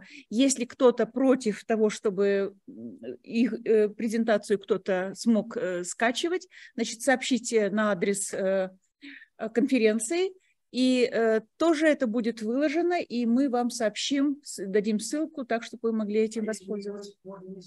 Да, да, только те, кто против, потому что таких гораздо меньше, и почта наша будет легче от этого. Так, и публикации. Значит, э, в предварительных информационных сообщениях мы говорили о возможности публикации ваших докладов. Э, мы ни в коем случае не настаиваем, то есть это совершенно не обязательно, но если вы Э, имеете оригинальные результаты, которые ранее не публиковались, и вы не планируете, вернее, возможно, в будущем будете расширять работу и э, публиковать какую-то такую большую статью, а сейчас как предварительные результаты, пожалуйста, значит, в труды и на сан все правила, стилевые файлы, все это имеется, то есть, пожалуйста, можете присылать до 1 августа для прохождения рецензирования Рецензирование мы завершим к 1 сентября, и затем все поданные доклады и одобренные оргкомитетом а, будут э, в одном сборнике помещены, именно как вот труды нашей конференции. Спасибо за то, что приехали. А, и дополнение к вопросу о публикации, если вы уже готовы опубликовать Э, такую немаленькую работу на английском языке, то мы от имени журнала Astronomical and Astrophysical Transactions, это журнал Scopus, э, приглашаем а, значит, конференция рассматривается нами как одна рецензия, но будет еще дополнительно у нас рецензирование. Так что желающие могут подавать статьи, и а, поскольку ну, хочется все-таки как-то эту работу провести активно, призываем примерно в те же сроки, что конференция по межзвездной среде, то есть до середины сентября, пожалуйста. Да, да, да, да. Э, ну, вот э, мы тоже повторяем то же самое, что сказала Людмила Ивановна, ни в коей мере не настаивая, но предлагая такой вариант.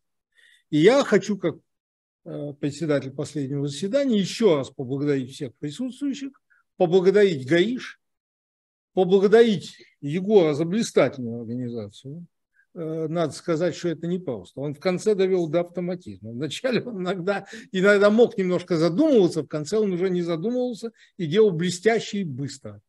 Э, множество было приятных сообщений. Большое всем спасибо. И очень рад, что мы все, как, как здорово, что все мы здесь сегодня собрались. Всем до свидания.